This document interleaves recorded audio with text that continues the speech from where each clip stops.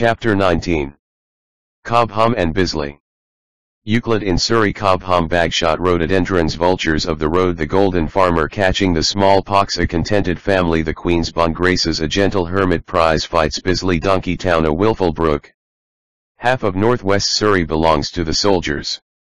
Chobham Common, Bagshot Heath, Chobham Ridges, Bisley, Pirbright, Yorktown, and Camberley contain among them pretty nearly all the camps, colleges, training grounds, and rifle ranges that do not belong to Aldershot over the Hampshire border. The whole aspect of the country is military, rural outlandishness has been drilled into rigidity and pattern. The roads run as straight as if the Romans had driven them and, indeed, some of them in the neighborhood are Roman roads, the face of the hills and heather commons is scored with roads like figures of Euclid, triangles, oblongs, radii, rhomboids, every kind of road which enables you to go from one place to another in the shortest space of time possible, which, for that matter, is a thing you frequently wish to do. Nobody wants to linger on a road as straight as a gunshot. Camberley, perhaps, is as good a center as any for exploring this part of Surrey, but the border of the county is intersected with such a network of railways that it is easy to get to Bagshot or Camberley or Frimley from almost anywhere and to join the railway again where you please. One of the best walks is from Chertsey over Chobham Common to Windlesham and Bagshot, and then over Chobham Ridges down into Frimley. Bisley is most easily visited from the railway, as thousands visit it or rather the rifle range every July. Chobham Common is at its best in July, when the heather is out. But it has a day in May, under a hot sun, which is, in some ways, more distinct. The scent and the glow of the heather belong to other Surrey hills, but Chobham Common has its own features of sandy hillocks topped by clumps of pines, which set an austere gauntness on the place unlike the rolling flanks and ridges by Frensham and Hindhead. In May the heather is dark and dry, there are sparse patches of gorse scattered about the slopes, and looking across at a group of pines edging the horizon you sometimes get a setting of black, yellow, and blue, which belongs peculiarly to this corner of Surrey. Chobham Common and its heather have often been compared to Scotland, and I can never catch the likeness.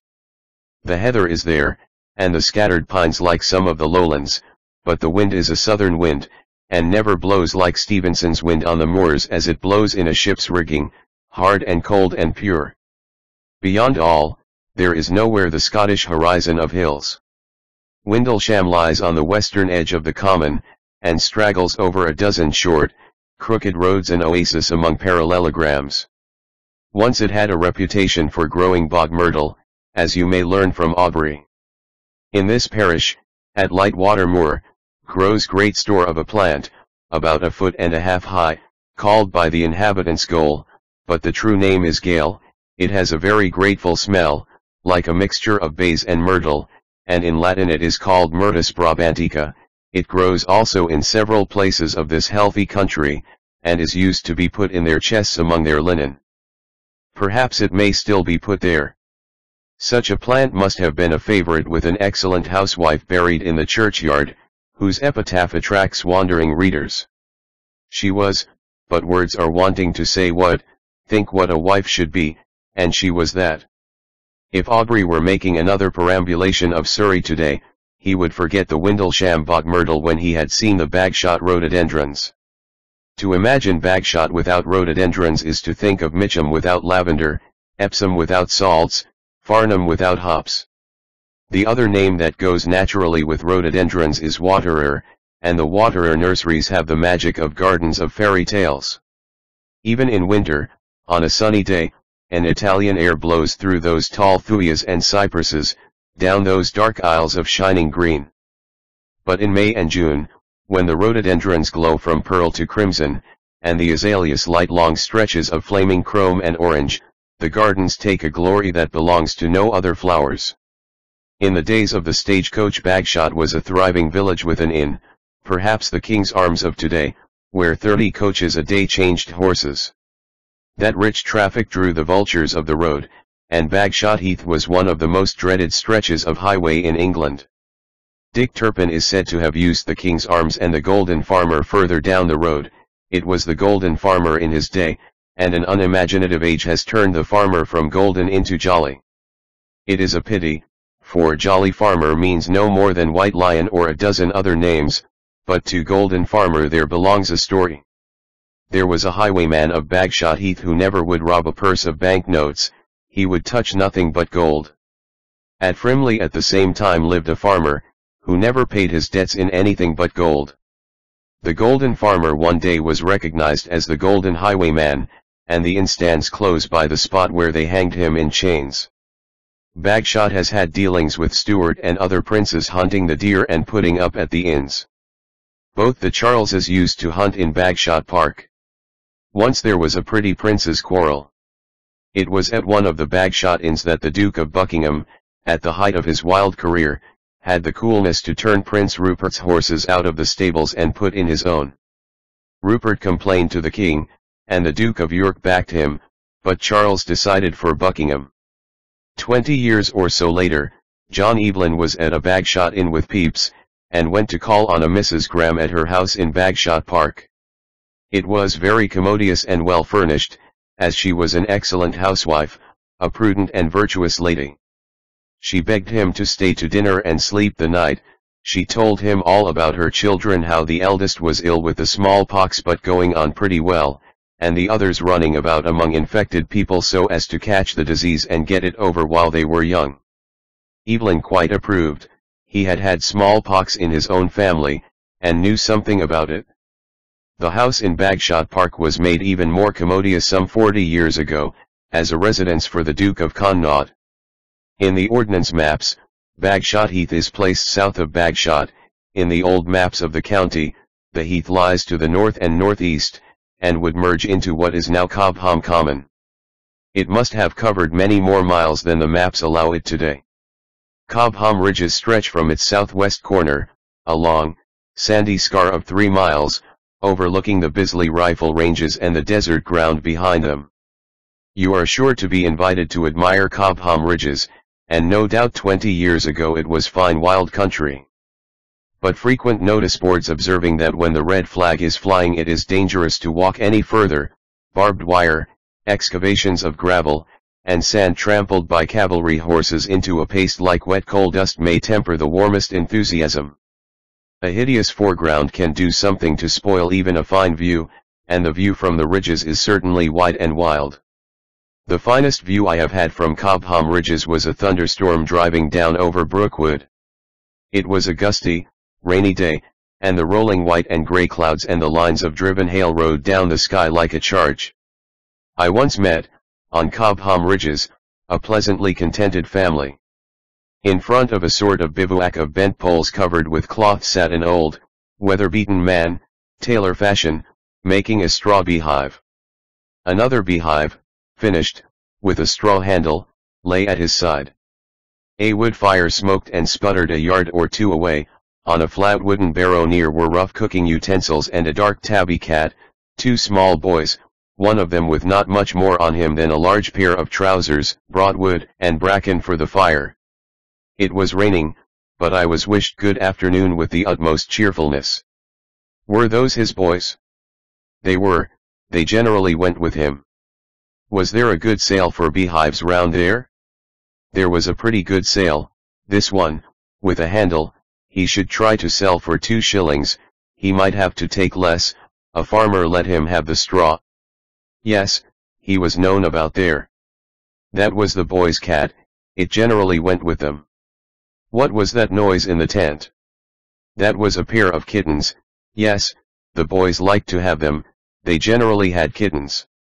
One of them picked up the cat, upside down, with obvious affection. Chobham itself lies five or six miles away from Chobham Ridges, south by a mile even from Chobham Common. Long before you come into the village you catch sight of the church spire, with its lead covering washed by the rain to a brilliant whiteness. Rising above the red tiles of the village into a blue sky it looks as if it had been painted yesterday. The church has been largely rebuilt, but has some fine Norman pillars, and contains besides the tomb of the great Nicholas Heath, once Archbishop of York. He was Lord Chancellor of England under Queen Mary, and a sound papist. When Elizabeth came to the throne he resigned, but remained so much in the Queen's bon graces, as an old writer puts it, that she visited him once a year through his life, believing his mistaken piety sincere. Two miles behind the ridges is Frimley, with an old inn and a church to which Americans come often. Bret Harte lived his last years at a house on the hillside near, and is buried in the churchyard. But the Bret Harte of the Luck of Roaring Camp and the Heathen Chinee does not, of course, belong to Frimley, those were earlier successes which he never equaled later. The village politician ought to flourish at Frimley. On a board near the church I found a warning against a crime which must be becoming rarer. Notice is hereby given that any person or persons found damaging the parish pump will be prosecuted, it ran, but the pump I did not find. In Aubrey's day, Frimley had the gentlest of hermits. He fled from the changes and chances of the parliamentary wars, and led the simplest possible life in the wilds. Aubrey describes his cottage. At the end of this hundred, I must not forget my noble friend, Mr. Charles Howard's cottage of retirement, which he called his castle, which lay in the middle of a vast heathy country, far from any road or village in the hope of a healthy mountain, where, in the troublesome times, he withdrew from the wicked world, and enjoyed himself here, where he had only one floor, his little dining room, a kitchen, a chapel, and a laboratory. His utensils were all of wood or earth, near him were about half a dozen cottages more, on whom he shewed much compassion and charity. Frimley is a convenient stopping place at which to join the railway. A walk for another two miles or so would bring the curious in the history of the prize ring, if any still remain, to a classic spot on the Hampshire border. It was in a meadow half a mile from Farnborough station, selected because it would be easy to step out of one county into the next and so avoid the police, that Tom Sayers fought the huge American Irishman Heenan, in almost the last great prize fight fought in England. The fight came off on April 17, 1860, the most extraordinary care had been taken to keep the secret of the place of meeting, and the accounts of the proceedings, when one remembers that it all took place in the mid-Victorian quiet which was producing the Idylls of the King and Adam Bede are nearly unbelievable. Two monster trains carried 1200 spectators, peers, members of parliament, magistrates, officers, clergymen, and gentlemen from London Bridge at dawn. Three pounds each was the price of the tickets. Nobody except two or three in the secret knew till that morning where the fight would be, the police, mounted and on foot, lined the railway from London Bridge for 16 miles, all armed with cutlasses. The trains turned off, as the account in Bell's Life in London puts it, at Reigate, took water near Guildford, and ran into Farnborough station after a most pleasant journey through one of the prettiest countries in England, which, illumined by a glorious sun, and shooting forth in vernal beauty, must have inspired all with intense gratification. Thus Bell's eloquent reporter. Thirty-seven rounds were fought, in most of which Sayers was knocked down, his right arm was bruised and useless, Heenan could only see out of one eye.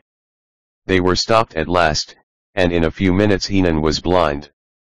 Bell's Life next morning came out with a special eight-page edition, the two center pages 12 columns of tiny print nearly 30,000 words describing every detail of the fight, the men, and the history of boxing in general. There were some protests by sentimental people against the brutality of the thing, and Bell, professing a vigorous belief in this particular form of muscular Christianity, remarks reflectively that the whole country is not yet converted to the right way on the subject of pugilism. Bisley, which lies on the other side of Chobham Ridges, opposite to Frimley, is, as I have said, best reached by rail, indeed, there is little inducement to anyone to reach it in any other way. Twenty years ago Bisley was a tiny village. It is now a vast rifle range. The name has become shifted from the little group of cottages and the quaint church standing among the cornfields half a mile away to the huge common enclosed by the National Rifle Association, where every year in July the great shooting prizes are won and lost. Bisley is in many ways unique. It carries on the traditions of Wimbledon, which were greater than any other rifle meeting. It can show more targets and better ranges than any other range, it attracts rifle shots from every British possession on the face of the globe, and for a week the rain of bullets sent into the sandy banks behind the targets is almost ceaseless. Perhaps the most remarkable sight of the Bisley Week is the second stage of the shooting for the King's Prize, when 300 competitors are down at the same time opposite 100 targets in a row, and when the shooting is not over until 6,300 separate shots have been fired, signaled, and chalked on the blackboards by the range markers. But the great occasion is, of course, the final stage, when the winner is cheered and cheered, and asked the usual ridiculous questions about smoking and drinking. Through all the week of the meeting the camp is a gay sight, with its white tents and flaring bunting, and the pennons blowing all down the long ranges to measure the wind for prone riflemen. Lying prone on the back, by the way, is a phrase which creeps into many newspapers during Bisley Week. It would clearly not do to speak of a supine rifle shot. One would think that the noise of a rifle range would make the neighborhood intolerable. But even with the wind blowing to you from the range, a few hundred yards almost silences the sound of the range. I have walked on the common between Bisley itself and the range, when firing for the King's Prize was in full progress, and was merely conscious of an echo chattering uneasily in the trees. There have been plenty of ways of spelling Bisley. Bustle, Buslaw, Bushley, Busheely, Busley, Bussy, Busley, and Busley are a few of them, there are probably variations. The church has a fine old wooden porch, with an old yew opposite it, but the door is locked, and visitors are not allowed to look over the church unaccompanied. My guide was courteous and obliging, but why should anyone be given all this trouble? There is a famous well near, named after St. John the Baptist, the water of which was once used for all the christenings. It is not very easily found, and the local harvesters could tell me nothing about it, but I discovered it near a farmhouse a few hundred yards southwest of the churchyard. Aubrey says that the dedication of the well made him curious to try it with oak galls, which turned the water purple.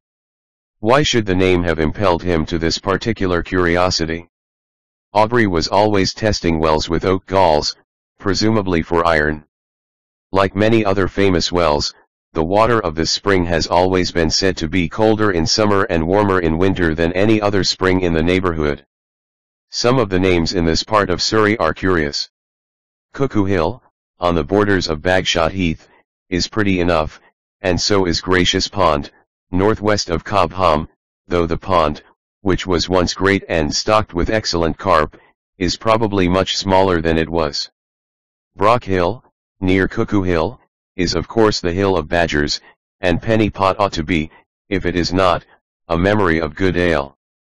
But Donkeytown. Who would live at Donkeytown? It is, however, quite a flourishing little community, though probably it will be eventually embraced by its larger neighbor, West End, which is the nearest village to Bisley to the north, and the largest. Looking at the map, it is a little difficult to understand why the cheaper forms of village building should spread in this part of the county, which, so to speak, leads nowhere, but possibly the presence of the Gordon Boys' Home has created fresh needs which must be supplied locally. The large buildings, which cost some £24,000, were set up here in 1885, and are a home for 200 boys. Between Bisley and Chobham runs a road with rather an odd feature. For a short distance near Chobham village the little Hailbourne, into which the Windle Brook has here grown, runs beside it, dark and full, but almost invisible under its overarching alders and dog roses. Just as it leaves the roadside it is joined by a strange companion. Another little stream, coming down from the north, runs into the Hailbourne after traveling the last hundred yards of its course over the whole breadth of a road. The road, which is of gravel, and regularly used, is hard and level, and the stream turns it into a bed, perhaps 8 or 9 feet across. The natural course would seem to be to dig the stream a bed of its own by the side of the road, but local ingenuity has preferred to send the traveler dryshot over a stile through the field at the side of the stream, which duly proceeds in the ordnance map down the road it has chosen. Horsell Church. Horsell Church. Chapter 20 The Wey Villages Old Woking behind the Vale a royal palace necropolis when not to dig a grave. Lumpy Stevens the Ripley Road the Anchor and the Talbot Dog an open box teal by Twilight. Ockham 7 Streams. Newark Jackdaws 2 shillings. The dozen. The Wisley Garden Byfleet a Ghost in Velvet. In whatever way you may choose to travel through Surrey, it is difficult to avoid making Woking a centre and a rendezvous. All the trains stop there, at least, I cannot remember ever passing through the station without stopping, either to change trains, which generally takes three quarters of an hour, or to wait in the station until it is time to go on again, which usually takes 11 minutes. I never found anything else to do at Woking, unless it were at night, when the railway lights up wonderful vistas and avenues of colored lamps. Then the platform can be tolerable. Once when I had a long time to wait I walked out to the church which stands rather finely on the ridge north of the railway. I thought then it was Woking Church, it belongs to Horsell. It was that Woking, the Woking of the station, which for many years I imagined to be the only Woking in Surrey. One did not wish for another. But there is another Woking, and it is as pretty and quiet as the railway Woking is noisy and tiresome. It stands with its old church on the banks of the Wey two miles away, a huddle of tiled roofs and old shops and poky little corners, as out of the way and sleepy and ill-served by rail as anyone could wish. I found it first on a day in October, and walked out from the grinding machinery of the station by a field path running through broad acres of purple-brown loam, over which plough horses tramped and turned. It was a strange and arresting sight, for over the dark rich mold there was drawn a veil of shimmering grey light wider and less earthly than any mist or dew. The whole ploughland was alive with gossamer, and old Woking lay beyond the gossamer as if that magic veil were meant to shield it from the engines and the smoke. Old Woking, indeed, lies in country deep enough to forget the railway altogether, and to take to the water as the highway. The Wey wanders in and out by the village, and half a mile away at Send the navigation canal joins the Wey proper, as the little river has come to be called to distinguish it from the canal. The canal cuts business-like corners and straight lines when the Wey, having plenty of time to spare, wants to wander an extra two or three miles about a field. From Send to Weybridge or to Guildford, downstream or up, by the canal towing path or by boat, is a delightful journey in spring or summer. As good a round as can be taken walking is from Woking through Send by Newark Priory, Pyrford, and Wisley to Byfleet, where the railway can be joined or the journey continued to Weybridge or back to Woking. But there are, of course, 20 ways of seeing the little villages that cluster round the Wey so closely in this corner of Surrey, either on foot or by boat, or rowing and walking both. But Woking has not always been quiet and old-fashioned and sleepy. Once it was a royal manor, and contained a royal residence. William the Conqueror held Woking in domain himself, and it passed through the hands of every king until James I, who gave it to one of his foresters, Sir Edward Zouche. Sir Edward had to pay something for his privilege. He held the manor on condition that he was to bring to the king's table, on the feast of St. James each year, the first dish at dinner, and with the dish the satisfactorily large rent of a hundred pounds in coined gold of the realm. Perhaps he still made something out of his tenants, at all events, a further token of gratitude, he was to wind a call in Woking Forest on Coronation Day. He may have liked the rental, but he could not have liked the old palace, for he knocked down every brick of it. The strangest and most melancholy fate seems to wait on every palace in Surrey built or lived in by an English king even by the friend of a king. Of Oatlands, Guildford, Woking, Nonsuch, Sheen, each a king's palace, scarcely a stone remains, Wolsey's palace by the mole is nothing but a gateway, the Archbishop's palace at Croydon has sunk as low as a wash house. Kingston owns the stone on which English kings have been crowned, but elsewhere in Surrey the royal hand has touched only to destroy. a persistent association hangs to the name of the town by the station, undeserved but traditional. Woking, like the Duke of Plaza-Toro, likes an interment. Much of the land near the town is owned by a company which, while it builds villas for the living, especially those who find advantages in a fast train service, has named itself Necropolis, which is grim enough for anybody living or dead. But the Necropolis Company, whether it knows it or not, did not found the tradition. That stands to the record of an old gravedigger interviewed by Aubrey. He conversed grimly and with authority on the places and seasons for the proper digging of graves.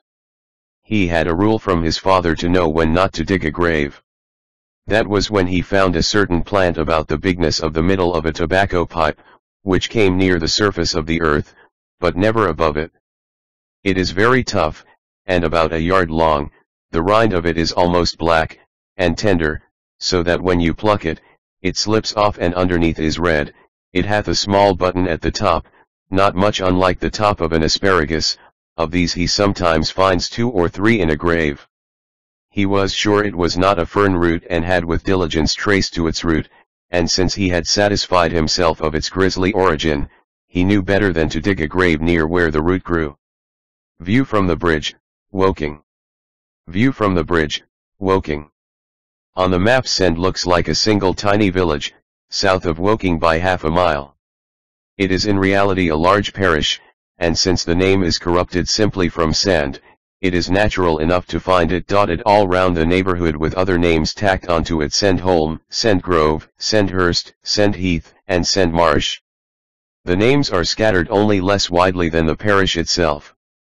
The church stands a mile from the little hamlet of Send, on the banks of the Wey, like the churches of Pyrford and Woking, and the ruins of the great priory of Newark, to which Send Church and her chapel at Ripley both belonged.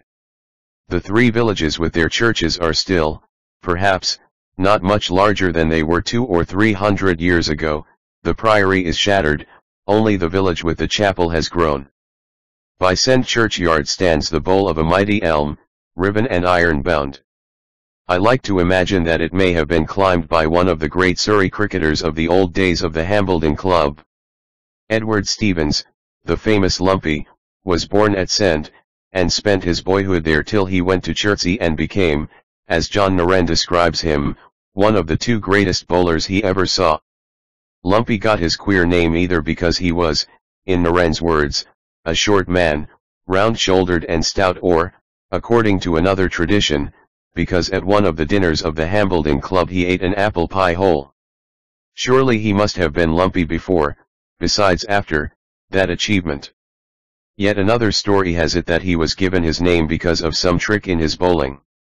Certainly his methods were not what we should call exactly orthodox today. It was the privilege of visiting elevens in his day to choose the pitch on which the match should be played, and that was Lumpy's opportunity. Nyren explains his plan. He would invariably choose the ground where his balls would shoot, instead of selecting a rising spot to bowl against, which would materially have increased the difficulty to the hitter, seeing that so many more would be caught out by the mounting of the ball. As, however, nothing delighted the old man like bowling the wicket down with a shooting ball, he would sacrifice the other chances to the glory of that achievement. Many a time have I seen our general twig this prejudice in the old man when matched against us, and chuckle at it. But I believe it was almost the only mistake he ever made, professional or even moral, for he was a most simple and amiable creature. There is an unkind legend which speaks of Lumpy as a bit of a smuggler in his young days, but Nyren, at all events, never believed it, for he ends by declaring handsomely that he had no trick about him, but was as plain as a pikestaff in all his dealings. Lumpy, whether he smuggled or not, certainly has his niche in cricket history. It was to him that the wicket owes its third stump. In a match played in 1775 on the Portsmouth Artillery Ground, between five of the Hambledon Club and five of All England, Lumpy three times sent the ball between the last Hambledon man's stumps without bowling him, and after the match, which Hambledon won in consequence, the number of the stumps was increased from two to three. Send lies deep among the fields, counting itself fortunate, perhaps, that it is not on the Ripley Road, a mile away. Ripley itself, perhaps, owes its fortune, even if it owes more besides, to the road which it has named. The story belongs to all the villages of a great highway. The coaches brought their heyday, the railway spoiled it, the bicycle remade it, and now the village is being redecorated by the motor car. The Ripley Road, for the two days in the week when it is most used, is a place to avoid. Yet it can be beautiful, and there is an approach to it hardly equaled near any other highway in the county. The late Mrs. Buxton, of Foxwarren Park, above Wisley Common, for years permitted the public to walk and drive through her private grounds away from the high road, and that generous lady's permission has been continued by her successor. The carriage drive runs by oaks and bracken through which pheasants rustle, past a strange, tall column of blackwood a totem pole brought from Queen Charlotte's Islands, then it rises to the edge of a ridge overlooking a wide and level stretch of pinewood and heather. In August, when the ling is out with the bell heather, and the pines stand deep in fern and rushes, no lovelier carpet spreads under any Surrey hill. The road runs a white thread through it a road best viewed from afar. The weight of wheels has ground the surface to powder. Ripley itself, but for the traffic, would be the prettiest village on the road. A long string of low-roofed houses lines the highway, little white-gabled cottages offer tea and refreshment, two old inns share most, I suppose, of the custom of fasting travelers. The Anchor, an inn of many gables, has fixed itself in the affections of bicyclists since the days when they rode velocipedes, and its black-beamed walls and passages hold drawings of strange souls mounted on wheels which would have scared Ixion.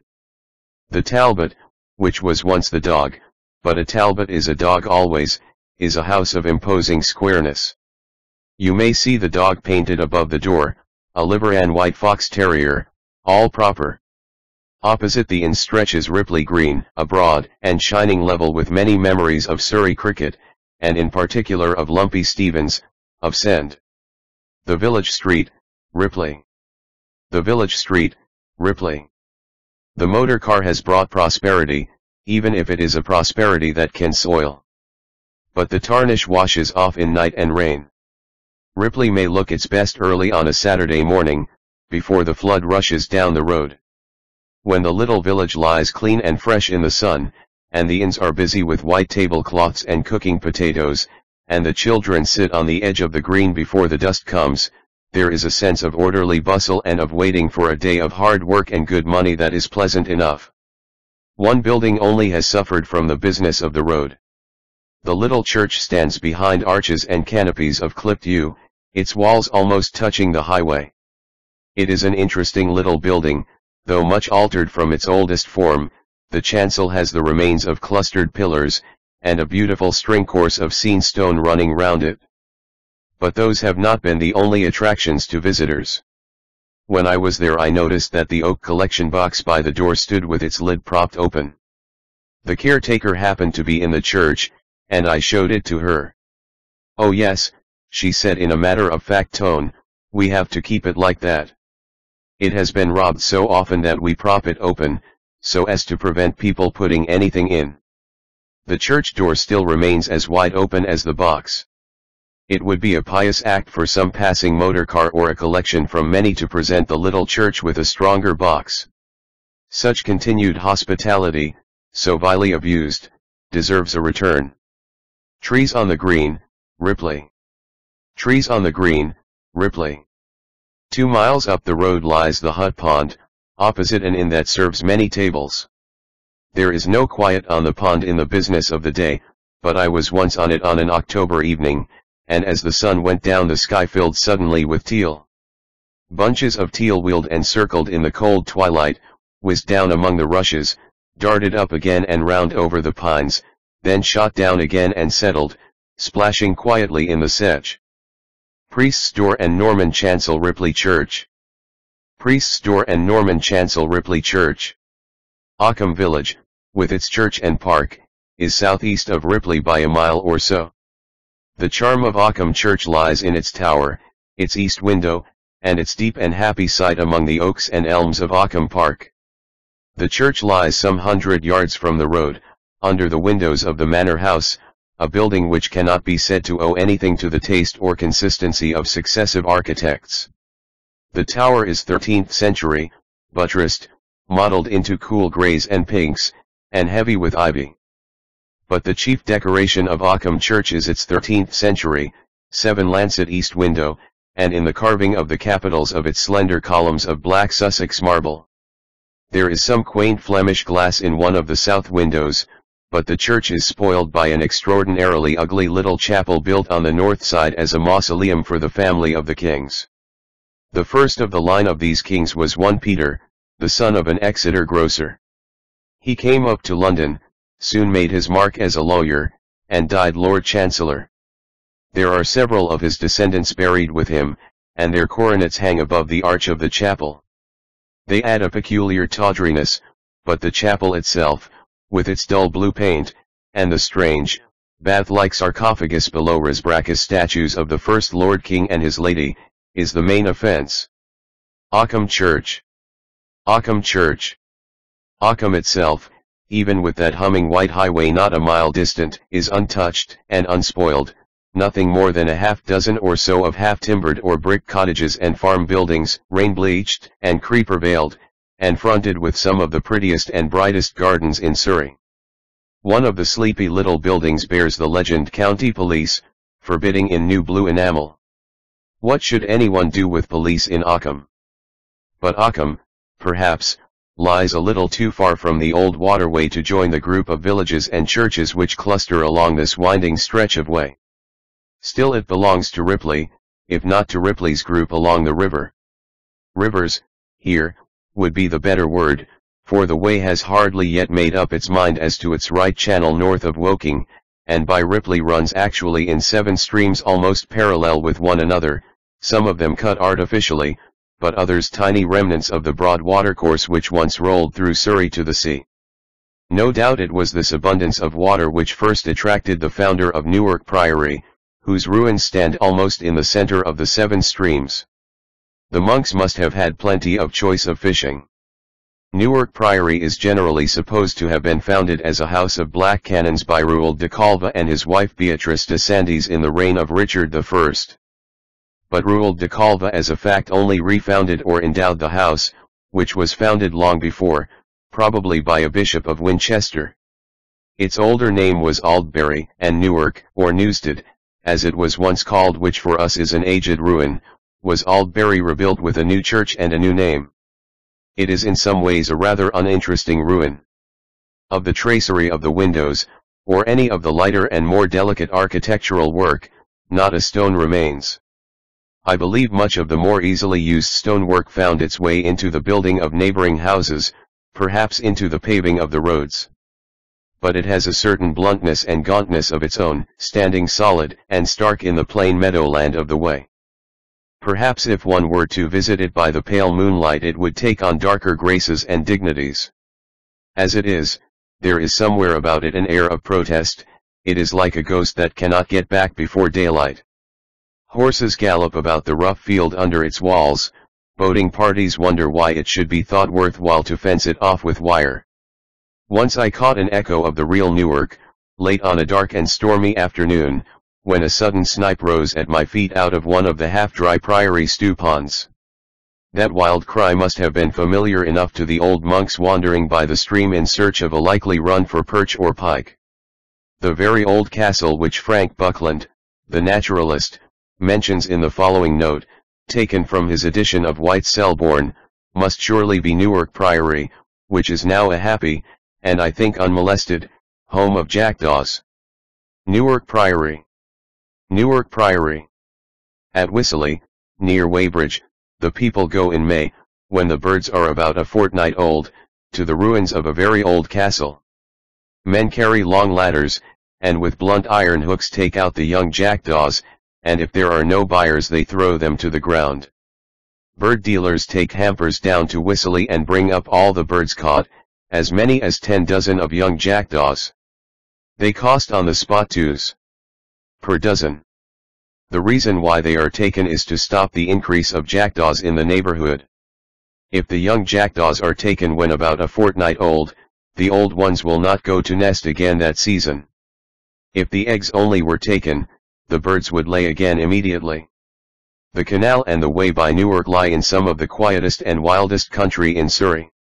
It is not the wildness of Thursley Common, or the quiet of the pine woods, but it is the sunny peace of a waterway almost deserted, of unploughed, rushy meadows, of waterside paths and thickets that fill in April and May with a tide of bird life which stays here, and elsewhere passes or is hardly seen. A May morning on the Wey Canal rings with singing. You can count scores of cuckoos gliding in the sun and calling from the budding branches, woodpeckers laugh from oak to oak, plovers tumble in the wind, herons flap up lazily at a bend in the stream, and flap lazily down again, snipe cut high arcs in the blue and drum down from the sailing clouds, perhaps from the very heart of the thicket the nightingale bursts into a pulsing riot of song.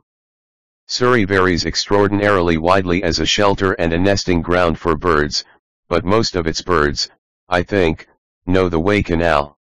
Of the seven streams which surround Newark Abbey the northernmost runs under the little hill on which stands Pyrford Church.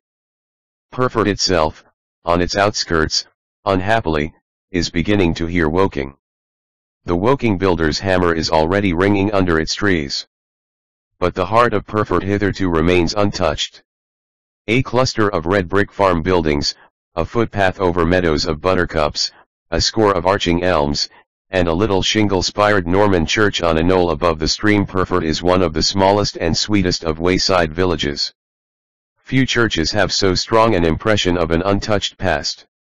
In plan it is scarcely altered from its Norman design of the 12th century, and it stands on its knoll overlooking the meadows away to the great priory of which it was a chapel, the priory in ruins, and itself with hardly a stone loosened for nearly eight centuries. The roof is later than the walls, but there is a fascination in staring up at the old oak timber. It was the same vista of retreating beams of mighty wood on which the eye of the Newark priest droning from the altar must have rested, perhaps for his sleepy congregation there was the same glimpse of ivy tendrils creeping in under the eaves, and on drowsy afternoons in May the same chatter and hiss of nesting starlings. From the scanty scraps of the paintings on the wall you can only guess vaguely at the texts of the old Sunday sermons, manna falls in the wilderness, Moses brings water out of the rock, probably the congregation listened with most eagerness to the third, the death of Jezebel. Mill on the Wey, between Pyrford and Ripley. Mill on the Wey, between Pyrford and Ripley. Donne, the poet, perhaps knew the paintings well. In the days when he was still unforgiven by Sir George More of Loseley for having run away with his daughter Anne, he and his bride lived for some years as the guests of Sir John Woolley, Queen Elizabeth's secretary, at Pyrford Park may it not have been the seven-streamed Wey by Pyrford which gave him his stanzas for the bait, his parody of Marlowe, Come live with me, and be my love, and we will some new pleasures prove of golden sands and crystal brooks, with silken lines and silver hooks. Let others freeze with angling reeds, and cut their legs with shells and weeds or treacherously pour fish beset with strangling snare, or windowy net. Let coarse bold hands from slimy nest the bedded fish in banks outrest, or curious traders, sleep silk flies, bewitch poor fish's wandering eyes. For thee, thou needest no such deceit, for thou thyself art thine own bait, that fish, that is not catched thee thereby, alas is wiser far than I. Pyrford Church. Pyrford Church. Two miles further down the canal perhaps nearly four by the Wey itself stands another little church, almost, like Pyrford and Woking, on the edge of the stream.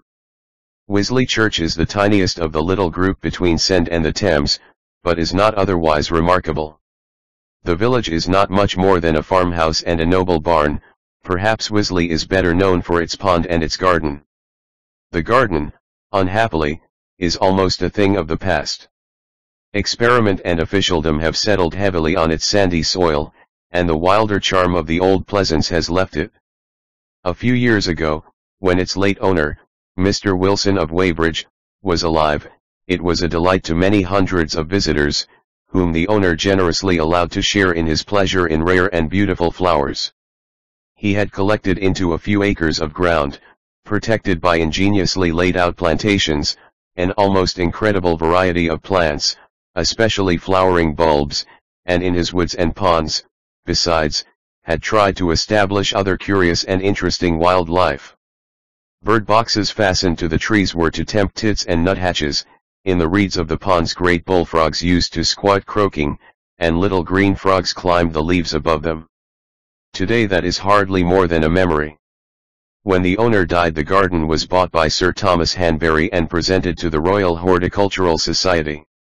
The society came down from Kew upon the fold, and on the open ground beside the old garden, tangled and unhappy, set down a row of superb glass houses, planted a number of specimen fruit trees, and devoted itself forthwith to up-to-date research and education on the most approved lines of modern scientific arboriculture and hybridization in hothouses. Wisley Church Wisley Church Last of the little bunch of wayside churches is Byfleet, with a belfry built on some magnificent oak beams. Byfleet Manor House used to be a royal hunting lodge, and was given with the right of free warren by Edward II to Piers Gaveston. Its last royal owner was James I's queen, Anne of Denmark, and it was probably she who built the massive walls and the forecourt of the garden of the present home. But the manor house itself is early Georgian, and though it has had some ugly additions, it still stands square and strong behind its fine old gateway. James is supposed to have planted the Scotch firs in the garden, to remind Queen Anne of the home she left behind her in the north. Such a building would be sure to have some quaint traditions. It is known locally as the King's House, and there is a legend that Henry VIII was nursed there. He may have been, but not in the present building. It has no regular ghosts, but Miss Frances Mitchell, writing on the history of the manor in the Surrey Archaeological Collections, tells us that Anne of Denmark is said to have been seen moving through the lower rooms, and there is a very dim tradition of a dwarf in purple velvet who wanders in the forecourt. A third legend, in which the rustic historian apparently confuses Anne of Denmark with the last Stuart queen, relates that Queen Anne came to Byfleet and from a neighboring hill watched Marlborough win the Battle of Blenheim. Chapter 21 Richmond and Kew the Woking of the Surrey Thames peasants in the field Ham House the Cabal Petersham Richmond Hill the heart of Midlothian deer in the sunlight Queen Elizabeth dying Kew Palace the secret of the gardens. Woking is the centre to which it is difficult not to return in exploring the Wey and the Wey villages, Surbiton is the centre of the roads about the Surrey Thames. Surbiton has tramways besides a railway, and Surbiton Station is perhaps the most convenient starting point either for Hampton Court on the Middlesex bank, or for Kingston, or through Kingston to Ham and Richmond and Kew. Kingston, in one direction, has its own chapter, so have the Dittons and Walton in another, beyond Kingston lies a walk, not often taken, perhaps, along the river bank to Ham and Petersham, a walk that leads to Richmond Park and its deer dozing among the bracken in the afternoon sun, and Kew Gardens waiting in the evening the best hour of all the day among those ordered flowers and trees. I never saw Ham until one day, walking out from Kingston, I suddenly found myself in the fruitful spaces of market gardens and farms. It is the suddenest change. Kingston, with the oldest memories of all Surrey towns, is as new and noisy as a thoroughly efficient service of tramways can make it, and then, within a stone's throw of bricks and barracks, you come upon acres beyond acres of level farmland, bean fields and cabbage fields and all the pleasantness of tilled soil and trenched earth and the wealth of kindly fruits. When I saw the fields by Ham on a hot day in August there were country women gathering runner beans into coarse aprons, stooping over the clustered plants, the humblest and hardiest of workers of the farm. Under that hot sun, in the wide spaces of those unfenced fields, with no English hedge to shut off neighboring crops and tillage, the air of those bent, lowly figures was of French peasantry, French nearness to the difficult livelihood of the soil. They might have gleaned for millet, they should cease their work at the Angelus. Richmond Bridge. Richmond Bridge. Teddington Lock, a mile downstream from Kingston suburbs, joins Surrey to Middlesex and the tide to the tideless river with a vast piece of engineering. Further down, Eel Pie Island breaks the stream, a bunch of chairs, tables, and trees, where, for all I know, others may still eat and praise eel pie.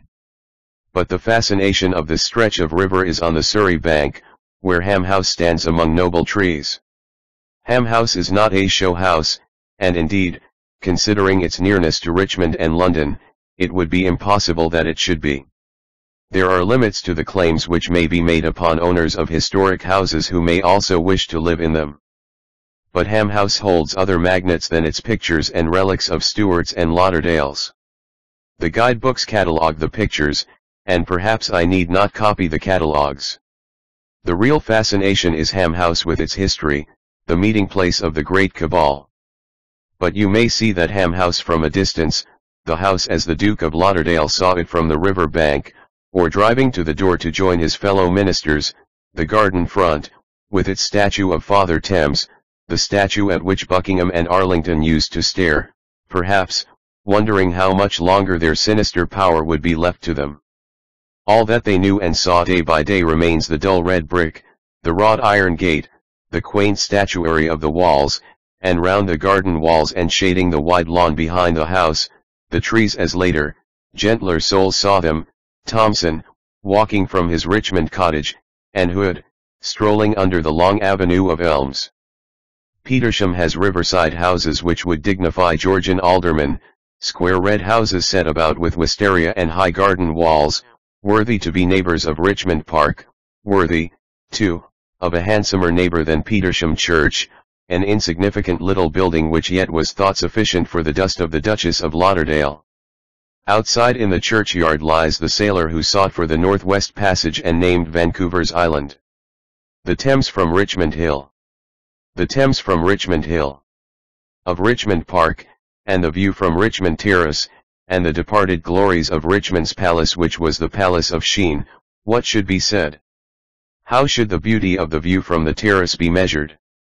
Scott has said it in the pages of The Heart of Midlothian, and Scott, perhaps, thought it the loveliest and richest of English landscapes. It was a huge sea of verdure, with crossing and intersecting promontories of massive and tufted groves. It was tenanted by numberless flocks and herds, which seemed to wander unrestrained and unbounded through the rich pastures. The Thames, here turreted with villas and there garlanded with forests, moved on slowly and placidly, like the mighty monarch of the scene, to whom all its other beauties were but accessories, and bore on its bosom an hundred barks and skiffs, whose white sails and gaily fluttering pennons gave life to the whole. That was the scene which was shown to Jeanie Deans, arrived at Richmond to sue for pardon for her sister, by the Duke of Argyll. We have nothing like it in Scotland, said the Duke of Argyll. Is that the secret? Is it because it is all that is typical of South Country greenness and the peace of broad water and deep woodlands that it made its appeal to the Scot used to grey crags and barren moorland? Or is its chief appeal not to the Scot but to the Londoner, and does the Londoner praise Sir Walter's taste because Sir Walter has praised his? That is part of the story of the beauty of the Richmond view, perhaps. It is so easily found from London. It has all that the Londoner loves to look at. It is the country as he wishes to see it. A glorious stretch of luxuriant woodland, a noble breadth of shining water, sunlight on wide meadows, but above all, setting a difference between this orderly beauty and the wild splendors of some western or northern moorland valley, the presence of befriending, comrade man.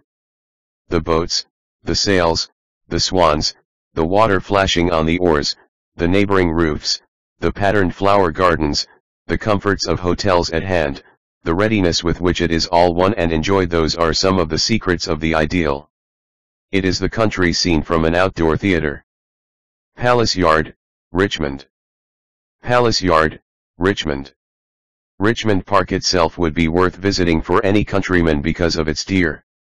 Deer standing about in the bracken, deer asleep in thick fern under great oaks, deer feeding slowly upwind on a distant slope of green, deer leaping shadows of tree stems one after another as if the shadows were water, which is one of the deer's prettiest games in the sun, deer trotting off as you try to come nearer to them, with that curious quivering, shaking amble which is born of lissom daintiness and muscles like steel, deer with hot sunlight on their coats it is the Richmond Park deer. Which are the creatures to come and see? How many are there? Who should count them? 1600 fallow deer and 50 red deer, the figures are given, Farnham Park, I think, comes next in Surrey, with 300 fallow deer. The Great Palace has left little more than an archway on Richmond Green. More history belongs to it, or rather to the succession of palaces which have stood at Sheen, which was the old name, than I can deal with. Edward III died at Sheen Palace, unloved and alone. Richard II's queen, Anne of Bohemia, died there 17 years later, and Richard in his grief threw the palace down.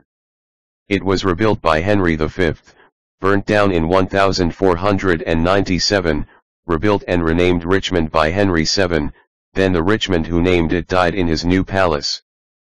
But the overmastering sense of unhappiness which somehow has set itself about the story of Richmond Palace belongs to the closing days of Elizabeth. Elizabeth's death, and the month that went before it, patch English history like a week of night.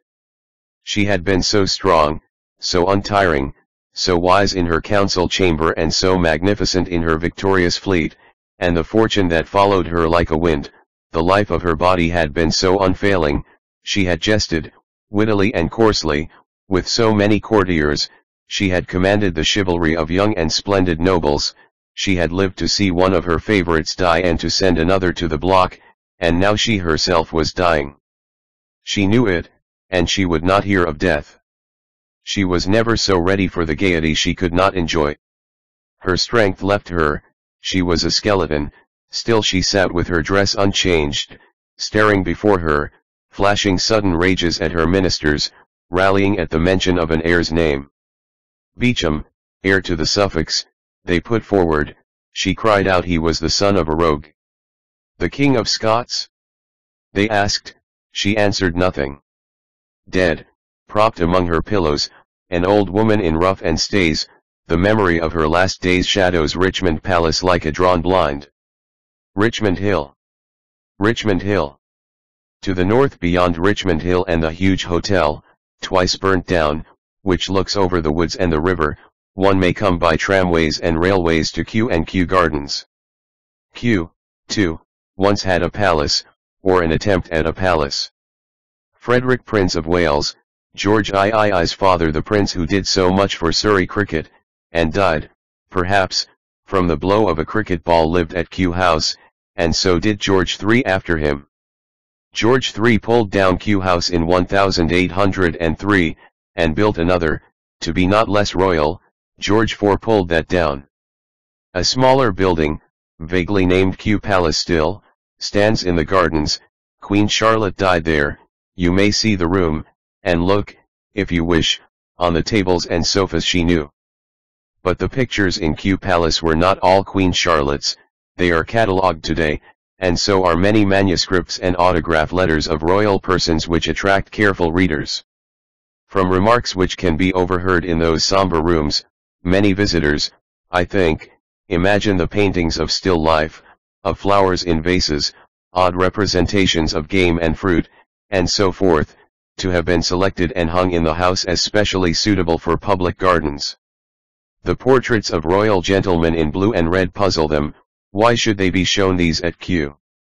These are for palaces and galleries, Kew is for a flower show. What is the chief, the compelling fascination of Kew Gardens? What is it that sets Kew apart, not more beautiful than other gardens, but different from them, with a different attraction peculiarly its own. Is it the sense of change from roaring streets to quiet lawns, noble trees, spaces, and sense of grass and flowers? There may be a sense of change, but that is not all the secret, for Kew keeps the same charm for one who has come fresh from the broad aisles and avenues of some great country garden. Is it the rarity and the wealth of the Kew museums and houses the orchid houses with their strange, lovely, uncanny inflorescences, flowers that have fancies and wilfulnesses, flowers that would people the dark with faces, or the lily houses and the superb Victoria Regia that would cradle a water baby, or the great palm houses, where you may walk in a gallery among enormous leaves and tropical creepers as if you were back again with your grandfathers in the tree tops? That is an attraction, but it is not all of it. Nor is it the achievement of the gardens in the separate spheres of gardening. The sheets of crocuses in the low March sunlight, and of daffodils shaking in an April wind, add a glory to the spring at Kew, but it is a glory that can belong to other lawns and other vistas of flowers. The Kew Rose Garden has a wealth of roses, but it has, too, a wealth of old tree stems and broken branches which a garden meant for nothing but roses would hide. The herbaceous border grows luxuriant phloxes and delphiniums, but the background of glass houses sets a wrong light about it. The rock garden shows more rock and fewer masses of alpine flowers than other English gardens more lately made, with better knowledge of what wall and rock flowers need. Then what is the abiding charm? To me, at all events, Kew has much the same appeal as the Londoner finds in Richmond Hill. It is a London garden, the garden of a town, perfectly made for its purpose. It can never, even with its glorious trees and its wide spaces of grass, have the peace or know the spirit of a country garden. Too many feet tread its lawns, too many voices chatter in its walks. It may spread its wild flowers and grow its curious blossoms for those who know where and how to look for them, but its main effects must be of ordered gravel, of shaven grass, of patterned beds, of flowers that will suit artificial lakes and buildings and stone balustrades. The keynote of Kew is by the wide pond, with the smooth green turf and the white stone, and the masses of pansies and heliotrope and brilliant red geraniums. Those are the flowers which suit best the steps down to the water, and the fountains, and the swimming ducks and the birds on the banks. There is the right touch of artificiality about them, the right note of London. The birds are Londoners themselves. The stately brown geese stalk over the lawns careless of poulterers or punt guns. The cormorant, who most certainly knows he is being watched, dives to show off before admiring children. Even the blackbirds have forgotten their country habits, and will sing when country blackbirds are silent for the year. Once, late in July, I heard four singing in evening sunshine after rain. They would take any countryman back to the days of chestnut blossom and the scent of Surrey May, but that indolent melody, in July sunshine, belongs to London. Kew Church. Kew Church. Chapter 22. Kingston. Kingston Old and New The stone the sextons escaped throwing over the church ducking a scold Aaron Evans's shot at a cormorant the dog whipper a feast of the church Lord Francis Villiers's fight. Kingston. Kingston. Kingston has kept little of the past. An old alehouse, old almshouses, an old staircase, an old roof or two by the marketplace, and an old chapel, Lovekyn's, standing apart the survivals are the loneliest things. Lovekyn's, once a chapel, and now a school, is one of the links. Gibbon was a scholar there, and Gibbon belongs doubly to Surrey, he was born at Putney. But the changes at Kingston have made it almost all new, and the changes have come quickly. Only three or four years ago the quaint, small heroine had two companions, the anglers and the three compasses, one with a fireside corner to warm ale and tell grandfather's tales in, the other with traditions of highwaymen and the road. They were pulled down. In Market Place there was once a fine Tudor house, the Castle Inn. The noble staircase remains, a good, thoroughgoing piece of carving of Bacchus and full casks, the house has gone. The church is old enough to have seen these and other losses, but the church is a mixed building, the tower, or most of it, is 18th century brick. Only one spot in the open streets of the town, I think, keeps an air of Kingston as the customers of the castle inn may have known it, and that is the little byway through which runs the water splash of the Hogsmill River.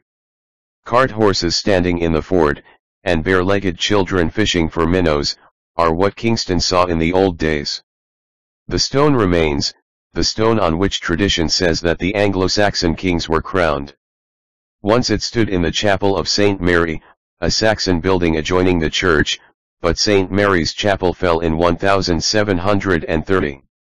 It was moved to the marketplace, afterwards in 1854, to the open space where it now stands opposite the courthouse, on the very spot, they say, where there was once an Anglo-Saxon palace. The railing which surrounds it has been described as of Saxon-like design, and perhaps that should suffice. On the pedestal which bears up the stone are the names of the kings who were crowned on it, Edward the Elder, Ethelstan, Edmund, Edred, Edwig, Edward the Martyr, and Ethelred the Unready. What is the King's Stone? A Moristane, the archaeologists tell you, one of a circle of stones, on which the chief sat in council with his great men, the predecessors of the Anglo-Saxon chiefs would have been archdruids, perhaps, or pontiff kings, acclaimed by ancient Britain centuries before the Romans set foot in Kent. Kingston Bridge Kingston Bridge Kingston Church, if its architecture is confused and much of it modern, has an imposing solemnity about it, and it contains some strange memorials. One is a stone fragment, on which the grateful survivor of an accident and a ruin has painted the words life preserved.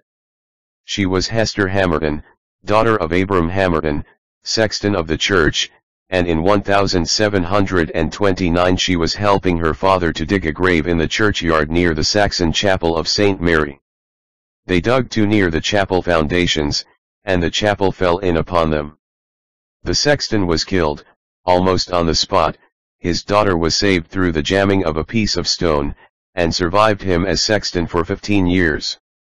Another memorial is a brass kept in the vestry, a long screed begins dismally enough ten children in one grave a dreadful sight, but the verse is unequal to the opportunity. Another brass shows Robert Skerne and his wife Joan, she, according to Manning and Bray, was a daughter of Alice Perrers, mistress of Edward III. A fourth monument, said to be in the chancel, but I did not find it, praises Mrs. Mary Morton, daughter of the wife of Robert Honeywood, of Charinga, Kent, she was the wonder of her sex and this age, for she lived e to see near 400 issued from her loins. So Aubrey describes it, and so, with variations, the local historian. Mrs. Mary Morton died in 1620. Aubrey has another record of the giants of those days. He had heard of one Wiltshire of the Feathers Inn at Kingston, who was a great thrower. He would stand in the churchyard and throw a stone over the weathercock, he would also throw a stone over the Thames, by the bridge, and struck the pails on the town side, which, I think, was not so difficult as the other throw. He was then of middle stature, and about thirty years of age. But if he had grown to greater stature? The weathercock of those days is no more, or we might measure the throw. Kingston has other history besides its coronation stone and its monuments. The parish registers have added pictures of its past. Here is one of two poor women allowed to beg at the church. February 1571. 24 Sunday was here I.J. Wemon the mother and doubter Oat of Ireland she called Eleanor Salve to gather upon the death of her house band a gentleman slain amongst the wild Irish being captain of gallowglasses and gathered aged. Here is a record of a Thames flood, October 9, 1570. Thursday at NYGHT rose a great wind and rain that the temps rose so high that the NYGHT row WT bots out of the temps a great way into the marketplace and upon a sodane. In the year 1572 Kingston got a new cucking stool, the Kingston scolds had become past bearing. It cost one pound threes. 4d, and as soon as it was finished there was a very shrewish woman ducked in it. 1572 August. On Tuesday being the 19th day of this month of August Downing whipped to Downing a grave maker of this parish she was set on a new cucking stall made of a great height and so brought about the market-place to Thames Bridge and there had IIJ duckings overhead and eries because she was a common scolda and fighter. Here are extracts from the burial registers. June 4. 1593 John Akerley went to bathe himself and was drowned and buried. August 25. 1598 William Hall was bared being shot by Thefis when he was constable at Cobbler's Hall. September 28. 1623 Richard Ratliff a Londoner which was slain. January 17, 1623 4 W. M. Foster son of W. M. A goer about. This is hardly a burial. July 11. 1629 A bird called a cormorant light on the top of the steeple and Aaron Evans shot, but missed it. Here are items from the churchwarden's accounts. The parish dog whipper had become an institution. 1561 to Faken for de year, half a year, WHYPPYNG of dogs out of the church. Aged. 1578 to write for beating the dogs out of the church, for half a year. VJD. But the Morris dance it was the dances that Kingston would spend money upon. There were two kinds of games which brought gifts to the church, May games, and the Kingham. What sort of a game the Kingham was nobody knows, but it brought the church wardens most of their money, four or five pounds was a good collection. But the expenses could be heavy, there were shoes for the Morris dancers, six pairs at 8d. A pair, there was silver paper for the dance, 8d, and there were for the feast, besides other drinking, a quarter of malt, 4s, 5 goose, geese, 15d, eggs, 6d, lamb, 18d, sugar, cloves, and mace, 11d, small raisins, 3d, saffron, 2d, vinegar and salt, 3d, 2 cocks, 18d, 2 calves, 5s. 8d, sheep, 12d, lamb, 16d, quarter of veal, 8d, quarter of mutton, 6d, leg of veal and a neck, 4d. The Morris dancers did well, with silver paper and new shoes, but the church kept a feast. Kingston has the credit of the first and the last battles in the parliamentary wars, but the claim is a little shaky. There was an affair of outposts between Rupert's cavalry and some parliamentarian troops between Oatlands and Kingston Bridge in the year 1642 after Edgehill but it was not a battle. The real Battle of Kingston came six years later, and ended all the warfare that Surrey saw. That was the battle which crushed Lord Holland's scheme of raising London for the king. We shall meet Lord Holland at Reigate, but the fighting belongs to Kingston. Holland, who had planned a rising on Banstead Downs, and had hoped to capture and hold Reigate Castle, was in full retreat.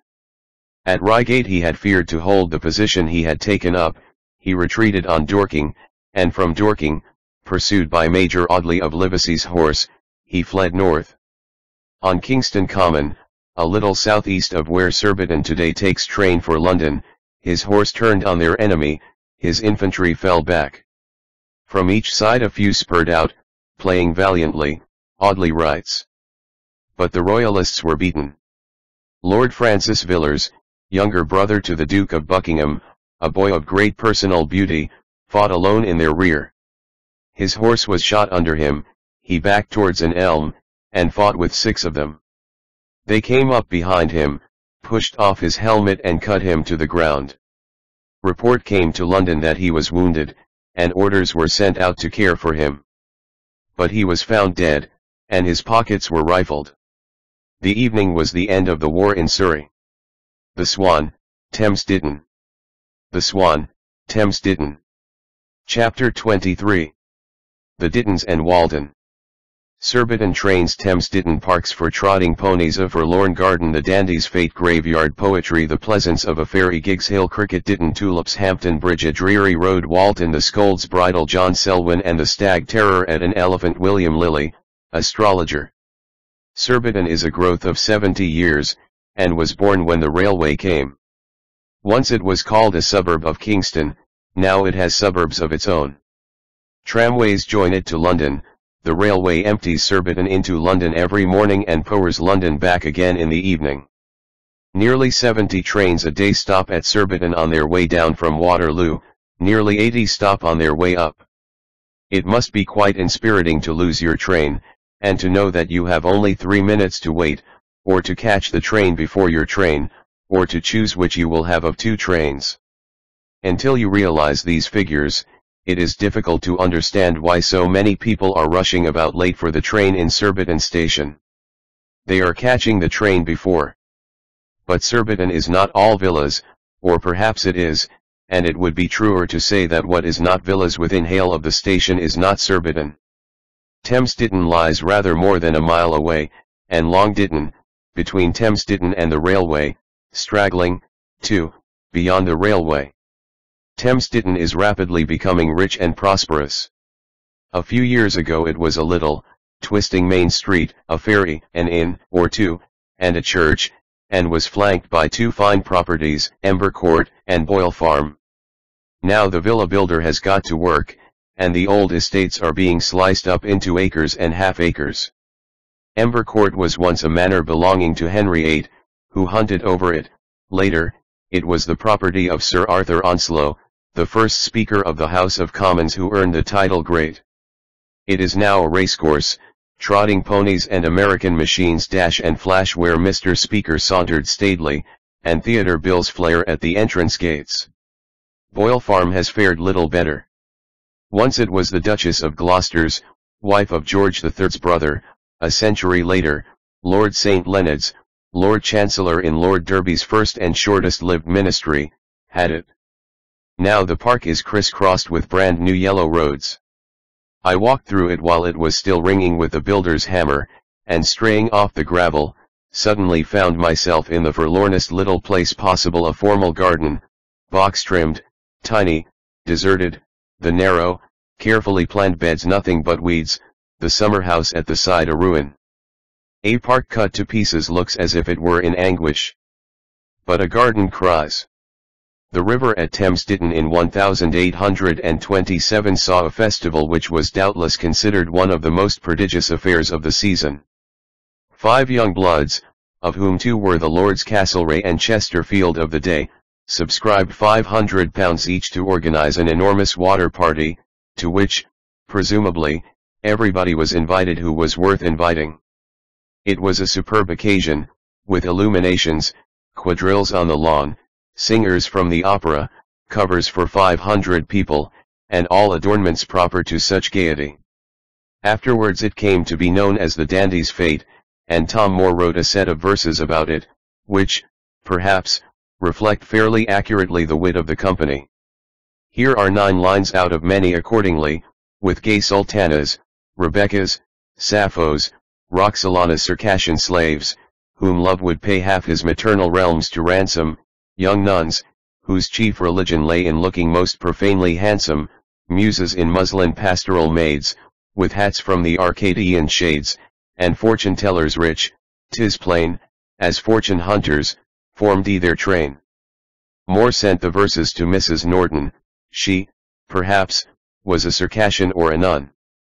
But Thames Ditton has had its own poet. He has been dignified by the criticism of Charles Lamb, and his accomplishment was the composing of epitaphs. What is the reason, Lamb writes to Wordsworth in 1810, we have no good epitaphs after all.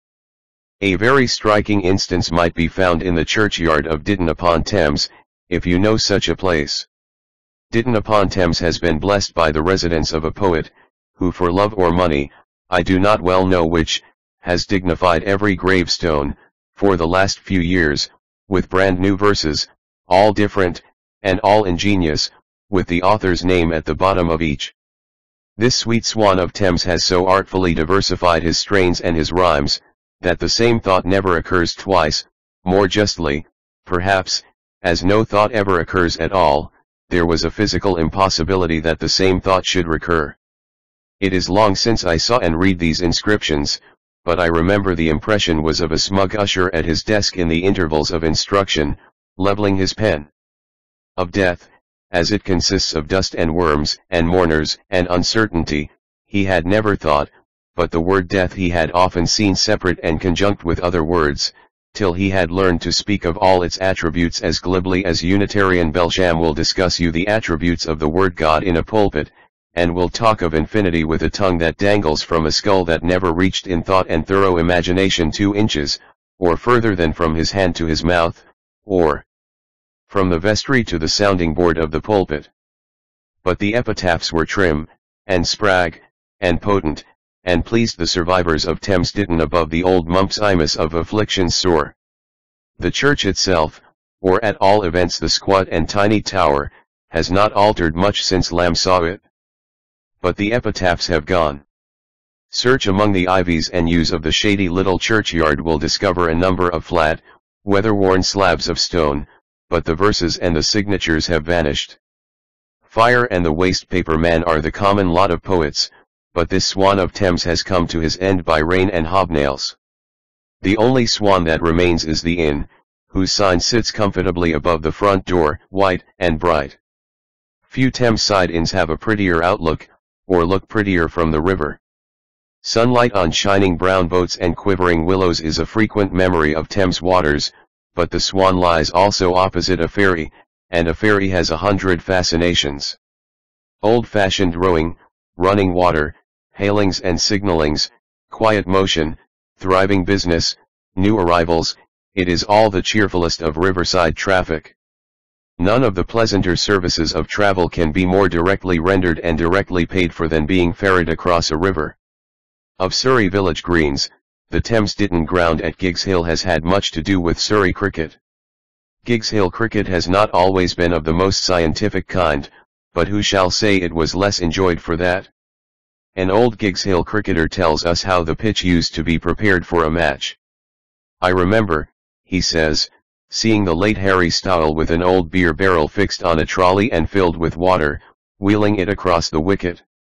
He would well douse the pitch, and after running a small garden roller he had borrowed up and down a few times the wicket was ready. This proceeding took place the day before the match, so that batting must occasionally have been a venturesome business. In those days a match meant what it still means in some villages, an adjournment in the evening to the neighboring inn, a supper, beer, and songs. How many old inns still keep the name the Jolly Cricketers, and how many for little reason. In later days, Thames Ditton cricket has become scientific enough. The Giggs Hill ground has sent to the Oval cricketers like H. H. Stephenson, who was making centuries for the county in the 60s, in modern times the great Maurice Read, whom Mr. John Shuter has described as having started a new order among cricket professionals, learned his cricket at Thames Ditton. But the greatest of all Thames Ditton cricketers is, of course, Tom Richardson. He was actually born at Byfleet, but played as a boy at Giggs Hill.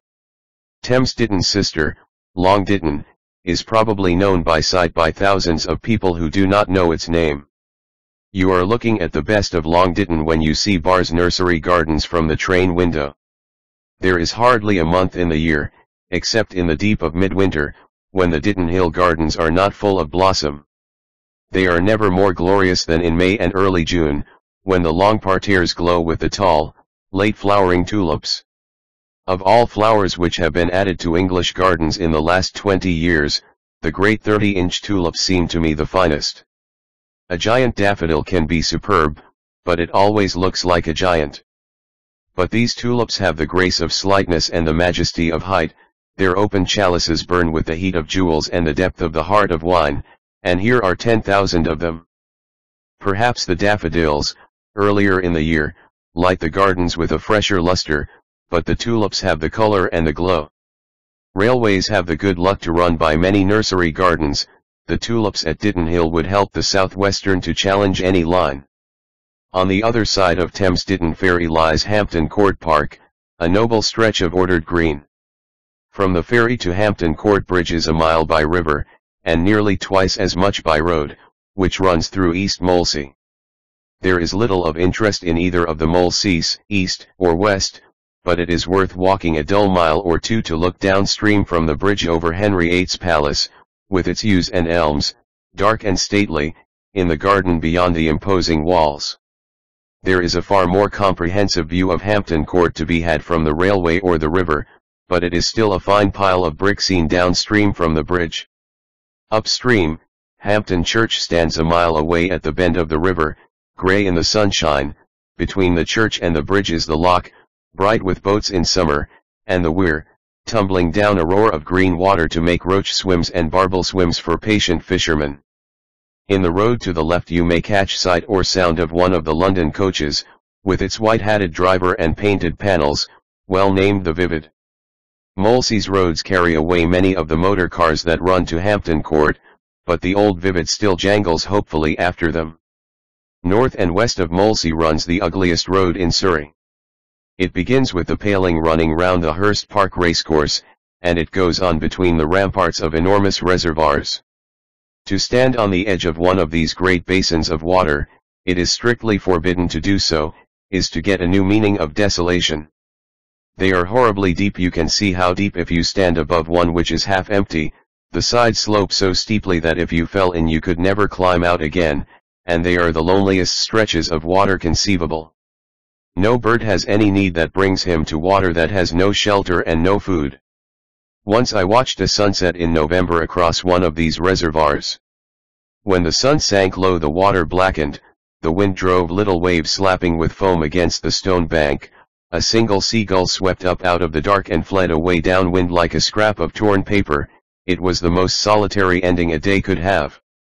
The reservoirs by Molesey stretch far back from the river. Nearer the river the birds find them more hospitable. I remember a day in October when I stood watching the martins making one of their last halts on the way south over the reservoirs on the river bank at Surbiton. It was a pouring wet afternoon, there was a high wind, and the rain drove bubbles in the ruffled water and half blotted the greens and greys of blown willows and the russet of thornberries on the far side of the river. A short trolley line ran down a stone pier from beside the road to the edge of the water, where a barge with a bright brown sail waited, the smoke from a clinker fire built in a pierced bucket swept fitfully about the pier, grimy men loaded a car on the trolley line. Over the grey-blue water hundreds of house martins dipped and darted and chattered, my umbrella blew inside out, a few scared birds near me tossed up into the sky and fell down again, joining the hundreds circling and curtsying in the wind and the rain. The road from Molesey runs west to Walton-on-Thames, where you strike the river high enough to find it running through something like real country. Walton has an interesting old manor house and a Norman church a good deal spoiled by restorers. In the vestry, preserved in a cabinet made out of an old beam from the belfry, is a relic of days when women talked too much a scolds or gossips bridle. It is a sort of cage shaped to fit the head and made of steel, which time has rusted and blackened. A kind of bit is arranged to go into the scold's mouth and hold her tongue, and according to those who have been voluntarily bridled nobody can remember a scold in Walton it answers its purpose admirably. When the bit is in and the bridle properly padlocked the most vixenish can only utter inarticulate murmurs. Walton Church Walton Church Among some curious old brasses in the church is one which commemorates, John Selwyn Gent, Keeper of Hermitage Park of Atlandvender Ye Right Honourable Charles Howard Lord Admiral of England His good Lord and Mr. He died on March 22, 1587, and his brass illustrates a remarkable incident. John Selwyn, dressed in a most workmanlike costume like a Scots gillie with a ruff, is shown riding on the back of a stag, into whose throat he is plunging a great hunting knife. Two stories explain the picture. 1 told in the antiquarian repertory, is that Selwyn, in the heat of the chase, suddenly leaped from his horse upon the back of the stag, both running at that time with their utmost speed, and not only kept his seat gracefully in spite of every effort of the affrighted beast, but, drawing his sword, with it guided him toward the queen, and coming near her presence, plunged it in his throat, so that the animal fell dead at her feet. Another version told locally is that the stag was charging Queen Elizabeth when the keeper rode up, leapt on its back and killed it, but was killed by the stag as it fell. It does not seem impossible. Against the story of the keeper being killed in rescuing the queen, Mr. F. W. Smith, a local authority, has urged that Queen Elizabeth would hardly have been hunting six weeks after the execution of Mary Queen of Scots, and also when the Armada was almost on its way but nobody in England, certainly not Drake, ever stopped doing anything because the Armada was coming, and as for hunting six weeks after the death of Mary Queen of Scots, that would be nothing out of the way for Queen Elizabeth. A huge oak, 30 feet in girth, is spoken of as the tree under which the stag was killed at the Queen's feet, but nobody could tell me where it was. There are many superb oaks in the gardens in Walton and Weybridge. Once the whole district was included in Windsor Park. Hidden in a group of obscure cottages stands the old manor house, partly preserved as a curiosity, partly as an addition to a garden. The house was not improved by an experience for some years as a tenement dwelling, crowded with more families than it should have held. It was rescued from that indignity by its present possessor, Mr. Lowther Bridger. Heavy beams, oak panels, and a fine chimney piece remain, relics of the Stuart days when John Bradshaw, president of the council, had the house. Tradition, certainly wrongly, says that Bradshaw signed Charles's death warrant in the hall. Bradshaw, no doubt, signed it at Westminster. But the association of his name would be enough for village gossip. The place where they cut off the king's head, is a variant of the story. Above Walton Bridge are Coway stakes, where Julius Caesar is supposed to have crossed the Thames in pursuit of Cassivellaunus, king of the Catuvellauni. The British chief drove sharpened stakes into the bed of the river, to block the ford, and built a palisade along the bank, where he waited for the enemy. They came on, cavalry and infantry, in spite of the stakes. The Catuvellauni would have met them, but fled in horror at the sight of an armored elephant. A great cricketer is buried in Walton churchyard, and a great astrologer in the church. The cricketer was Lumpy Stevens, whom we met at Send. The astrologer was William Lilly, author of a yearly publication, Merlinus Anglicus Jr., a sort of old Moore's almanac. The prophecies of storms, fires and disasters were as dull reading then as they are now, but one or two entries in his life and times, written by himself, are illuminating, especially his record of family amenities, thus. The 16th of February 1653-4, my second wife died, for whose death I shed no tears. I had 500 liters. With her as a portion, but she and her poor relations spent me 1000 liters. Gloria Patri, and Filio, and Spiritui Sancto, Secul erat in principio et nunc et semper, and in secula seculorum, for the 20th of April 1653, these enemies of mine, viz. Parliament men, were turned out of doors by Oliver Cromwell. In October 1654, I married the third wife, who is signified in my nativity by Jupiter in Libra, and she is so totally in her conditions, to my great comfort. Lilly got into trouble with the parliament men later. He had predicted a town in conflagration, and when the fire of London occurred in 1666 he was accused of having caused it.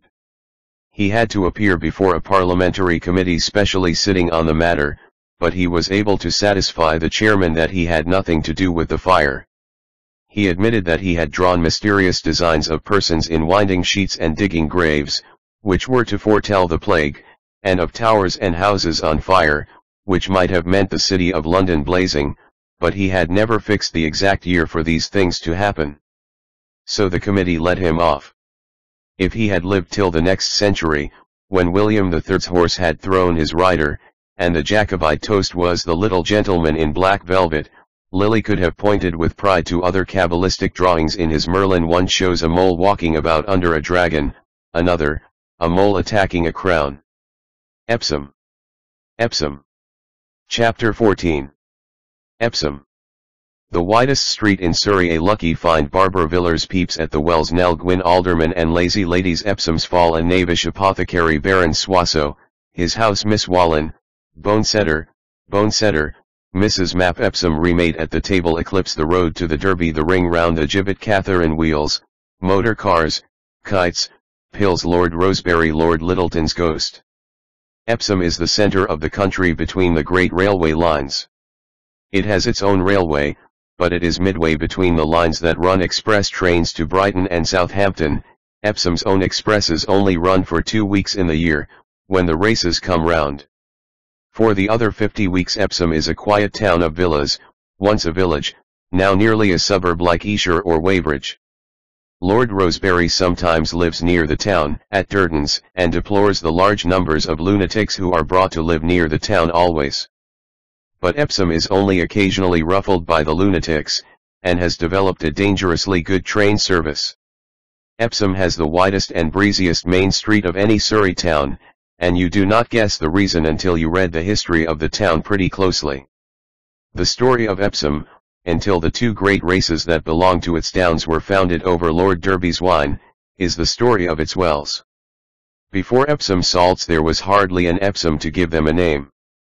There may have been a tiny village where the church stands, but that would be all, the rector preached to a few cottagers. Then, one hot summer day in 1618, the lucky thing happened. Henry Wicker, trying to water his cattle on the common, found a small hole with a spring in it, he enlarged it, and took the cattle to the water, but could not make them drink. Then the doctors were told about it. They used it first, as Pownall the local historian tells you, as a vulnerary and abstersive, and healed wounds with it, then some laborers accidentally drank it, and Epsom's fortune was made. The doctors agreed, Epsom salts were bitter, diluent, absorbent, soluble, cathartic everything that salts should be. In two years the wells were enclosed with a wall, in twenty years France and Germany had heard of Epsom, and distinguished foreigners obediently paced the common. But the great days were still to come. As yet few buildings had grown up close to the wells, merely a shed to shelter the sickly visitors. Then came the year 1670, when Charles II gave Barbara Villiers his palace of Nonsuch two miles away. She, as careless of a king's gift and as avaricious as a king's mistress should be, turned the palace into cash, and out of its demolished walls the local builder piled up houses by Epsom Wells. One of Epsom's inns was already built, the King's Head perhaps the old King's Head near the church, or an inn on the same site. Pepys was there in 1667, and gives us a glimpse of Nell Gwyn, though she was at Epsom to amuse herself, and was not one of Pepys's party. Pepys went on July 14, Lord's Day, he got up at 4 in the morning, and talked to Mrs. Turner downstairs while his wife dressed, and got angry with Mrs. Pepys because she was so long about it. They were off in the coach by five, with bottles of wine and beer, and a cold fowl, and talked all the way pleasantly, Pepys writes, and so came to Epsom, by eight o'clock, to the well, where much company, and I drank the water, they did not but I did drink four pints.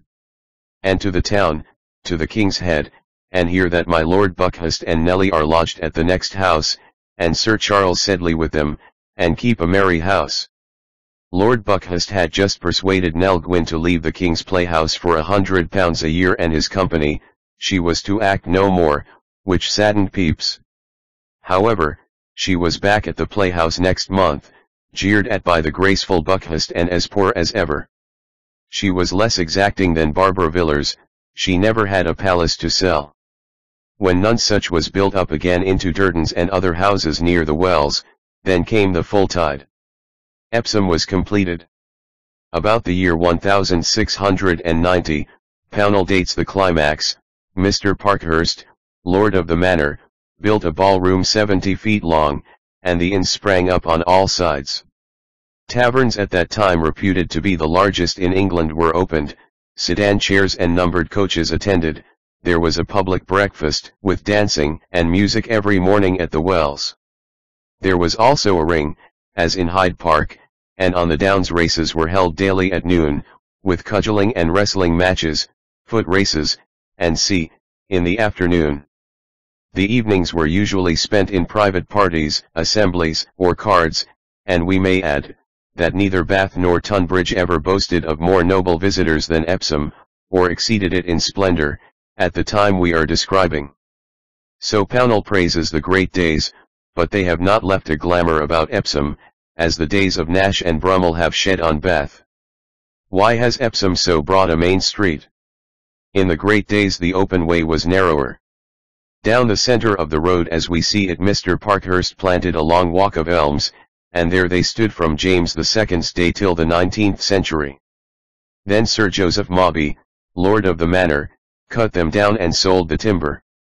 He made a good bargain too, for the town people were grieved at losing their trees, and to quiet them he promised to give 200 pounds to help build a market house, but he never did it, and kept the cash. The trunks of the fallen trees must have made a pleasant prospect for the new inn, the fine red brick building which in Parkhurst's day was built for a tavern, and which still stands, but has now fallen to shops. But in the days when the city aldermen brought their wives to show off their finery, and the young sparks threw their money about at Epsom, what a bustling, handsome, pursy, turtle soup sort of place the wells must have been. John Toland, writing in 1711, describes Epsom Wells at their height. Eudoxa is his mistress, and to Eudoxia he pictures all Epsom's charms. I quote a few passages from a long letter. Here are two bowling greens with raffling shops and music for the ladies' diversion, as at Tunbridge, but the ladies do not appear every day on the walks as there. Here you see them, on Saturdays, in the evening, as their husbands come from London, on Sundays at church, and on Mondays in all their splendor, when there are balls in the long rooms, and many of them shake their elbows at passage and hazard with a good grace. Surely they never forgave Toland for writing that. Here he writes on the ladies' husbands by the conversation of those that walk there, you would fancy yourself to be this minute on the exchange, and the next at St. James's, one while in an East India factory, and another while with the army in Flanders, or on board the fleet in the ocean, nor is there any profession, trade, or calling that you can miss of here, either for your instruction or diversion. Thus does Toland, unkinder than Pownall, set out the glories of Epsom without comparing them to Bath. But what could be better than the luxury of it all? You would think yourself in some enchanted camp, to see the peasants ride to every house with the choicest fruits, herbs, roots, and flowers, with all sorts of tame and wild fowl, with the rarest fish and venison, and with every kind of butcher's meat, among which Banstead down mutton is the most relishing dainty. Thus, to see the fresh and artless damsels of the plain, either accompanied by their amorous swains or aged parents, striking their bargains with the nice court and city ladies, who, like queens in a tragedy, display all their finery on benches before their doors, where they hourly censure, and are censured, and to observe how the handsomest of each degree equally admire, envy and cousin one another, is to me one of the chiefest amusements of the place. The ladies who are too lazy, or too stately, but especially those who sit up late at cards have their provisions brought to their bedsides, where they conclude the bargain with the higgler, and then perhaps after a dish of chocolate take another nap, till what they have thus purchased is got ready for dinner. One single attraction Toland admits Epsom never had it lacks a river. One thing is wanting and happy is the situation that wants no more, for in this place notwithstanding the medicinal waters, and sufficient of sweets for domestic use, are not to be heard the precipitant murmurs of impetuous cascades. There are no purling streams in our groves, to tempt the shrill notes of the warbling choristers, whose never-ceasing concerts exceed Bononcini and Corelli. That was in 1711, Epsom never saw better days in spite of the lack of those miraculous concerts. And in 1715 it had all come to an end. Epsom's glories tumbled like a pack of cards. It was the fault of one man, Pownall has gibbeted the rascal, Epsom fell through the knavery of Mr. John Livingstone, an apothecary. Mr. Livingstone may have been a knave, but he was also evidently a fool. He began admirably, as a doctor with a speculative eye should do, by building a large house with an assembly room for dancing and music, and other rooms for raffling, dicing, fair chance, what a perversion of terms and all sorts of gaming, together with shops for milliners, jewelers, twamen, etc. He was quite a heathen, for he planted a grove, and he made a bowling green, and then spoiled it all by sinking a well, putting a pump to it, and calling the place the New Wells. The new water was neither diluent, nor absorbent, nor cathartic, nor anything else that water at a watering place should be, and the visitors found out the difference but the end was the maddest thing of all. Somehow or other, John Livingstone got a lease of the old wells, the real, genuine spring. Then he locked up the old wells, and tried to make money with the new. It killed the watering place. But Epsom revived to relapse and revive again. First, it was brought to life again by the South Sea bubble, which would have brought to life anything, and for a wild short season the quacks and alchemists and Jews came back, the ballrooms and the gaming saloons filled again. New houses were built, amongst them that of Baron Soissons.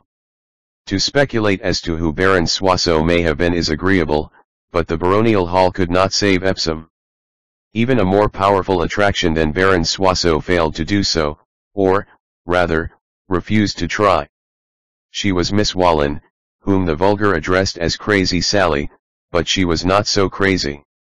Miss Wallen was a bone setter, she could put in a man's shoulder without help, and she was not to be imposed upon. Once a cheat came to her with his head done up in a bandage, and asked her to set his dislocated wrist for him, it was not dislocated, and he wanted to show Miss Wallen up as an impostor. She saw through that, and dislocated his wrist on the spot, telling him to go back to the fools that sent him. Such a woman should have been kept at Epsom, she was worth more than mere cathartic waters. But Epsom could not keep her, she desired more than anything else in the world to marry one Mr. Hillmap, who did not and would not live at Epsom. She pursued him, always with an eye on the church, and Mapp capitulated, but they were married in London. Epsom took back Mrs. Mapp, but she could not live forever. After Mrs. Mapp, the end came quickly. Sea bathing finished the little town altogether, the modern delightful practice of sea bathing, as Pownall puts it with tolerance. He does not give up hope, even in 1825, he hopes that the medical profession will still give the wells a trial, and believes that the waters will be found worthy. After that he comes to the consideration of Epsom's races. Water ended Epsom in 1715, wine began Epsom again in 1780. A party of gentlemen, drinking at Lord Derby's table at Lambert's Oaks, a house on the high ground above the town, lifted their glasses to the glories of horse racing. They founded two races, one, in 1779, for three-year-old fillies, another, in 1780, for three-year-old colts and fillies. They named the races after their host and the house where they drank, and Epsom was made again. The Derby and the Oaks became national institutions. Before that roistering party, the Downs had seen racing, but had not seen a racing crowd. Charles too had run his horses on Epsom and Banstead Downs, perhaps his horse now and then bore away the silver bell, which was the first and simple prize when horses began racing. Queen Anne may have entered a colt or two at Epsom, her consort, Prince George of Denmark, loved horse racing and drank Epsom waters. Greatest of all memories of the turf, Eclipse lived for years by Epsom Downs, and won poor little races for an obscure commoner. He would have won any race he could have been asked by a king, but it was the fate of the finest racehorse ever foaled to live before the Derby was founded, and before he could race another horse worthy to pass the starting post with him. Pownall, in his History of Epsom, has a pleasant passage extolling Eclipse's merits. He writes in 1825, he has studied, he tells us, Lawrence's History of the Horse and Bingley's British Quadrupeds, and this is the result. Eclipse was withheld from the course till he was five years of age, and was first tried at Epsom. He had considerable length of waist, and stood over a large space of ground, in which particular he was an opposite form to the Flying Childers, a short-backed, compact horse, whose reach lay in his lower limbs, but, from the shape of his body, we are inclined to believe that Eclipse would have beaten Childers in a race over a mile course with equal weights. He once ran 4 miles in 8 minutes, carrying 12 stone, and with this weight Eclipse won 11 King's Plates A. He was never beaten, never had a whip flourished over him, or felt the tickling of a spur, nor was he ever for a moment distressed by the speed or rate of a competitor, outfooting, outstriding, and outlasting, says Mr. Lawrence, every horse which started against him. Eclipse, like Homer, had many birthplaces. Mr. Theodore Cook, who has written authoritatively of him where others have guessed or accepted tradition, has been informed of more than seven, and, in collecting details of relics of the great horse, he has been supplied with evidence that Eclipse possessed no fewer than six undoubted skeletons, nine authentic feet, sufficient genuine hair to have stuffed the largest armchair in Newmarket, and certified portions of skin which would easily have carpeted the yard at Tattersall's. There never was such an omnipresent animal. After 1780, the horse racing crowd grew. In Pownall's time, when the Derby and Oaks had not been established 45 years, the Derby attracted some 60 subscribers, and the Oaks about 40, of 50 guineas apiece, and Epsom was full to overflowing. The watering place has become a circus. The race week brings down all London. At an early hour in the morning, persons of all ranks, and carriages innumerable, are seen pouring into the town at every inlet. All the accommodations and provisions that the surrounding villages can supply are put in requisition. The royal family would come to look on, 60,000 spectators, Pownall thinks, met on the downs. But Pownall has nothing to say of the road. The road must have been the thing to see, not as we see it today, when motor cars start for the course before lunch instead of before breakfast, and luxurious railway trains draw decadent racegoers to Tattenham Corner. In the real Derby days all racing men that were men drove to Epsom, early in the morning, by the road.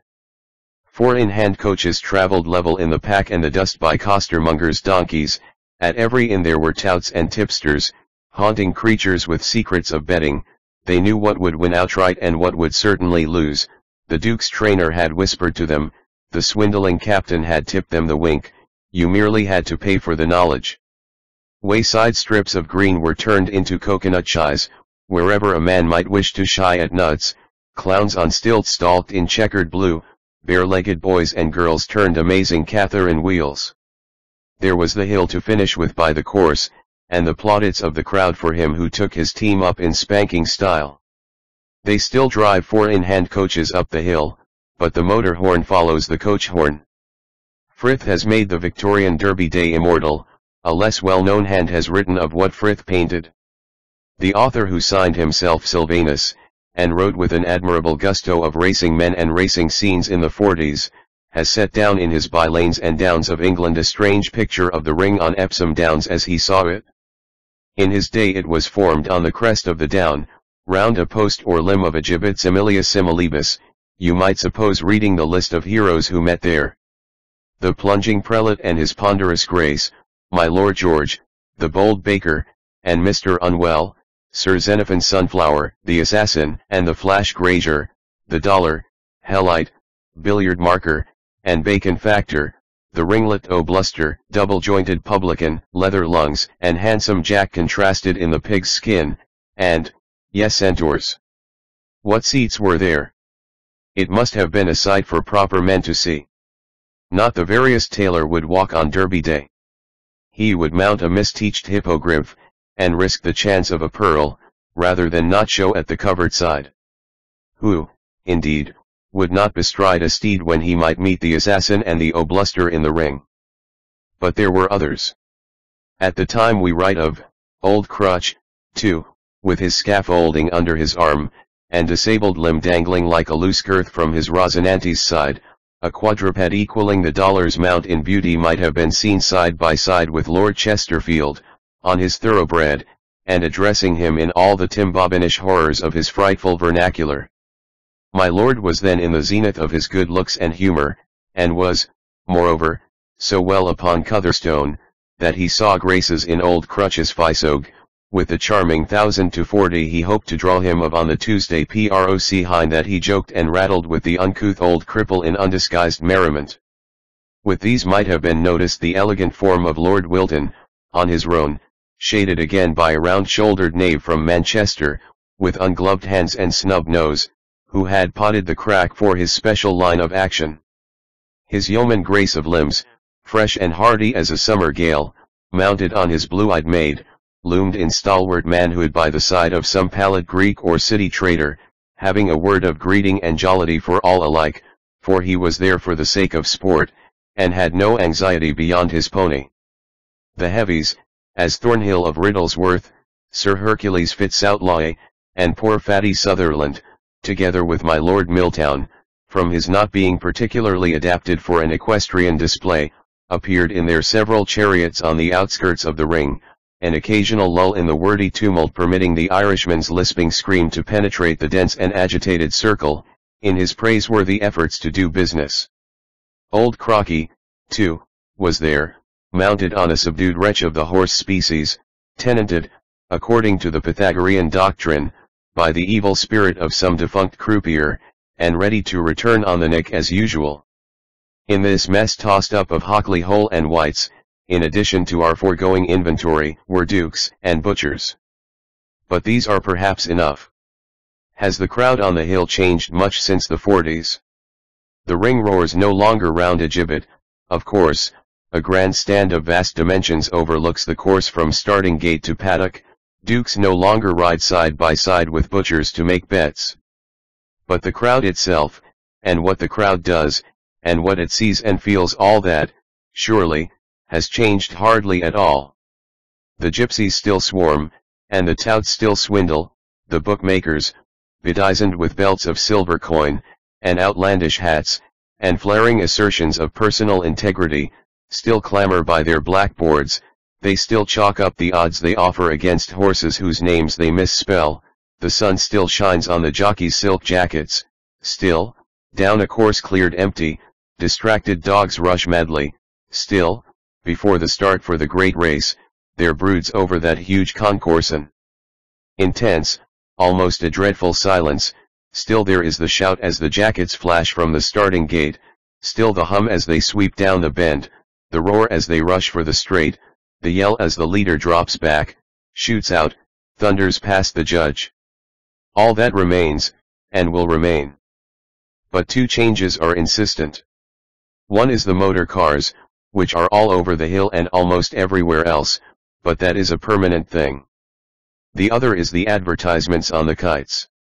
In the old days the downs lay under blue sky and white clouds. Now they lie, on Derby Day, under strings of kites. You may go to Epsom to see horse racing, but you will not escape soap, mustard, or pills. Of Epsom's residents and neighbors, Lord Derby won the race named after him in 1787, and doubtless others have won since. But the best record belongs to the owner of Durdans, who won the Derby in 1894 with Ladas, in 1895 with Sir Visto, and in 1905 with Cicero, and who, in addition to his career as politician, man of letters, and owner of race horses, has added difficulties to the tasks of other writers by contributing to Mr. Gordon Home's Guide to Epsom a discouragingly brilliant preface. Another peer has made Epsom history in a different way. At Pitt Place lived the second Lord Lyttelton, and at Pitt Place he died, leaving behind him a profligate name and a ghost story which Dr. Johnson thought the most extraordinary he had ever heard. It was in November, 1779, Lord Lyttelton had just returned from Ireland, and was seized with suffocating fits. One night he dreamt a dream. A dove hovered over him, changed to a woman in white, and spoke to him. It was a dead face, and he knew who it was, her two daughters were under his roof. Her words were few, Lord Lyttelton, prepare to die. When, he gasped. In three days, she answered, and vanished. He called his man, who found him wet with sweat and his whole frame working. The third day came, and he jested with his guests at breakfast if I live over tonight, I shall have jockeyed the ghost. He dined at five, went to bed at eleven, called his servant a slovenly dog for not bringing a spoon for his medicine, and sent for a spoon. The man returned, found him in a fit, and roused the house. But Lord Lyttelton was dead. He was 35. A Quiet Corner in Witley, p. 159. A Quiet Corner in Witley, p. 159. Chapter 25. Mid Surrey Downs and Commons. Ewell a clear stream Nonsuch palace the right use for a king's gift Cheam satin haycocks a chained anachronism Chessington dancing round the mulberry tree a house of mourning a fool for a present Esher the great horse Bendigo Macaulay and the hop pickers Surrey English gypsy boy selling a pony. North and south of Epsom are scattered villages on downs and commons, some, like Ewell and Cheam to the north and east, changing the word village into town, others, like Walton on the hill and Headley to the southwest, or Chessington to the northwest, merely groups of cottages with a church. Epsom is the center of the Surrey churches which have been destroyed or disused rather than restored, and the reason for the destruction of the group is obscure. Some strange infection ran in the destroyer's brains, Epsom, perhaps, began it, Ewell, Cheam, Headley fell later, Esher built a new church, but stayed from destroying the old. Walton, Woodmansterne, and Banstead have been altered almost out of recognition of what was old, Chessington alone looks upon almost untroubled centuries. Ewell almost joins Epsom, Ewell with its old name Atwell, which its historians tell you means at Yewell, the guess looks too easy. The well is plain enough to see, Ewell has pools of the clearest water and springs running fast by the side of the street, it is the most definite beginning of a river that ever attracted a village to its banks, and it runs out of the village as the little Hogsmill River a stream with a sparkle in it that deserves a prettier name. But the village which the stream drew to it has changed. The high street has kept some of its older houses, with upper stories jutting out over the road, but the church which the old houses knew has gone. They pulled it down in the 40s that unhappy decade for anything ancient and quiet in Surrey villages, all they left was the tower, a mighty mass of stone and ivy that stands with its nave reft from it, the forlornest and most meaningless of ruins. If the tower might stand, why not the nave? They pulled the nave down, and left the tower standing, so Mr. C. J. Sweet, one of Epsom's historians, tells you, in order that it should remain to beautify the landscape. They acted, he observes, with good taste and judgment in so doing. Theirs is that praise. But Ewell has a greater ruin. Ewell Castle preserves it in Ewell Park, but when I was at Ewell the castle and park were for sale, and I could find no one who could show it me, or even who knew where it was. Few, perhaps, have seen it, and there can be little to see, by all accounts, but what remains is the ruin of Nonsuch palace just the foundations of the banquet hall, that is all that remains of the palace which was to be incomparable, like no palace a king ever built before, the royalist building in Christendom. That was what Henry VIII meant to make it, when he began it in 1538, and he had built most of it when he died nine years later. It stood unfinished for ten years more, then Mary sold it to the Earl of Arundel, and he finished it. Elizabeth bought it back, and so it came a royal palace to the Stuarts, even the parliamentary wars left it untouched, and it was the refuge for Charles II's exchequer at the fire of London. Pepys has a picture of Nonsuch, just after the Restoration. A very noble house, he calls it, and a delicate park about it, where just now there was a doe killed for the king, to carry up to the court. Two years later he walked in the park and admired the house and the trees, a great walk of an elm and a walnut set one after another in order and all the house on the outside filled with figures of stories, and good painting of Rubens or Holbein's doing. And one great thing is that most of the house is covered, I mean the posts and quarters in the walls, with lead and gilded. I walked also into the ruined garden. That is Charles II, the doe killed in the park for the king, the ruined garden.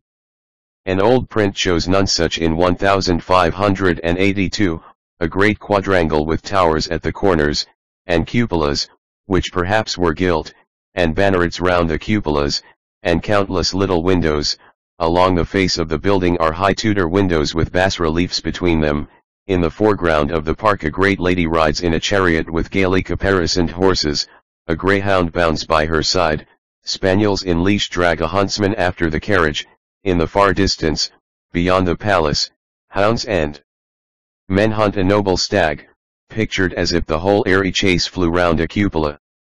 It was a great palace, and it should be standing today, with its lead and its gilt and its Rubenses and Holbeins. But Charles II gave it to Barbara Villiers, and she knew the right use for a king's gift. Cheam, east from Ewell by two miles, has kept not the tower of its old church but its chancel. The little building stands apart in the churchyard, you may peep through a grill at the tombs and the pedigree of 16 generations of Lumleys, and at a palimpsest brass mounted on a screen. But if Cheam's church has gone, in the village there is still the White Hall, a gabled Elizabethan house of painted timber, the daintiest and lightest little place, with tiny ordered lawns under its white wood, and old-fashioned flowers in the garden and in the windows.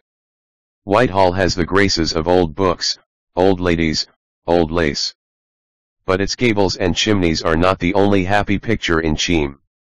The road that passes by the left of the house leads to an untouched corner of little, white wooden cottages, as lowly and as English as anything in deep Surrey country, and this is nearly town.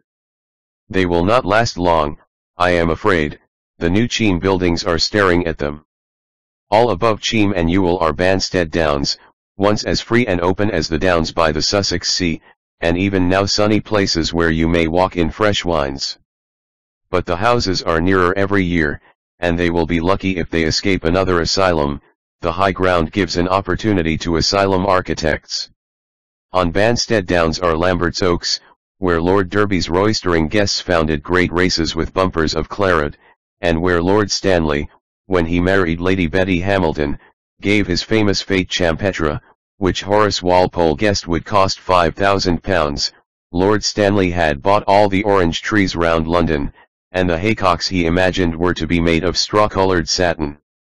Banstead itself, like Woodmansterne, its neighbour to the east, has not much to show of village buildings. Banstead and Woodmansterne churches have many memorials to the Lamberts, one of the very old Surrey families, and it is from Garrett's Hall, whose grounds border Banstead village, that Colonel F. A. H. Lambert dedicates his Guide to Surrey, a valuable little pocket book, to Admiral Charles Matthew Buckle, head of another ancient Surrey family. One of the oldest things near Banstead stands in ground once owned by the Buckle family. Nork House has a field in which stands Tumble Beacon, a mound which saw the flares run from the hills of Hampshire to London, when the Armada was breasting the channel and Hampshire had caught the signal from Dunkery and the Lizard. Tumble Beacon would not light an alarm now, or if it did, it would burn pine trees and elders and nettles that grow about it, and would scare a hundred rabbits. How did the trees come there? A beacon should not be planted, it should stand open and high and free as when the Spaniards came, and from the same spot where Elizabeth's sailors in the Thames saw its flame, it should wait for jubilees and coronations to send its fires roaring up into the night. Nork, etymologists have guessed, may be corrupted from Naverca perhaps it once had a Roman owner. There were Romans who lived on the high ground near. Walton Heath, south of Banstead on the Chalk Plateau, has had the pavement of a Roman villa dug from it, I have been told that you may still find Roman pavements there, if you know where to dig. But Walton's chief possession the village is Walton on the Hill, so named that you may never mistake it for Walton on the Naze or Walton on Thames is in the church. It is a leaden font, the only leaden font which Surrey possesses, though England has 30, and of the 30 English fonts, Walton's is of as fine workmanship and design as any. Throned apostles circle the bowl, and bless with the right hand, or hold a book in the left.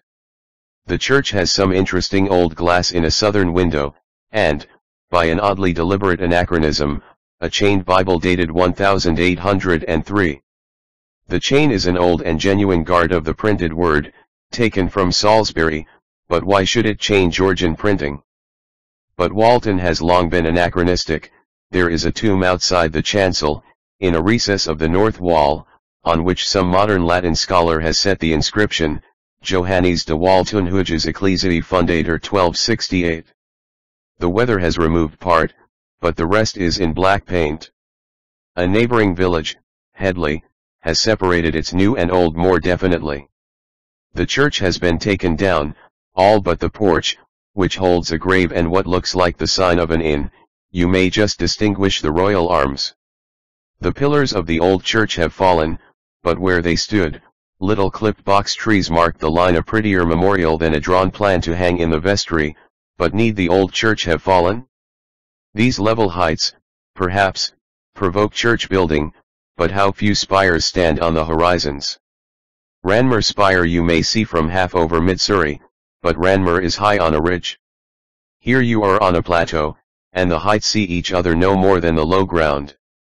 Kingswoods is the best seen of the spires on the plateau, a shining thing, white as the chalk of the ridge. From Epsom to the north is quiet, empty countryside. Esher is five miles to the northwest as the crow flies, something more by road, but the best roads near Esher are the wild pathways of Esher Common. Midway between Epsom and Esher, but among pastures, not in the heather of the common, is Chessington. Chessington Hall and Chessington Church are deep in the fields.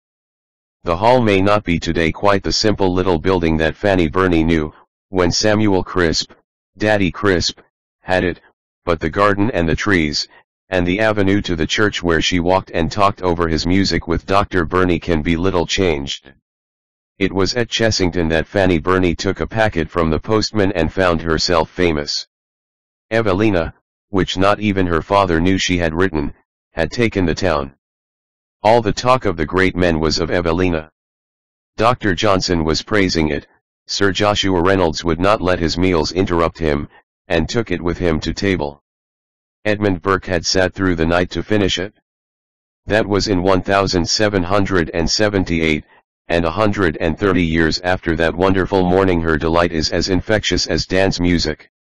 Dr. Johnson's approbation, she writes in her diary, it almost crazed me with agreeable surprise it gave me such a flight of spirits that I danced a jig to Mr. Crisp, without any preparation, music, or explanation to his no small amazement and diversion.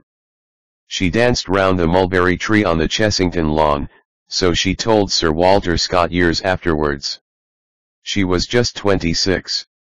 The mulberry tree still stands by the window, and the fields by Chessington are still as green and quiet as when poor Mr. Crisp, a writer whom a careless world did not want to read, retired from his disappointments to a home where none but his friends should find him. He lies in the churchyard, under the shadow of the quaint little spire that sits on its bells like a candle snuffer, Dr. Burney has written an epitaph for him, in the formal Georgian English that was always somewhere, too, in Fanny Burney's head. It was only the girl in her that kept it out of Evelina, after Evelina the girl survives almost only in her diary and her letters. The books grow dull. Esher, beyond Claygate, is three miles to the northwest, and Claremont borders Esher Common. Claremont is a house of happiness and mourning. Queen Victoria spent the brightest days of her childhood there, princes and princesses have lived here and died before their day, a great name darkens its memories, ennobles its history.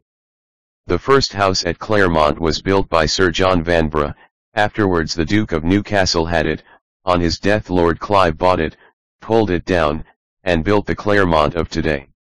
A hundred thousand pounds he spent on the house and garden, and in the serenity of his chosen home he should have ended his days. Envy and persecution prevented that, and Clive of Arcot and Plassey died in London. Forty-two years later, in 1816, Prince Leopold, afterwards King of the Belgians, brought his bride, Princess Charlotte, to Claremont, she died with her baby the next year, a girl of 21. In 1848 Louis Philippe, a refugee from the Revolution, came to Claremont, he died there in 1850. Seven years after, in 1857, Claremont and the countryside were in mourning for the Duchess of Nemours, a princess of glorious beauty. Queen Amelie died at the house in 1866. Today the Duchess of Albany has Claremont, Perhaps, as it lies so near a great highway, it might be worthwhile to say that it is not shown to the public. Wolsey's Tower, Esher. Wolsey's Tower, Esher. A ruined palace is Claremont's neighbor. The great gateway of the building stands on the bank of the Mole, in the grounds of Esher Place. William of Waynflete built it, Wolsey repaired it, and was sent there in disgrace by his king, the Great Seal had been taken from him. Stowe has a story of the fallen minister's journey to Esher, Wolsey had left the river at Putney, and was riding along sadly enough, when a messenger brought him a kind word from the king. In his joy and relief he looked round for a present to send back, he fixed on Patch, his fool, and ordered him to the court. Patch was all rage and tears, and stormed his unhappiness at his master. It was no good, he was for Henry, and six yeomen it took the tallest Wolsey had carried him struggling back to the king. The palace did not keep Wolsey long, he was allowed back at Richmond. After him, in Elizabeth's reign, came Richard Drake, and kept Spanish grandees prisoners there, taken from the Armada by Sir Francis Drake. After the Drakes came the Lattons, one of whom, John, held a remarkable number of offices under William III. Aubrey gives the list.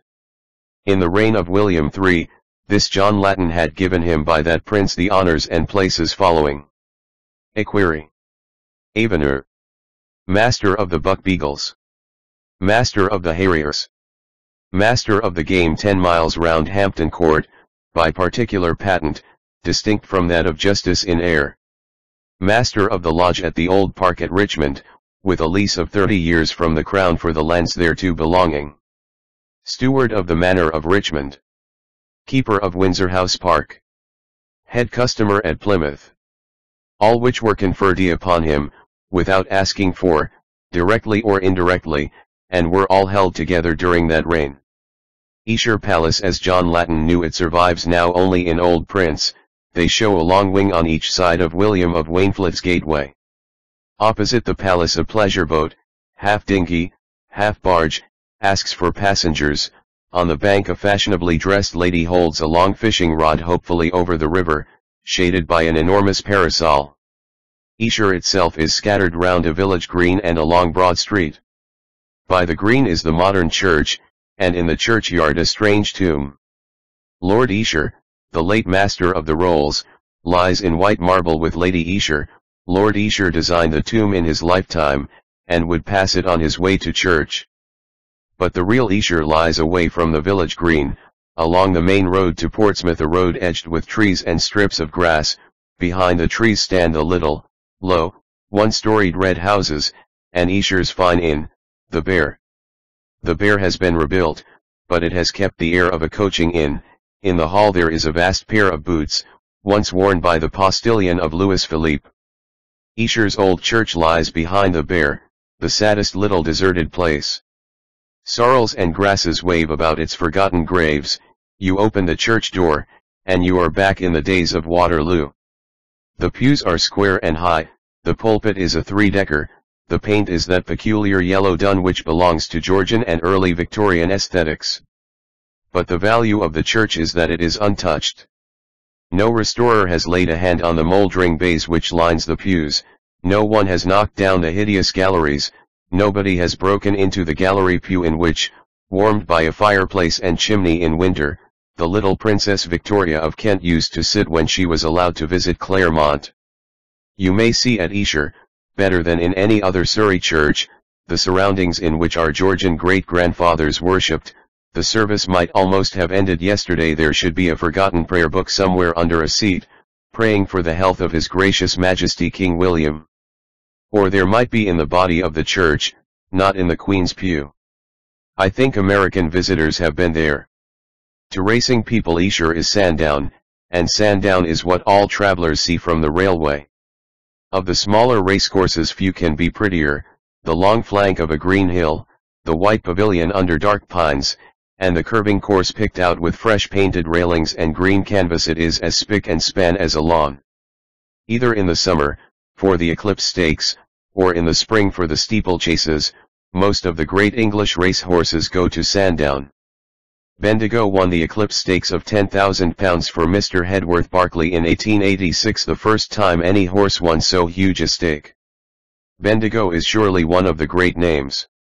Even those who know least about horse racing may talk of Bendigo, Bendigo whom the crowd loved, Bendigo who never failed them, Bendigo who carried 9 stone 7 pounds, and won the Jubilee Stakes at Kempton in 1887. I have for Bendigo the affection of a schoolfellow. What is Surrey English? Lord Macaulay heard it at Esher. He was walking from Esher to Ditton Marsh, he writes on September 22, 1854, and he listened to it in a public house. A shower came on. Afraid for my chest, I turned into a small alehouse, and called for a glass of ginger beer. I found there a party of hop pickers, come back from the neighborhood of Farnham. They had had but a bad season, and were returning, nearly walked off their legs. I liked their looks, and thought their English remarkably good for their rank of life. It was in truth Surrey English, the English of the suburbs of London, which is to the Somersetshire and Yorkshire what Castilian is to the Andalusian, or Tuscan to Neapolitan. The poor people had a foaming pot before them, but as soon as they heard the price, they rose and were going to leave it untouched. They could not, they said, afford so much. It was but fourpence halfpenny. I laid the money down, and their delight and gratitude quite affected me. Two more of the party soon arrived. I ordered another pot, and when the rain was over, left them, followed by more blessings than ever, I believe, were purchased for ninepence. Perhaps the English of the Surrey suburbs was different in Macaulay's days.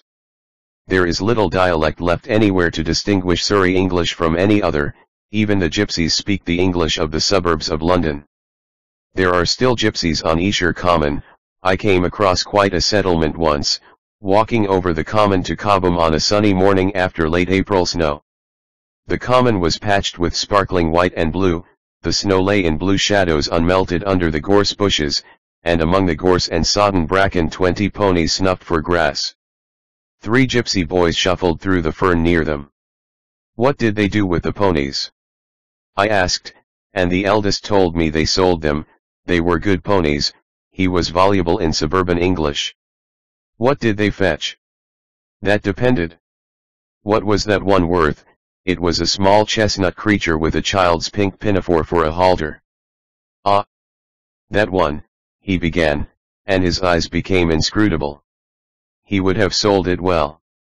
Chapter 26 Leatherhead the Millpond Magic Water Leatherhead Bridge The Running Horse The Tunning of Eleanor Rumming Noppy La Penny A Coffin Deflected Chancels Judge Jeffreys and his daughter Emma Mr. Woodhouse's Gruel Leatherhead ought to be entered from the west and left by the south. To meet the little town on the road from Fetcham is to begin with a stretch of water, which is always a good introduction, and to leave it and travel south is to pass through one of the most fascinating valleys of all Surrey. The stretch of water lying to the west is the mill pond, and is unlike any other pond I know. It is two or three hundred yards long and perhaps eighty yards wide, slopes gradually from the sides over a chalky bottom, and is of an intense clear green. Here and there are open spaces in the weeds, patches of deeper blue-green, which can be seen, if you look closely, to be moving a most uncanny motion. The water wells up incredibly fast and quiet, and surely incredibly cold, from some unplumbed, invisible source below. It would be interesting to try to find the bottom with a plummet, but probably one would be caught by a policeman. All that I have tried to do is to throw in white stones, which disappear as if they were swallowed. But the swallowing is a puzzling thing. The stone strikes the surface and sends out a widening ripple. Then you watch the stone sinking down slowly against the uprush of water, but distinct and white and wavering. Then another ripple a mere ring of light, in some way mirroring the real ripple of the surface leaps out apparently from the side of the pool a foot or so under water, touches the white, wavering stone, and the stone vanishes. There is no stirring of mud, as there would be if it struck the bottom of an ordinary pond, it merely disappears into an invisible mouth in the green. Leatherhead. Leatherhead. No frost ever sets ice on the mill pond, it is said, and in hard winters wildfowl flock to it. I never have seen on the water any fowl that were wild, but it is crowded with swimming and diving birds. You can count 30 or 40 coots, besides moorhens and a dozen dabchicks or so, and at the end where the mill stands there are fat duck and a bevy of swans. It is an arresting picture, the long, clear surface, the coots with their white foreheads dabbling in the weeds or rushing after one another with loud splashings, the dabchicks diving six at a time out of sight, and the dignified swans breasting the flowing water under the red brick and lichens of the mill. The coots, unlike all other coots, too, actually swim up to be fed. There is a strong spell of magic over all that strange pool. Some naiad Circe combs her hair far below the weeds, and has bewitched the wildfowl and the green cold water. Ye old running horse in, Leatherhead. Ye old running horse in, Leatherhead. It would be easy to believe that the rushing springs of the millpond were in reality the mole reappearing from her dive below ground at Mickleham, higher up the stream. But if that is so, the river must pass through some kind of filter, for it can be thick and cloudy at Mickleham, but is never anything but clean and pure at the mill. The mill stream joins the mole just below Leatherhead Bridge, a fine span of 14 arches. The mole can put on many faces, but I think she is nowhere in all her journey more fascinating than where she divides her stream under Leatherhead, and comes dancing down by separate channels to her broad sheet of ripples at the bridge. Beyond the bridge on the left, is the site of a very famous old inn. The present inn, the Running Horse, has been partly rebuilt, and has few external attractions, but the mistress of the old inn, 400 years ago, was the subject of an ode written by the poet laureate. She was Eleanor Rumming, alewife of a cabaret at Leatherhead in Soutray, and John Skelton, perhaps to amuse Henry VIII, and perhaps to please himself, wrote one of his pungent, tumbling romps of doggerel about her. The Tunning of Eleanor Rumming, per Skelton Laureate, as one of the old editions prints it, is an interminable piece of rhyme, mostly an orgy of coarseness, but with a certain rude vigor of humor and live truth. Here are a score of lines out of some hundreds the Tunning of Eleanor Rumming, per Skelton Laureate. Tell you I chill. If that ye wyll. A while be still. Of a comely gyll. That dwelt on a hyll. But she is not gryll. For she is somewhat sage. And well worn in age. For her visage. It would assuage. A man's courage. And this comely dame. I understand her name. Is Eleanor Rummage. At home in her wonning and as men say. She dwelt in Soutray. In a certain steed. By side Leatherhead. She is a tunnish gyb. The duel and she be sib. But to take up my tale. She breweth nappy ale. And make thereof port sale. To travellers, to tinkers. To sweeters, to swinkers. And all good ale drinkers. That will nothing spare but drink till they stare. And bringe themself bare. With now away the mare. And let us lay care. As wise as an hare. The legend is that Skelton was a fisherman, and used to come over from Nonsuch Palace by Epsom to fish in the mole.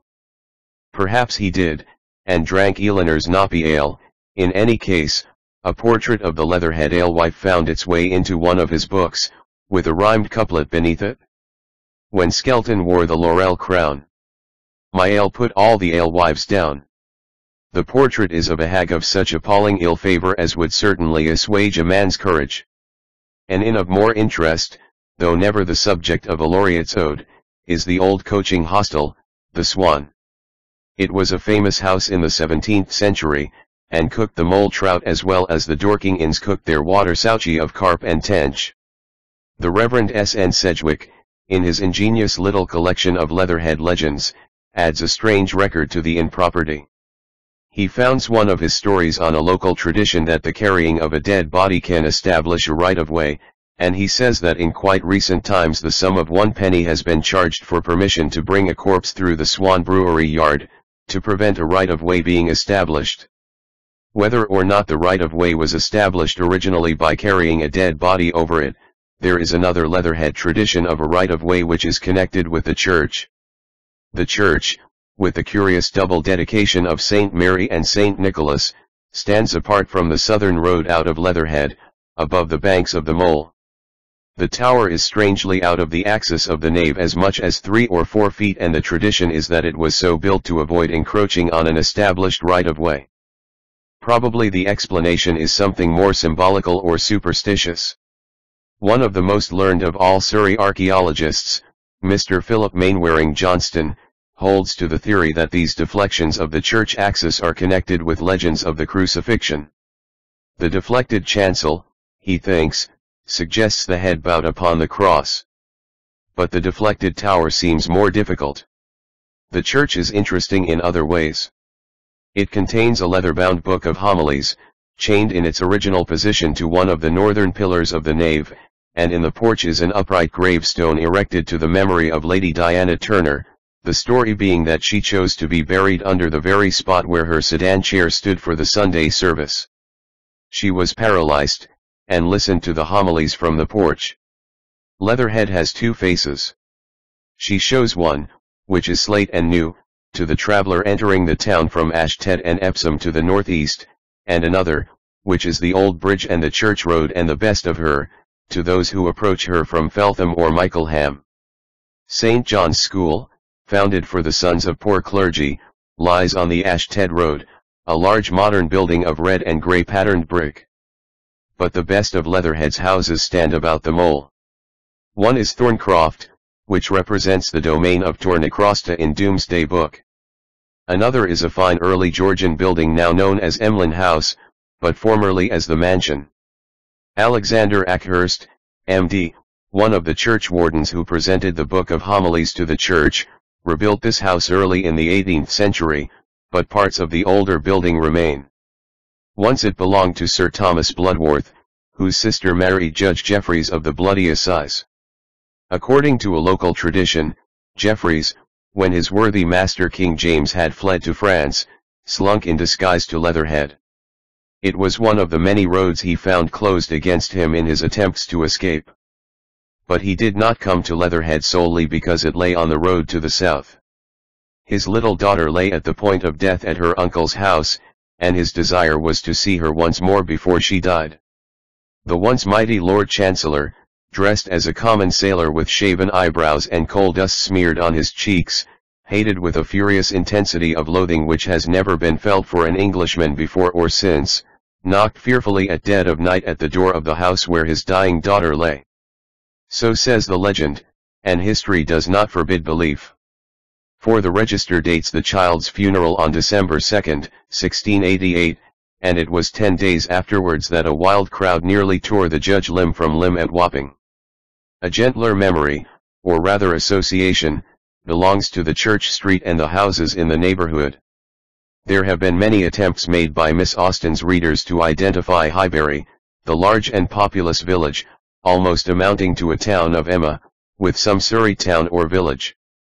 There is a school of serious students who place it at Esher, another band of enthusiasts support Dorking. Mr. E. V. Lucas, in his engaging introduction to a new edition of the novel, has another suggestion. He recommends the theory that Highbury was Leatherhead, which satisfies most of the conditions of the book.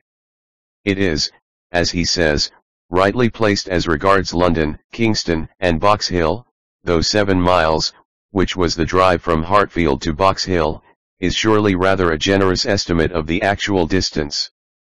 But Leatherhead certainly has a river and a Randalls, and Mr. Lucas has been told that it has an abbey farm. That may be a mere coincidence, but, if so, it is the more striking when one turns to the parish registers, and finds in them the uncommon name of Knightley. Mr. Knightley, in 1761, raised the pulpit of the church, and erected a new reading desk and seat for the clerk, and it was hereby ordered that the thanks of this vestry be paid in the most respectful manner to Mr. Knightley for this fresh mark of his regard. Surely that is precisely what would have been the attitude of Mr. Elton's parishioners to Emma's husband. If Miss Austen read the parish literature, she may also have set eyes on a poem entitled, Norbury Park, which was written by a minor bard of the neighborhood named Woodhouse. But that is insisting too much, though, to be sure, from the quality of his verse, Mr. Woodhouse, author of Norbury Park, may well be imagined to have had, like Emma's father, a nice taste in gruel. The Mole at Slyfield Place The Mole at Slyfield Place Chapter 27 Stoke d'Aubernon Slyfields a great bowl of silver the air the danger of parish relief Stoke d'Aubernon Church a Knightley memorial stolen woad Sire Richard L. E. Petit long sermons the earliest honeymoon Cobham hermit 4 pounds 700 Matthew Arnold at Paynes Hill. The mole wanders west away from Leatherhead by Randall's Farm and Randall's Park, and perhaps Miss Austen used to imagine Emma and Mrs. Weston walking along the rather dull road that runs up the valley by the side of the stream. North of the road, about a mile from the town, stands an old Roman camp, now buried in a small wood, with notice boards loudly forbidding access. Another mile to the west but you must walk two to get there is one of the most charming of old Surrey manor houses, now a farmhouse, but still known by its name of Slyfields. The Slyfields were essentially a Surrey family. They lived and worked as gentlemen and yeomen and parsons among small Surrey villages, Send and Great Bookham and Byfleet and Pyrford and Ripley and the Clandons, one of them, Edmund, was Sheriff of Surrey and Sussex in the time of Elizabeth. He was the greatest of the Slyfields, and left behind him sixteen sons and daughters, four Surrey manors, and a will as careful and studious as himself. Some of the items are quaint reading.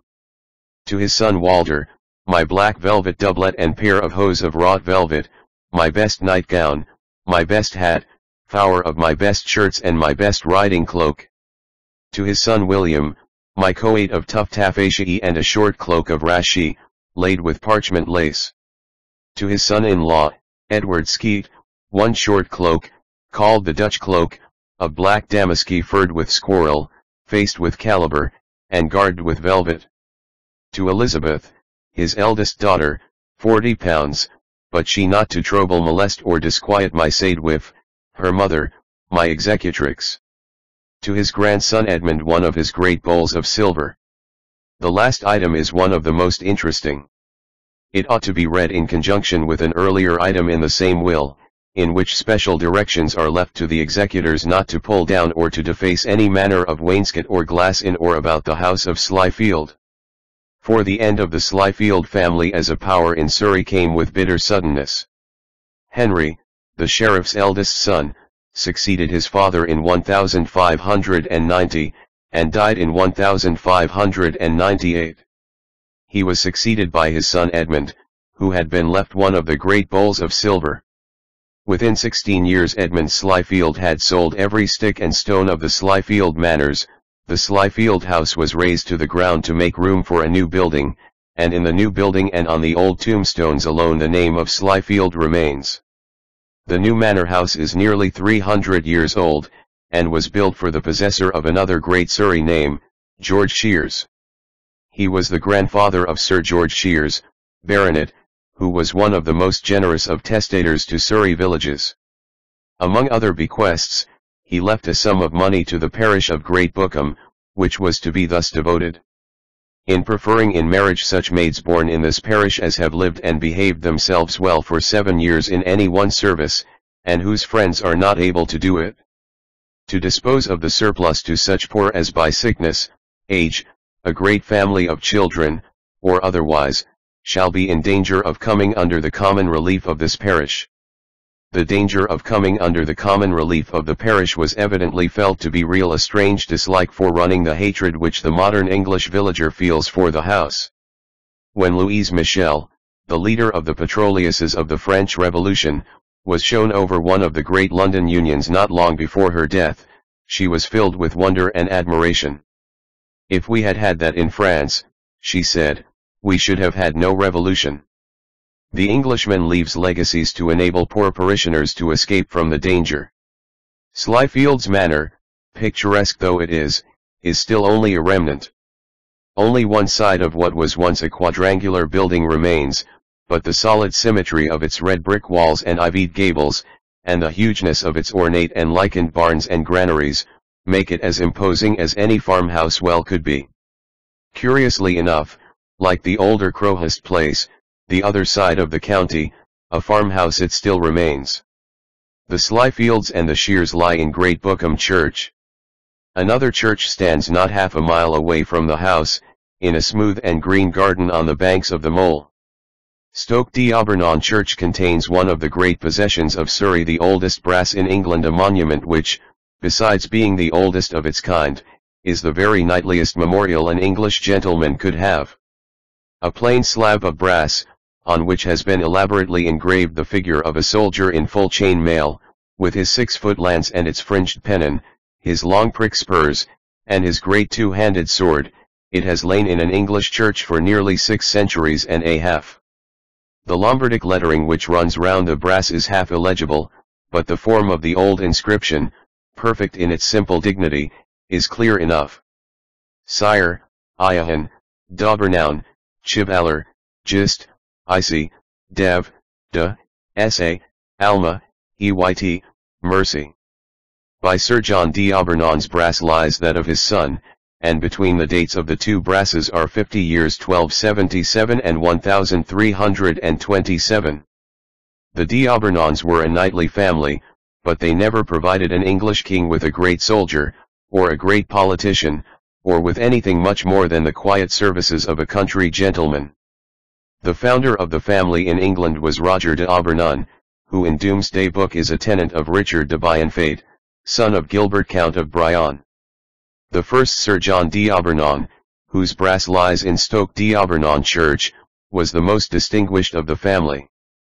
Like Edmund Slyfield, he was Sheriff of Surrey and Sussex.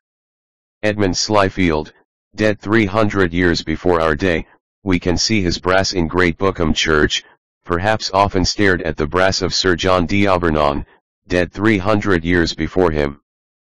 Perhaps, little guessing that within 30 years the Slyfield manors would belong to a stranger, and the Slyfield name be half forgotten, he reflected comfortably on the misfortunes of his predecessor in office.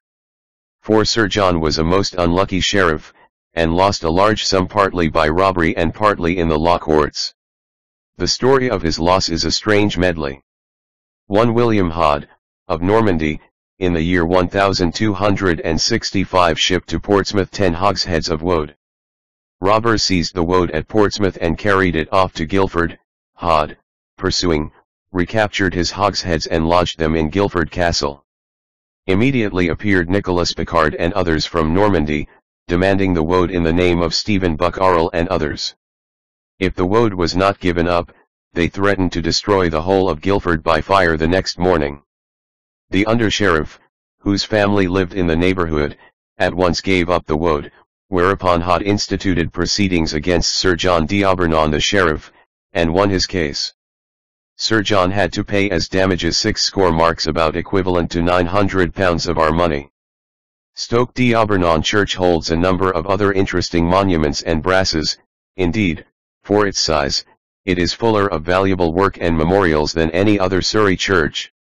One of them, placed to the memory of Sir Richard the Little, formerly parson of this church, has a haunting note of personal loss. It is a pleasure to puzzle out the old Norman French. Sire Richard L. E. Petillades personne decest i glici i just receive la alma iesu Christ. Another rare form of brass is that of a little chrisom child, Ellen Bray, another, a curious engraving of Lady Anne Norbury, with four tiny sons and four tiny daughters gathered at her feet in the folds of her gown. There are imposing monuments to Sir Thomas and Lady Vincent, Sir Thomas enormous in trunk hose and his lady with her hair elaborately frizzed in a Paris hood.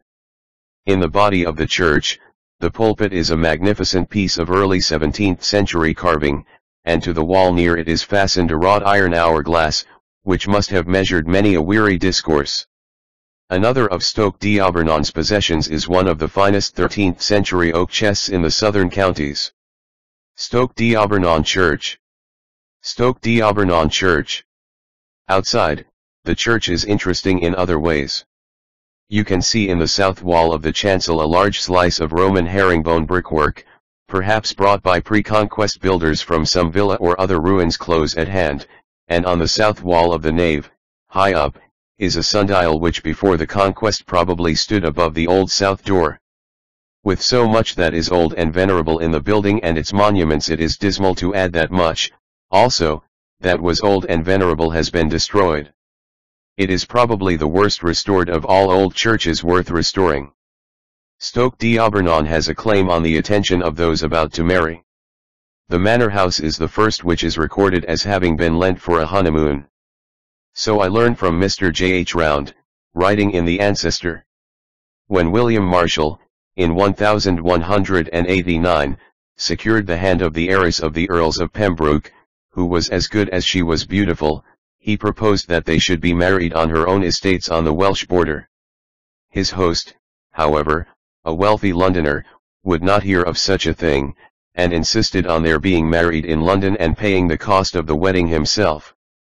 After the ceremony, as the society papers of the time might have put it, the young couple left for Stoke d'Aubernon in Surrey, the peaceful and delectable country mansion of Sir Enguerrand d'Aubernon, kindly lent for the occasion. Mr. Round has extracted this the earliest known reference to an orthodox honeymoon in the country, from the bridegroom's poetical biography, El Histoire de Guillaume le Maréchal quant les noces bienfaites furent, e Richmond, si els durant, la dame emena, ce sabon, chi es sire engerin diabernon, ae stocks, and lupazable etc delightable. The bill for the trousseau of the heiress has also been discovered, entered in the pipe roll of the year. It cost £9 12 1d. The road from Stoke d'Aubernon runs northwest through the two Cobhams, Church Cobham and Street Cobham. The Little Plough Inn, which acts as refreshment room for Cobham railway station, suggests the proper spirit of village revelry. A spreading yew arbor should shade good ale from the summer suns, and by the side of the garden across the road, gay with geraniums, seesaws and swings, runs a tiny stream, rippling down to the mole. Unlike the Wey, the mole runs by few churches. Only five, Horley, Betchworth, Leatherhead, Stoke d'Aubernon, and Cobham, stand near the river, and only Stoke d'Aubernon actually on its banks. Stoke d'Aubernon, too, has the best view from the churchyard across the stream, over a broad stretch of grassland on which partridges call and rooks stalk majestically. At Cobham you can scarcely see the mole when you are in the village, but there are few prettier glimpses of its stream than the brimming pool by the road outside. A grey mill stands in the stream, double-wheeled and doubly silent, swans oar themselves leisurely about the eddies, and the meadow beyond in May is a sheet of kingcups. Ye Old Church-style house, Cobham, AD 1432, restored 1635. Ye Old Church-style house, Cobham, AD 1432, restored 1635. Ye Old Church-style house, Cobham, 1432, restored 1635, is the engaging legend painted on a low-roofed timbered house which stands at the churchyard gate. With its square beams, its latticed windows and red curtains, it is a model of what a home of rest for gentlewomen which is its vocation should be. Cobham has one or two other good houses, Georgian, red and solid, but the best perhaps is the old White Lion posting in at Cobham Street, half a mile away on the Portsmouth Road. The White Lion stood by the fourth toll house on the highway from London, and its oak-panelled parlours have entertained travellers for four centuries or more none thirstier, perhaps, than Liberty Wilkes, who passed that way on a day in 1794, and drank a large bowl of lemonade. Paynes Hill, which rises above the mole a little further on the road, is a name associated with a gardener and a poet. The gardener was Charles Hamilton, who burdened his lawns with such an astonishing variety of temples, chapels, grottos, castles, cascades and ruins including a hermitage with a real live hermit that the result was voted one of the greatest achievements in landscape gardening of the Georgian or any other age. The hermit, sad to relate, was a failure. He was offered £700 to live a Nebuchadnezzar-like existence in his cell, sleeping on a mat, never speaking a word, and abandoning all the conveniences of a toilet. He would gladly have taken the 700 pounds, but threw up his post after three weeks. The poet was Matthew Arnold, who spent most of the last 15 years of his life at Paynes Hill Cottage. He wrote little poetry there, he came to Paynes Hill in the year after he had published Literature and Dogma, when his mind was occupied with his revolution against the somberness and narrowness of modern English religious thought. But to Paynes Hill, I think, belong Geist's Grave and Kaiser Dead and Poor Matthias, Geist's Grave written for his little son, and Poor Matthias for his daughter, perhaps Matthias, bought at Hastings to please a child, though she, childlike, would have chosen a bigger bird. Behold! French canary merchant old. Shepherding his flock of gold. In a low dim lighted pen. Scandee of tramps and fishermen. There a bird, high-colored, fat. Proud of port, though something squat. Percy, played out Philistin. Dazzled Nelly's youthful ain. But, far in, obscure, there sturdy. On his perch a sprightly bird. Courteous-eyed, erect, and slim. And I whispered e, fix on him. Home we brought him, young and fair. Songs to trill in Surrey air. Here Matthias sang his fill. Saw the cedars of Payne's Hill. Here he poured his little soul. Heard the murmur of the mole. And it was while Matthew Arnold was living at Payne's Hill that he chose out his little collection of selected poems. I like to think of him reading over his work in his Surrey garden, and answering once more the cuckoo calling from the wet field, through the vexed garden trees. Too quick despairer, wherefore wilt thou go? Soon will the high midsummer pomps come on. Soon will the musk carnations break and swell. Soon shall we have gold-dusted snapdragon. Sweet William with his homely cottage smell. And stocks in fragrant blow. Roses that down the alleys shine afar. And open, jasmined muffled lattices. And groups under the dreaming garden trees. And the full moon, and the white evening star. Bridge over the mole, Cobham. Bridge over the mole, Cobham. Chapter 28 Leatherhead to Dorking the Roman road over the hill The Swallows of the Mole An Imperial Draft Mickleham Fanny Burney A Story of Letters Juniper Hall and its Cedars Norbury Park How to Measure Trout from the Mole Conversation Sharp Keats and Endymion Mr. George Meredith's poems The best known hill in the world A Soldier's Whim The best way from Leatherhead to Dorking is the longest, and hardly goes by the high road at all. It begins at Ashtead, you can get to Ashtead from Leatherhead or Epsom, but you must start from Ashtead out over Ermine Street, the old Roman road.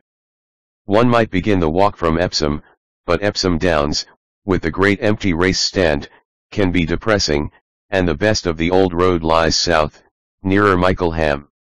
Ashtead is growing towards the railway, but east of the main street there is hardly a cottage. The church stands in Ashtead Park, and shows that it once had Roman walls for neighbors by the quantity of Roman brick and tiling mixed among its flints and stones. It has been elaborately roofed with cedar, but otherwise contains little, the prettiest part is the churchyard and the park beyond it, with its deer which walk by the gates and gaze gently over the paths at strangers.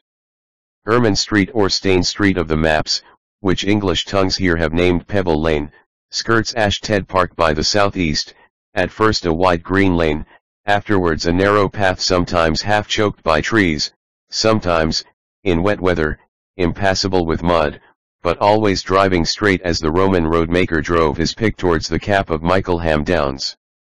The narrow lane to which the road has shrunk is less than the Roman made it, but Mickleham Downs can look very little different today from the downs which the legionary knew.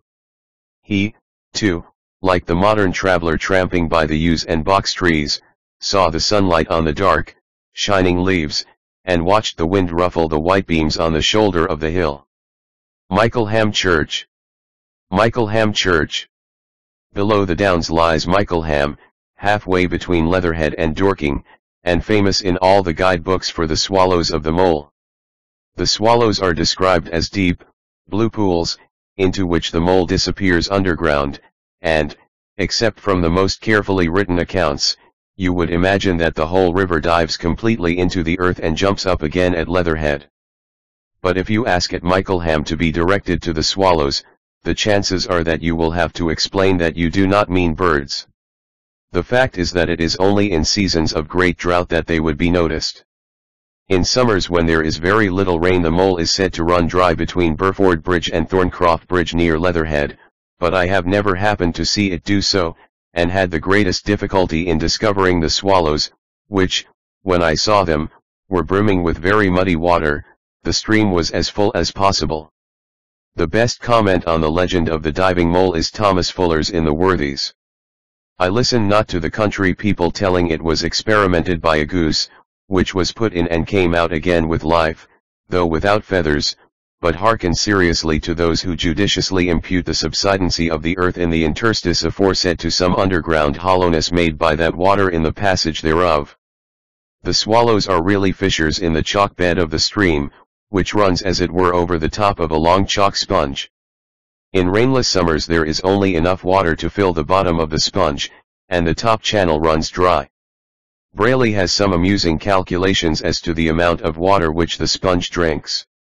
From calculations made on different days, after measuring the height and velocity of the current received into these pools, it was ascertained, when both were in activity, that the swallows of the outer pool engulfed 72 imperial gallons per second, 4,320 per minute, and 259,200 per hour, and those of the inner pool, 23 imperial gallons per second, 1,380 per minute, and 82,800 per hour. 72 gallons a good-sized tank full of water in a second is very pretty swallowing, an early instance of thinking imperially. To Camden, in the Britannia, the disappearing water suggests another image. The inhabitants can boast, like the Spaniards, of having a bridge that feeds several flocks of sheep. Mickleham is almost the center of the Fanny Burney country. At Mickleham Church she was married to General D'Arblay, Juniper Hall is half a mile from the church, Norbury Park lies west of the mole, Camilla Lacey south of Norbury Park at West Humble. Fanny Burney, retired from her post of maid of honor and receiving a pension of £100 a year, met M.D. D'Arblay in January, 1793, when she was staying with her friends the Lockes at Norbury Park. He was living at Juniper Hall with other French émigrés a brilliant little colony, Madame de Stael was there, and de Narbonne, and de Lally Tollendal, and Talleyrand. The general began as tutor, and the course of Fanny Burney's acquaintance with Juniperians, as her sister Mrs. Phillips used to call them, and particularly with her French master, perhaps may be given in a few extracts from her correspondence. Madame de Stael Holstein to Miss Burney. Written from Juniper Hall, Dorking, Surrey, 1793. When J learned to read English J begun by Milton, to know all or renounce all in once.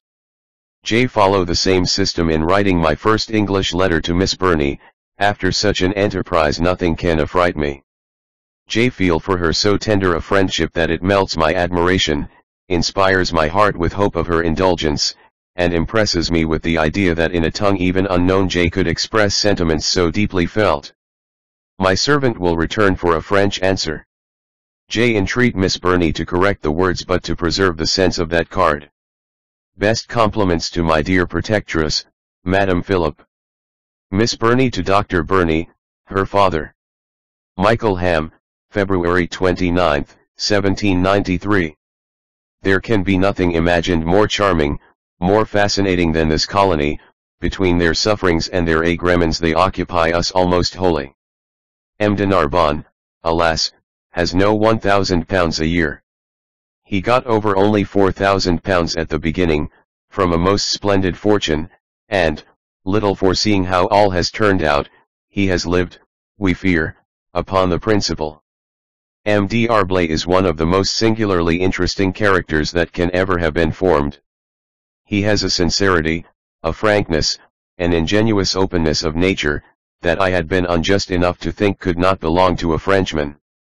With all this, which is his military portion, he is passionately fond of literature, a most delicate critic in his own language, well versed in both Italian and German, and a very elegant poet. He has just undertaken to become my French master for pronunciation, and he gives me long daily lessons in reading. Pray expect wonderful improvements. In return I hear him in English. Miss Burney to Mrs. Locke. Thursday, Mickleham. Madame de Stael has written me two English notes, quite beautiful in ideas, and not very reprehensible in idiom. But English has nothing to do with elegance such as theirs at least, little, and rarely. I am always exposing myself to the wrath of John Bull, when this coterie come into competition. It is inconceivable what a convert M. de Talleyrand has made of me, I think him now one of the first members, and one of the most charming, of this exquisite set. Dr. Burney to Miss Burney. Chelsea College, Tuesday morning, February 19, 1793. Why, Fanny, what are you about, and where are you? I shall write at you, not knowing how to write to you, as Swift did to the flying and romantic Lord Peterborough. Miss Burney to Mrs. Phillips. Friday, May 31st, Chessington. My dearest Freddie, in the beginning of her knowledge of this transaction, told me that Mr. Locke was of opinion that the £100 per annum might do, as it does for many a curate. MDA also most solemnly and affectingly declares that le simple necessaire is all he requires, and here, in your vicinity, would unhesitatingly be preferred by him to the most brilliant fortune in another séjour. If he can say that, what must I be not to echo it? I, who in the bosom of my most chosen, most darling friends. Dr. Burney to Miss Burney. May 1793. Dear Fanny I have for some time seen very plainly that you are a prize, and have been extremely uneasy at the discovery. You must have observed my silent gravity, surpassing that of mere illness and its consequent low spirits. I had some thoughts of writing to Susan about it, and intended begging her to do what I must now do for myself that is, beg, warn, and admonish you not to entangle yourself in a wild and romantic attachment which offers nothing in prospect but poverty and distress, with future inconvenience and unhappiness. From Madame D'Arblay to Mrs. August 2, 1793. Last Sunday, July 28, Mr. and Mrs. Locke, my sister and Captain Phillips, and my brother Captain Burney, accompanied us to the altar in Mickleham Church, since which the ceremony has been repeated in the chapel of the Sardinian ambassador, that if, by a counter-revolution in France, M. D'Arblay recovers any of his rights, his wife may not be excluded from their participation. You may be amazed not to see the name of my dear father upon this solemn occasion, but his apprehensions from the smallness of our income have made him cold and averse, and though he granted his consent, I could not even solicit his presence.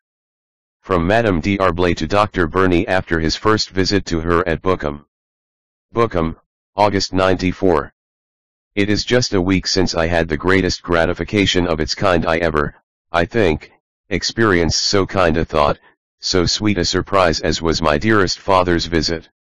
How softly and soothingly it has rested upon my mind ever since. How thankfully did I look back, the 28th of last month, upon a year that has not been blemished with one regretful moment. It was at Bookham that Madame D'Arblay wrote Camilla, and out of the sale of the novel she built her cottage, Camilla Lacey, on a plot of ground at West Humble leased to her by her friend Mr. Locke. Camilla, which Horace Walpole thought deplorable, infinitely worse than Cecilia, which was not so good as Evelina, was an instant success. Within a month Madame D'Arblay had made £2,000, and Macaulay's estimate of her whole profits was over 3,000 guineas. There was never a stranger climbed down a ladder to fortune than Fanny Burney's. Evelina, her first and incomparably her best novel, brought her £30, Cecilia, her next, £250, then came Camilla, and her last novel, The Wanderer, which she wrote after 10 years absence with her husband in France, actually sold 3,600 copies in six months at two guineas a copy, and was an absolute and hopeless failure. Camilla Lacey, invisible from the road, has been enlarged and altered to look like nothing the D'Arblays knew. Juniper Hall has also changed, but the splendid cedars which stand round its lawns must have been familiar to Talleyrand and Madame de Stael. They have grown curiously slowly, they do not strike one as larger than many trees which are known to be not more than a hundred and twenty years old those, for instance, at Farnham Castle, but John Timbs, in his Promenade round Dorking, written in 1823, speaks of them as immense, and as said to be of the finest growth in England. Cedars at Juniper Hall Cedars at Juniper Hall Norbury Park also has its famous trees. The Druids Walk, a path running under enormous yews, is no longer open to the public. But Louis Jennings, 30 years ago, saw the trees and preserved a memory of them in field paths and green lanes. As the path descends the shadows deepen, and you arrive at a spot where a mass of yews of great size and vast age stretch up the hill, and beyond to the left as far as the eye can penetrate through the obscurity. The trees in their long and slow growth have assumed many wild forms, and the visitor who stands there towards evening, and peers into that somber grove, will sometimes yield to the spell which the scene is sure to exercise on imaginative natures, he will half fancy that these ghostly trees are conscious creatures, and that they have marked with mingled pity and scorn the long processions of mankind come and go like the insects of a day, through the centuries during which they have been stretching out their distorted limbs nearer and nearer to each other. Thick fibrous shoots spring out from their trunks, awakening in the memory long forgotten stories of huge hairy giants, enemies of mankind even as the double fatal yew itself was supposed to be in other days. The bark stands in distinct layers, the outer ridges mouldering away, like the fragments of a wall of some ruined castle. The tops are fresh and green, but all below in that sunless recess seems dead. In another respect Norbury Park has changed in the opportunities the mole running through the park offers to anglers wishing to catch large trout. Mr. C. J. Sweet, writing in his Handbook of Epsom, not longer ago than 1853, is pleased to take his reader with him by the banks of the mole, in which he has obtained permission from the proprietor to gather some of the finny treasures of its liquid mines. Quite unwarrantably, he assumes that his reader is no fisherman. Well, now, cast out your line, you have a respectable cast, for here the river is broad, you can scarce cast your line across it. Well, you must be a little patient you cannot expect to catch a fish the moment you throw in. I see you are not a great proficient at the piscatory science.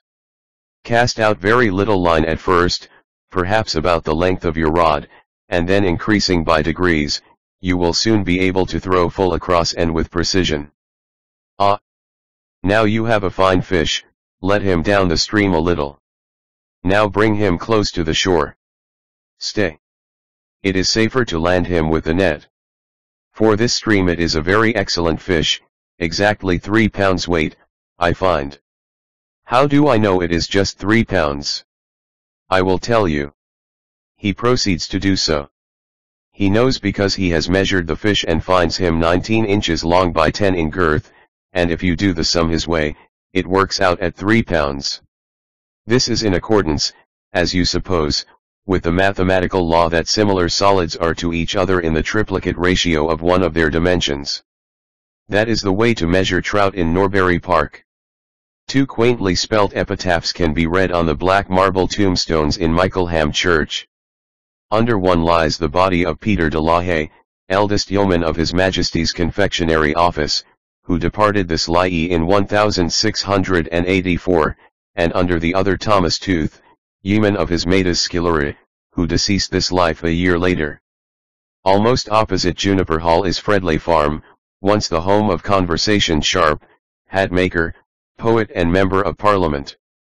Fredley Farm, in the years between 1797 and 1835, when Sharp lived there, must have been visited by more distinguished poets, authors, politicians, wits, scholars, and artists than any other house in Surrey.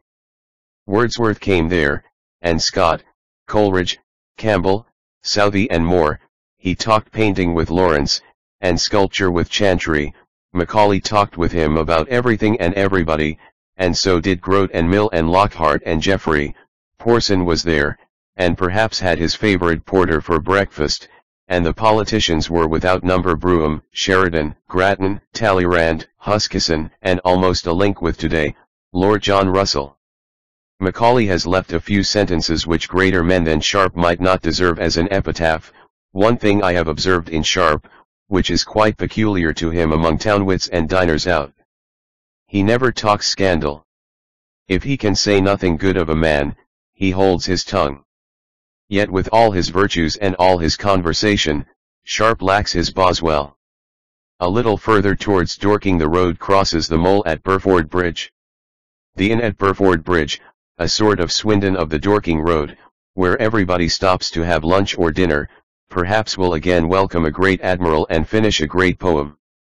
Nelson stayed there before leaving to command at Trafalgar, Keats came there to finish Endymion. His visit, he writes to his friend Benjamin Bailey, is to change the scene change the air, and give me a spur to wind up my poem, of which there are wanting about 500 lines. Night on the Hill inspired him, in another letter he shows the way for other poets, I went up Box Hill this evening after the moon you a seen the moon came down and wrote some lines. And it is of the inn at Burford Bridge that the story is told, by Mortimer Collins, in his Walk Through Surrey, of Keats and the Waiter.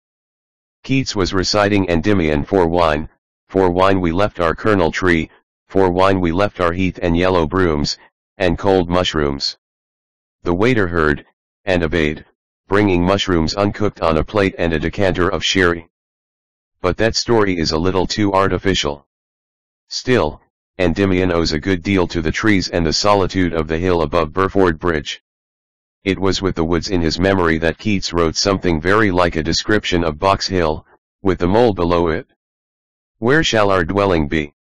Under the brow of some steep mossy hill, where ivy dun would hide us up, although spring leaves were none, and where dark yew trees as Verusel through, will drop their scarlet berry cups of dew. O thou wouldst joy to live in such a place, dusk for our loves, yet light enough to grace those gentle limbs on mossy bed Rocklandy, for by one step the blue sky should st thou find, and by another in deep dell below, see, through the trees, a little river go all in its midday gold and glimmering. But the great poet and novelist of Box Hill came later. Mr. George Meredith lived his long life and died at last, on May 18, 1909, at his house, Flint Cottage, near Burford Bridge. It was by Box Hill that he imagined the gayest and wisest of novels and some of the most glorious of all English poetry. Here, in his chalet looking out over the Surrey hills, he wrote The Thrush in February I know him, February's thrush, and loud at eve he valentines on sprays that paw the naked bush where soon will sprout the thorns and binds. Now ere the foreign singer thrills our veil his plain song pipe he powers a herald of the million bills, and heed him not, the loss is yours. My study, flanked with ivied fir and budded beech with dry leaves curled, perched over yew and juniper, he neighbors, piping to the world the wooded pathways dank on brown, the branches on grey cloud a web, the long green roller of the down, an image of the deluge ebb the lines ring with the bird's song, the light of all February evenings is on the hill. But if you are to take the heart of the poem, you must choose the last eight lines for love we earth, then serve we all, her mystic secret then is ours, we fall, or view our treasures fall, unclouded, as beholds her flowers. Earth, from a night of frosty wreck and robed in morning's mounted fire, when lowly, with a broken neck, the crocus lays her cheek to mire. The noblest philosophy of poetry belongs to the Surrey Hill, and so does the most wonderful love song of its century, the long, enchanted cadences of love in the valley lovely are the curves of the white owl sweeping wavy in the dusk lit by one large star. Lone on the fir branch, his rattle note unvaried, brooding o'er the gloom, spins the brown eve-jar. Darker grows the valley, more and more forgetting, so were it with me if forgetting could be willed. Tell the grassy hollow that holds the bubbling wellspring, tell it to forget the source that keeps it filled. Box Hill must be pretty nearly the best known hill in the world. It has all the advantages. It is within easy reach of London for school treats, excursions, choir outings, weekends, and all other journeys in open air, it has a railway station at its foot, and several inns, and a tea garden at the top, and a hundred bank holidays have left it unspoiled. The box trees that name the hill are the finest in England. Box trees love chalk, and here they drive their roots into the crown and scar of a cliff of chalk, so steep on one side down to the mole that a stone could almost be thrown from the path round the ridge into the water. On the grass outside the box grove the distance to the level valley below deceives even more strangely. It looks as if you could drive a golf ball straight from the hill onto the green, you may speculate as to the beauty of the arc curved in the sunlight, and the deadness with which the ball would lie after an absolutely perpendicular drop to the extreme danger of those disinterested in the experiment. But the hill is not really steep enough. The contours crowd on the map, but they show that you would have to drive nearly a quarter of a mile. At a distance, in spring and summer, the trees which mark Box Hill are not box or juniper, but the white beams that patch the deeper green of the oaks and beeches with glaucous gray. The box trees, though their thick, snaky stems look as if they might be any age, are not all of them old. The trees have more than once been cut and sold. Sir Henry Mildmay put them up for auction for £12,000 in 1795 and apparently sold them for £10,000 two years later, with 12 years to cut the wood in. In later days, the wisdom of a war office cleared a wide space of trees and built a fort there, the wisdom of another war office abandoned the fort as useless. There it remains, behind spiked railings, the idlest monument of a whim. View of Box Hill, Misty Day. View of Box Hill, Misty Day. Dorking. Dorking. Chapter 29. Dorking. Mr. Stiggins at the Marquis of Granby a ruin the Battle of Dorking real fighting the table and cellar water souchy, a delicious dish wild cherries Dorking snails sandy kind women without roses Shrove Tuesday football Dorking's glory jump at Cotmandene an earthquake giant and dwarf. Dorking has twice had history made for it, and travellers come to visit the scenes. It was in the bar of the Marquis of Granby at Dorking that Sam Weller met his mother-in-law, and watched the Reverend Mr. Stiggins make toast and sip the pineapple rum and water, and advised Mr. Weller Sr. as to the best method of treating shepherds with cold water. Pilgrims cross the Atlantic to visit the Marquis of Granby. No Dorking Inn bears the name, nor ever has, but Americans will tell you that the Marquis is only a name Dickens invented to cover the identity of the White Horse, which fronts the cobbles of Dorking High Street with its gables and white and green paint much as it must have done in the time of Dickens. Dickens himself, in all the year round he did not sign the article, but in that paper none but he might have written of that inn conceived the Marquis to be the King's Head, in the old days a great coaching house on the Brighton Road. It stood at the corner of High Street and South Street, and in South Street today you may still gaze at its unhappy walls and windows. The old lattices are boarded up, smashed with stones, the rooms are empty. When the post office came to stand at the corner, the King's Head became a tenement house, afterwards a ruin. The Battle of Dorking took place on the ridge north of the town in 1871, and resulted, after the invasion, in the conquest of Great Britain by Germany. It all came about perfectly simply. A rising in India had taken away part of our army, war with the United States over Canada had taken another 10,000 troops, and half of what were left were dealing with a Fenian revolution in Ireland. Germany put to sea and sank our fleet with torpedoes, a new and dreadful engine of war, then the German army landed and the end came at once. At least, it would have come, if Sir George Chesney, who described the Battle of Dorking in Blackwood's magazine, had prophesied truly.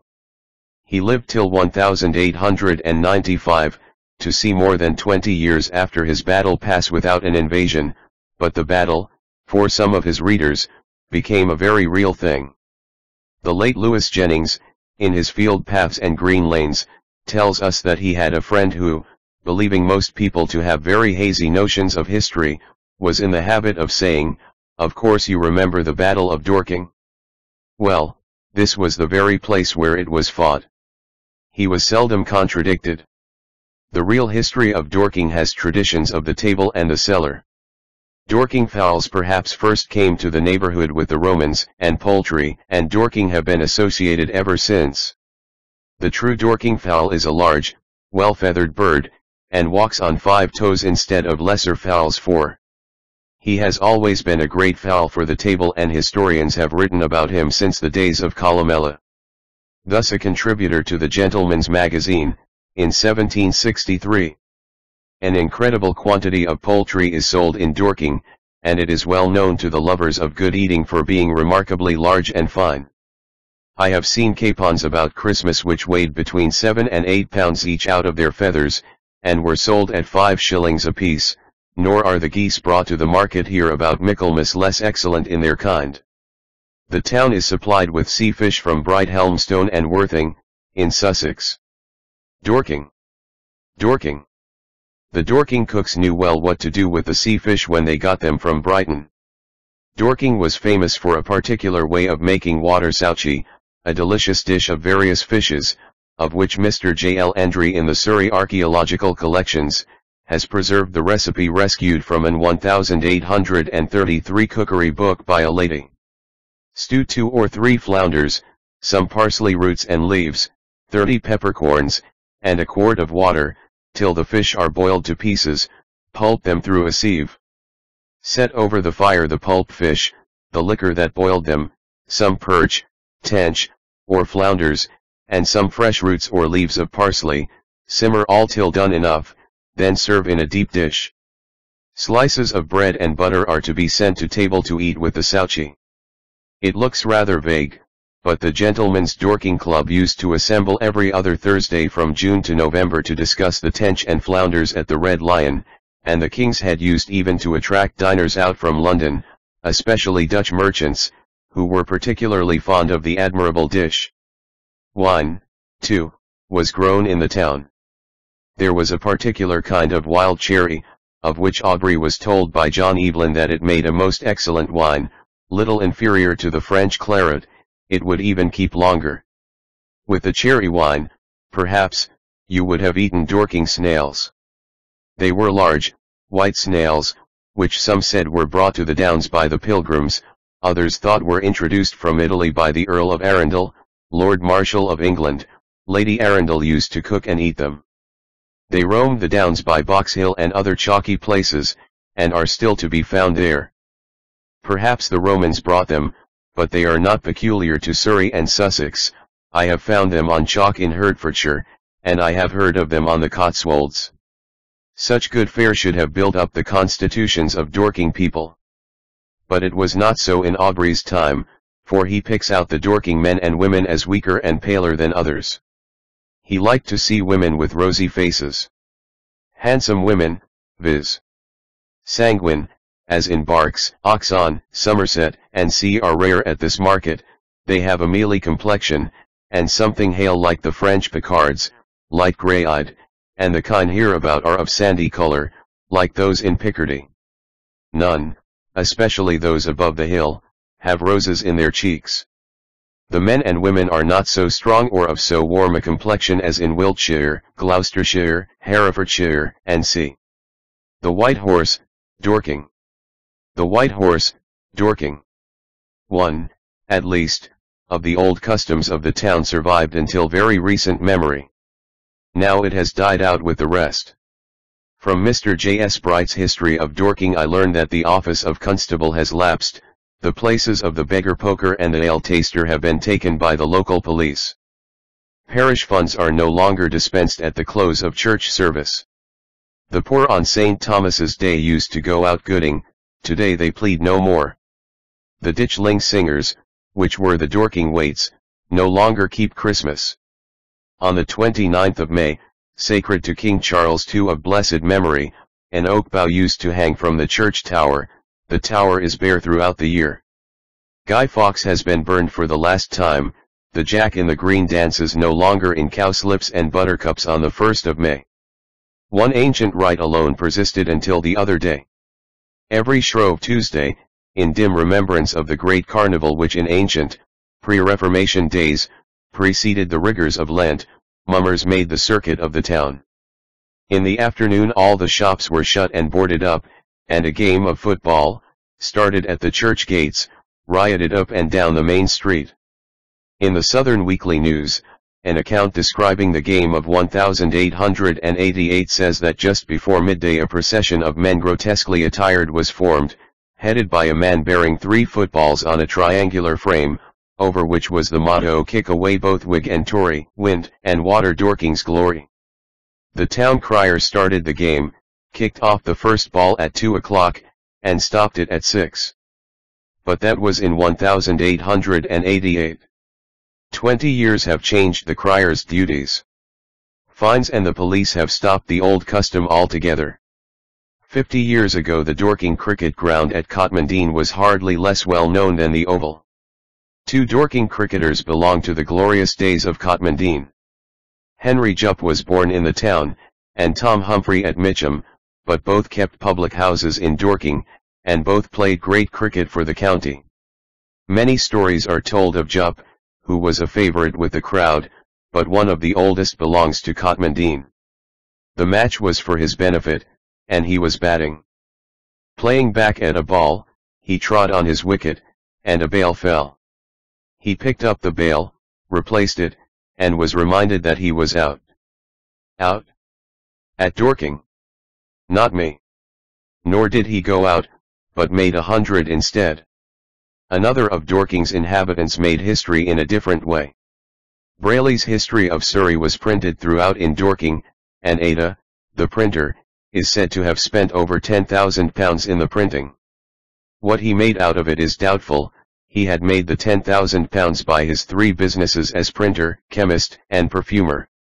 The real Dorking, apart from its battles over and to come, is sufficiently happy to have had very little history. The Danes sacked it, tradition says, they cannot have had much plunder. Julius Caesar marched through it, perhaps, if there was a Dorking then, the Roman road, at all events, the Great Stone Street, which is still an English road by Ockley to the south, drove through the corner of Dorking churchyard. Another event of the dark days was an earthquake in 1551, in which, according to Henry Machyn's diary, pots, panes, and dissy stounced and met fell down about house and with many odor things but an earthquake which could do nothing more than make pots, pans and dishes dance is hardly an earthquake at all. Perhaps its greatest event of historical times was a funeral. On the 23rd of December, 1815, Charles Howard, 11th Duke of Norfolk, was buried at Dorking with the pomp and pageantry of a king.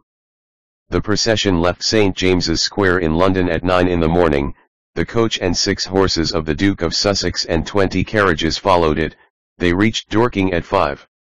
Deputy Garter King of Arms, Norroy King of Arms, three heralds and three pursuivants attended in tabards of state, Deputy Garter, after the service, proclaimed the Duke's styles and titles. The most high, mighty, and most potent prince. Charles Howard, Duke of Norfolk. Earl Marshal and hereditary Earl Marshal of England. Earl of Arundel Castle. Earl of Surrey, Earl of Norfolk, Earl of Norwich. Baron Mowbray. Baron of Howard, Baron of Segrave. Baron Bruries of Gower. Baron Fitzalan, Baron Warren, Baron Clun.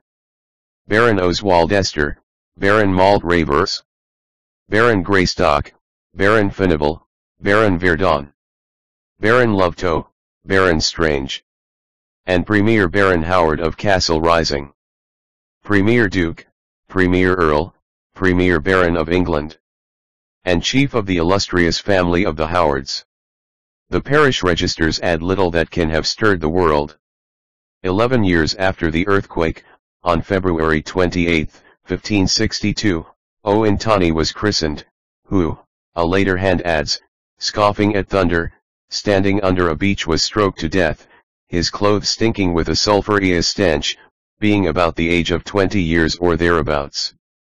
Another entry is more personal.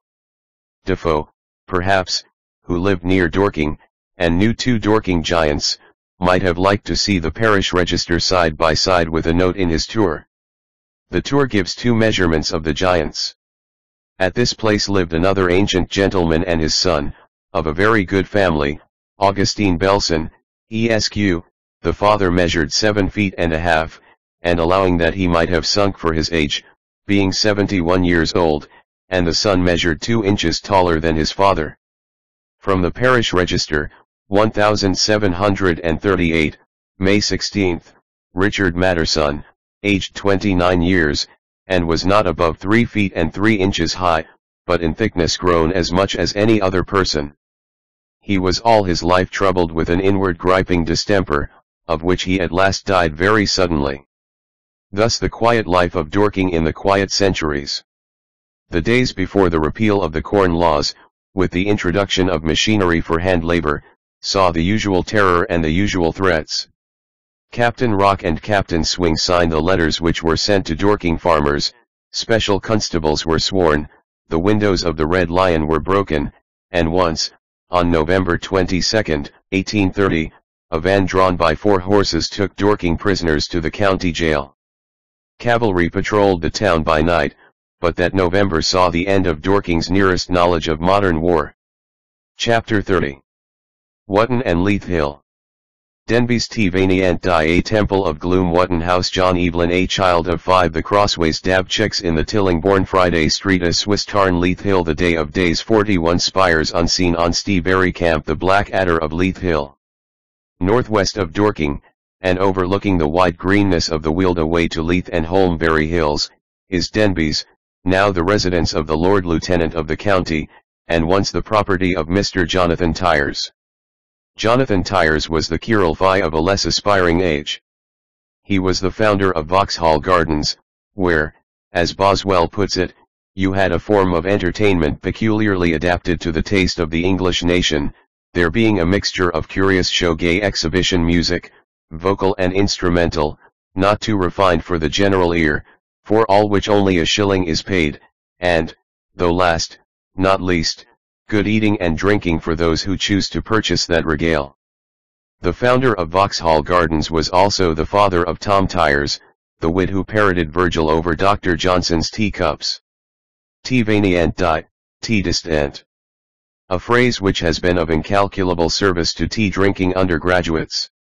It was Tom Tyers who summed up Dr. Johnson, to the doctor's liking, Tom Tyers described me the best, sir, said he, you are like a ghost, you never speak till you are spoken to. Jonathan Tyers reserved a private gloom for his own garden at Denbies. He named one of his plantations Il Penseroso and in it built a small temple which he bespattered with dismal texts. A clock struck every minute, to remind the visitor of the constant approach of death, and in an alcove were two life-size paintings of a Christian and an unbeliever in their last moments.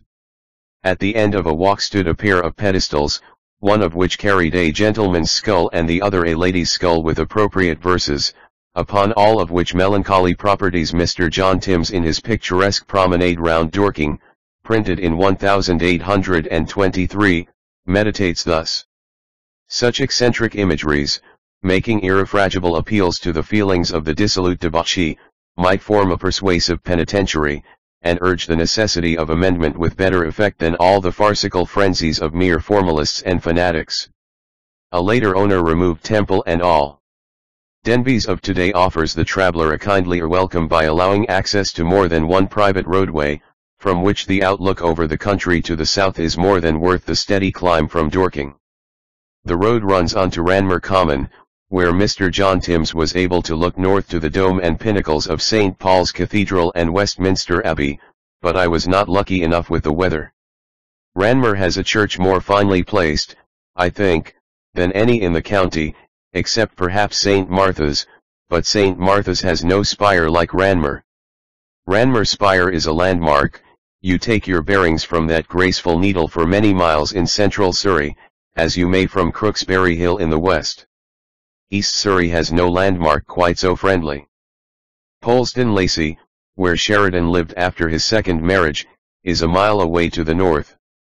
To the south, below Ranmore, at the foot of the downs, is Westcott, once a small hamlet and now something more, with a pretty little church set on a hill. Further on the road west, is Wotton Hatch, and at Wotton House and in the church you are with John Evelyn. Of all the great men who belong to Surrey history, John Evelyn is first. He had not the religious exaltation, nor the ambition of a stern divine like Archbishop Abbot, he had the dignity, but not the desire of public service, of a politician such as Sir Arthur Onslow, he was not a fiery reformer like William Cobbett, or a diplomatist like Sir William Temple, he left behind him no such monument of stately learning as Edward Gibbon, nor a record of military service like that of the great Howard, the general of Queen Elizabeth's navy at sea against the navy of Spain. But what he left will endure, the fame of an English gentleman who was honest, surrounded by intrigue, unambitious of honors and titles, a royalist who had the friendship of kings whom courtiers flattered, a virtuoso of learning hardly equalled in his time, a diarist whose jottings, never meant for printing, are a classic, a pious, honorable, shrewd, country squire of deep family affections, and set in a niche of his own by all who live and work in the country today, as one of the greatest of English woodmen and gardeners. Upon his grave, on the 200th anniversary of his death, February 27, 1906, the Society of Antiquaries placed a wreath of bays in honor, I think, unique in the annals of Surrey churches. Wotton House. Wotton House. The Evelyns have their own chapel in Wotton Church, locked by the same wooden gate which opened to John Aubrey. In the little square space lie John Evelyn and his wife, in raised tombs, and on the walls are elaborate memorials of other Evelyns. One tomb the chapel does not hold, though John Evelyn intended it should. His son Richard, who lived to be scarcely five years old, died at Sayes Court, John Evelyn's property in Kent, and lies at Deptford. The father wrote nothing sadder than his short record of his child's few years a strange enough comment on the life of the nursery, if it was a nursery, of Stuart days. At two years and a half old, he could perfectly read any of the English, Latin, French, or Gothic letters, pronouncing the three first languages exactly. He had, before the fifth year, or in that year, not only skill to read most written hands, but to decline all the nouns, conjugate the verbs regular, and most of the irregular, learned out Puerilis, got by heart almost the entire vocabulary of French primitives and words, could make congruous syntax, turn English into Latin, and vice versa, construe and prove what he read and did the government, and use of relatives, verbs, substantives, ellipses, and many figures and tropes, and made a considerable progress in Comenius's Janua, began himself to write legibly, and had a strong passion for Greek. He was all life, all prettiness, far from morose, sullen, or childish in anything he said or did. Far from childish it is perverse enough. John Evelyn himself began the dreary round of tropes and primitives almost as early. He was taught in a little room above Wotton church porch, by one friar, when he was nearly four.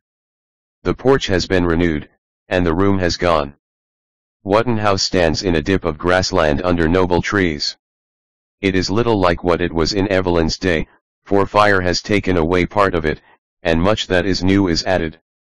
The result is partly imposing, partly incongruous, but much of the best of the house has aged well, and the red brick court and walled carriage drive stand finely from their background. Behind the house is the terraced garden which Evelyn himself made, and beyond it a streak of water running between wooded banks away to the blue dimness of Leith Hill. John Evelyn shall describe Wotton as he knew it. The house is large and ancient, suitable to those hospitable times, and so sweetly environed with those delicious streams and venerable woods, as in the judgment of strangers as well as Englishmen it may be compared to one of the most pleasant seats in the nation, and most tempting for a great person and a wanton purse to make it conspicuous. I will say nothing of the air, because the preeminence is universally given to Surrey, the soil being dry and sandy, but I should speak much of the gardens, fountains, and groves that adorn it, were they not generally known to be amongst the most natural, and, till this later and universal luxury of the whole nation, since abounding in expenses, the most magnificent that England afforded. Between Wotton and Westcott is the Rookery, once the home of David Malthus, father of the historian and economist. The name of David Malthus hides behind his more famous sons, but he was a translator of the sorrows of Werther and of Paul and Virginia, who deserves memories of his own. He lies in Wotton churchyard. From Wotton one might go on by Abinger Hammer to Gomshall, but the natural round, perhaps, and certainly one of the loveliest walks in the county, is by Abinger Hatch and Friday Street to Leith Hill.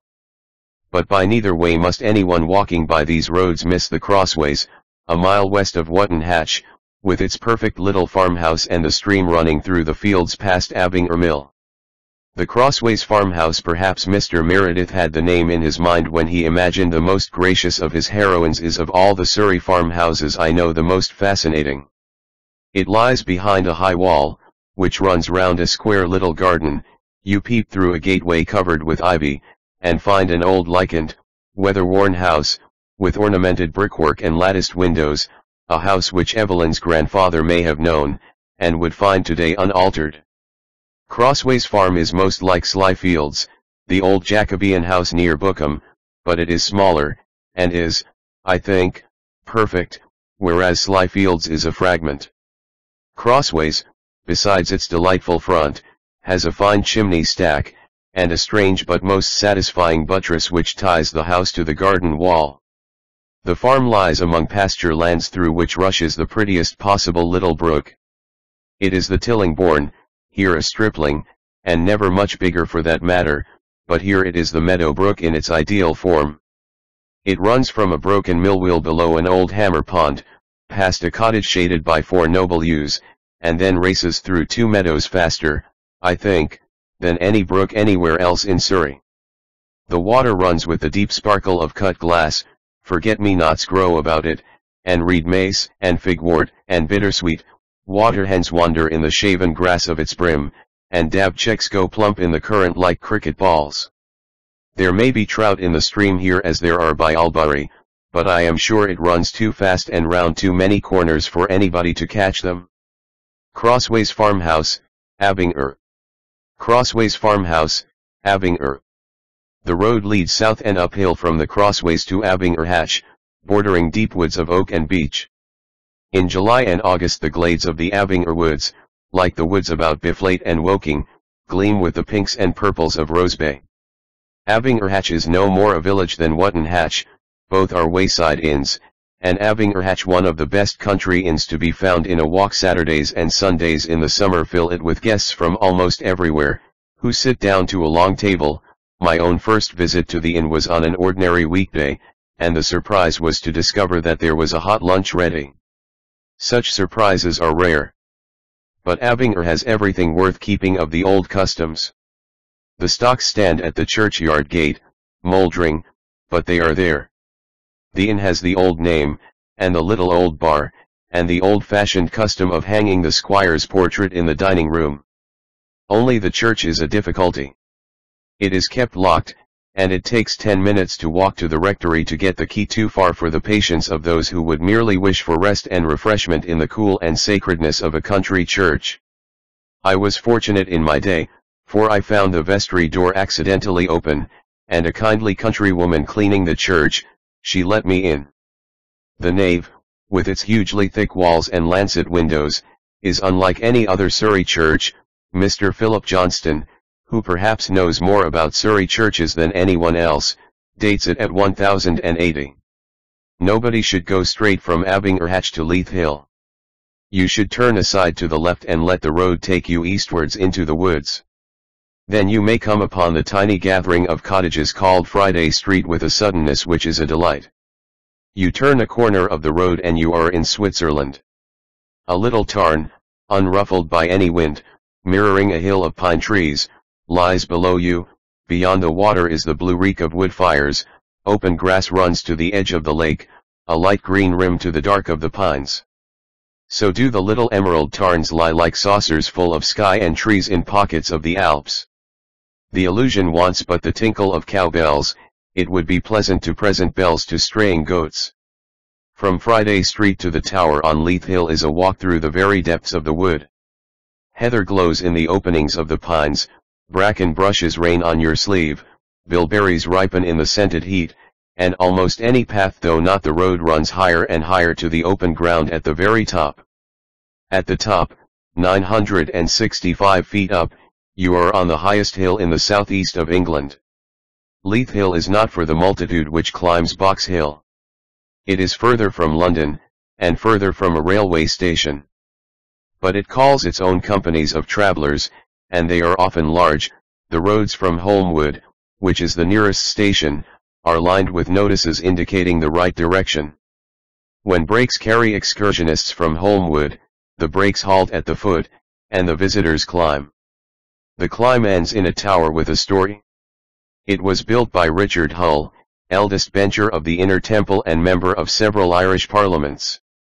He built it, his Latin inscription informs you, for the enjoyment of himself and his neighbors, and six years later, in 1772, he was buried under it.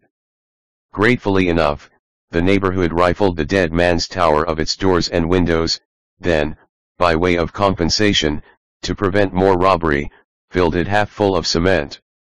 It was left to the late owner of Wotton, Mr. W. J. Evelyn, in 1863 to restore the building and to add a staircase, and I believe the platform of the roof stands now exactly a thousand feet above sea level.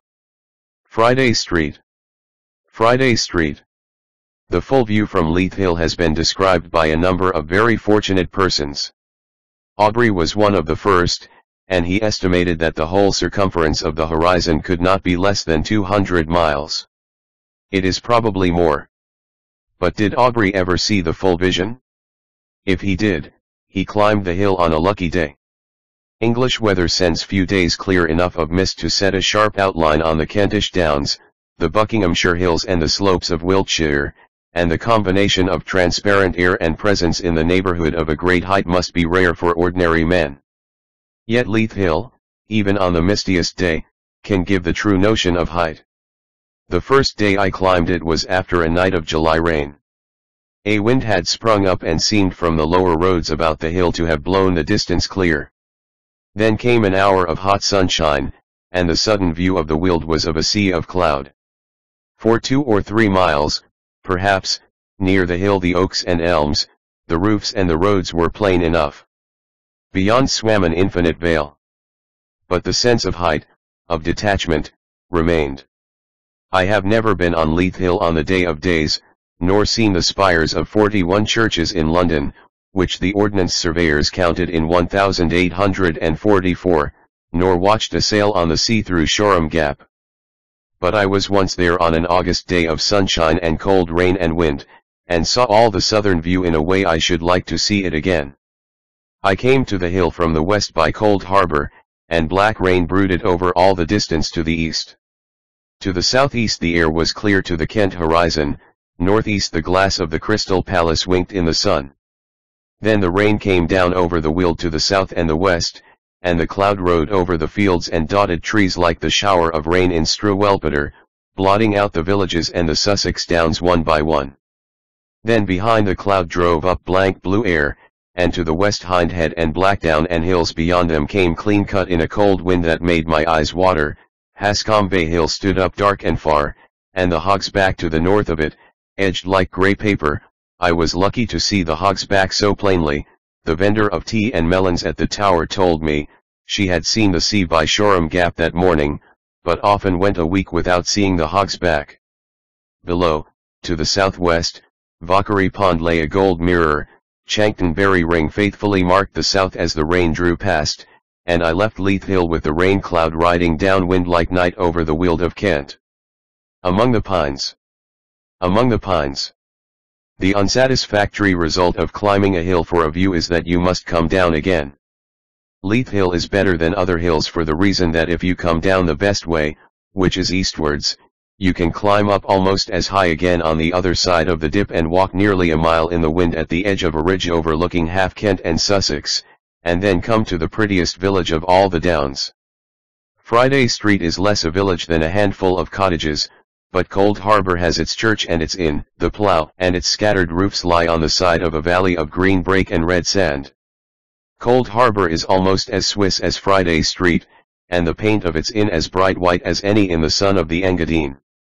If Friday Street lacks the cowbells, Cold Harbor would be complete with the grey turbulence of snow water. Left and right of Leith Hill are two great camps, both of them firmly linked in local legend with Caesar and the Danes, and both of them connected by history with neither. Like the camp on St. George's Hill, the camps on Anstiebury and Holmbury Hills were ancient British settlements, places of refuge where the men of the tribe left their women and children and cattle while they themselves went out with their stone-tipped arrows to find the men of other tribes. Anstiebury Camp is the larger, and covers 11 acres or so of what is now deep beechwood. Anstiebury has an easy and certain derivation. Heenstageberrig is early English for the berry of the highway. Mr. H. E. Malden, in the Surrey Archaeological Collections, points out that this may be the Roman stone street, which passes half a mile left of the hill, or it may be the ancient British road which runs from Cold Harbour to Dorking, the latter he thinks most likely. Certainly a native with proper pride would hardly refer to the newly engineered road in the distance in preference to the wonderful highway close at hand. It runs from the hilltop north and south, cut deep in the yellow sandstone as the ancient Briton liked his pathways cut. A man 20 feet high could walk invisible between the banks of that sheltering trackway. Anstiebury Camp came near to harboring a modern garrison early in the last century, when the Napoleon scare was at its wildest heights, and good citizens went to bed praying that the next day Boney might not be thundering at the town gates, it was actually proposed that the old British camp should be used to shelter the women and children of Dorking. Another battle, an extra rumour or two, might have filled the breaches with the dauntless subjects of King George. Happily, that cloud vanished. Round the camps and the battlefields of the heights of Leith Hill and Holmbury cluster the names of wilder enemies than man. Bearhurst, Boars Hill, and Wolf's Hill belong to the neighbourhood, and members of the Surrey Archaeological Society have heard Mr. Malden discourse incisively on the scavengers' work after the Battle of Ockley, when the West Saxons buried their dead, and there were no Danes left alive to bury theirs. Leith Hill has another curious record of an animal. On July 27, 1876, a tourist walking over the hill trod upon a snake, which bit him, he managed to get to Ockley, but died in two days.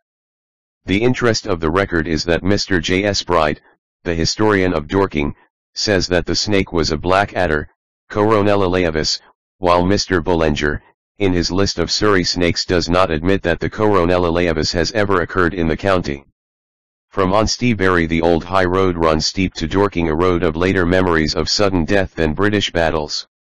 On a gallows at the foot of the hill three highwaymen once hung in chains. A house has been built upon the very spot. Looking towards Dorking from Westcott. Looking towards Dorking from Westcott. Chapter 31 Dorking to Reigate Nicknames Anastasius Hope Deepdene Mr. Howard's Garden Betchworth Chestnuts and Castle Brockham Badgers The Strawyards Bakers among the Roses Lee, Lily Place Arderns and Copleys Sir Thomas's notion of a gentleman Buckland's Barn. Of three dull nicknames, stuck like burrs on the mantles of Dorking's prophets, the dullest and prosiest has stuck to the richest.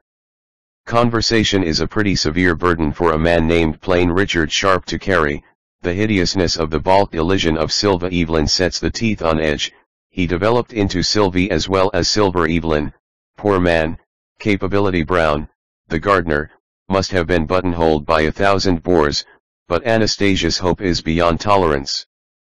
How should such a name be endured? Thomas Hope endured it? He was the owner of Deepdene, the great house and garden and park a mile west of Dorking, property that once belonged to the Howards, and in particular to the ninth Duke of Norfolk. His father was a vastly wealthy Amsterdam merchant, he himself a patron and a critic of art. He gave Thorvaldsen his first commission in marble, and Thorvaldsen celebrated the day of the order every year of his life. But he owed his name to a romance, Anastasius, or Memoirs of a Modern Greek, which he wrote at his leisure, and which places him, as Mr. John Timbs, promenading around Dorking in 1824, assures us, in the highest list of eloquent writers and superior men. The Edinburgh Reviewer was not less effusive. Until Anastasius was published he had known Mr. Hope merely as the author of an essay on household furniture and interior decoration. In Anastasius was the change from the upholsterer to the Epicurean. Deepdene still holds statues and pictures, of which Mr. Bright, in his History of Dorking, gives a long list. Such a list belongs rightly to a history, but since the pictures can no longer be seen, other pages need but note that permission is occasionally granted to walk in the park Aubrey's engaging description of the garden as he saw it late in the 17th century, a hundred years before Mr. Thomas Hope, belongs to his century and ours. Near this place the Honourable Charles Howard of Norfolk hath very ingeniously contrived a long hope, i.e., according to Virgil, Deductus Vallis, in the most pleasant and delightful solitude for house, gardens, orchards, boscages etc., that I have seen in England, it deserves a poem and was a subject worthy of Mr. Cowley's muse. The true name of this hope is Dibdin, quasi Deepdene. Mr. Howard hath cast this hope in the form of a theatre on the sides whereof he hath made seven narrow walks like the seats of a theatre, one above another, about six in number, done with a plough, which are bordered with thyme, and some cherry trees, myrtles, etc. Here was a great many orange trees and syringas which were then in flower. In this garden are 21 sorts of thyme. The pit, as I may call it, is stored full of rare flowers and choice plants. He hath there two pretty lads his gardeners, who wonderfully delight in their occupation, and this lovely solitude, and do enjoy themselves so innocently in that pleasant corner, as if they were out of this troublesome world, and seem to live in the state of innocency. But not the gardeners alone. The visitor had a quiet mind who could exclaim, as John Aubrey did, that the pleasures of the garden were so ravishing that I can never expect any enjoyment beyond it but the kingdom of heaven. Aubrey has been called ill-natured, and a scandal lover. Nobody ever called him that who has met him in a garden. East of Dorking and the Deepdene are half a dozen Betchworths. Betchworth Clump rides a shoulder of the downs, with a superb view to the south, Betchworth village lies under the clump a mile and more from the foot of the hill, Betchworth Park and Castle are between the village and Deepdene. Through the park runs a road, and an avenue of wonderful limes, but the castle, which cannot be seen from the part of the park open to the public, is a castle no longer. It was never more than a castle in name, Sir Thomas Browne fortified it under Henry VI, but it saw no fighting. Thomas Hope's father, when he added Betchworth to his purchase of the Deepdene, pulled it down, and a mere fragment remains. Not much younger than the ruins, perhaps, are the gnarled and twisted boles of the Betchworth sweet chestnuts. Albury Park holds some giants, and there are a few trees quite as fine in Weybridge Gardens that once stood on royal ground, but the Betchworth chestnuts must be older than either. Badgers must have been common by Betchworth, for brocks multiply in the local names. Brockham Village, with a pretty green, stands beyond Betchworth Park on the mole, probably the badger has left Brockham since the bricklayer came out of Dorking. The Red Lion, Betchworth. The Red Lion, Betchworth. Other outdoor life has survived, Brockham still plays good cricket. Cricket was a favourite game on Brockham Green very early in its history. Cotmandene was not far away, and no doubt Cotmandene cricket encouraged smaller games. One of the customs of Brockham players was to wear straw hats of a pattern made in the village, and when the eleven went to play over at Mitcham there were derisive shouts here come the Brockham straw yards.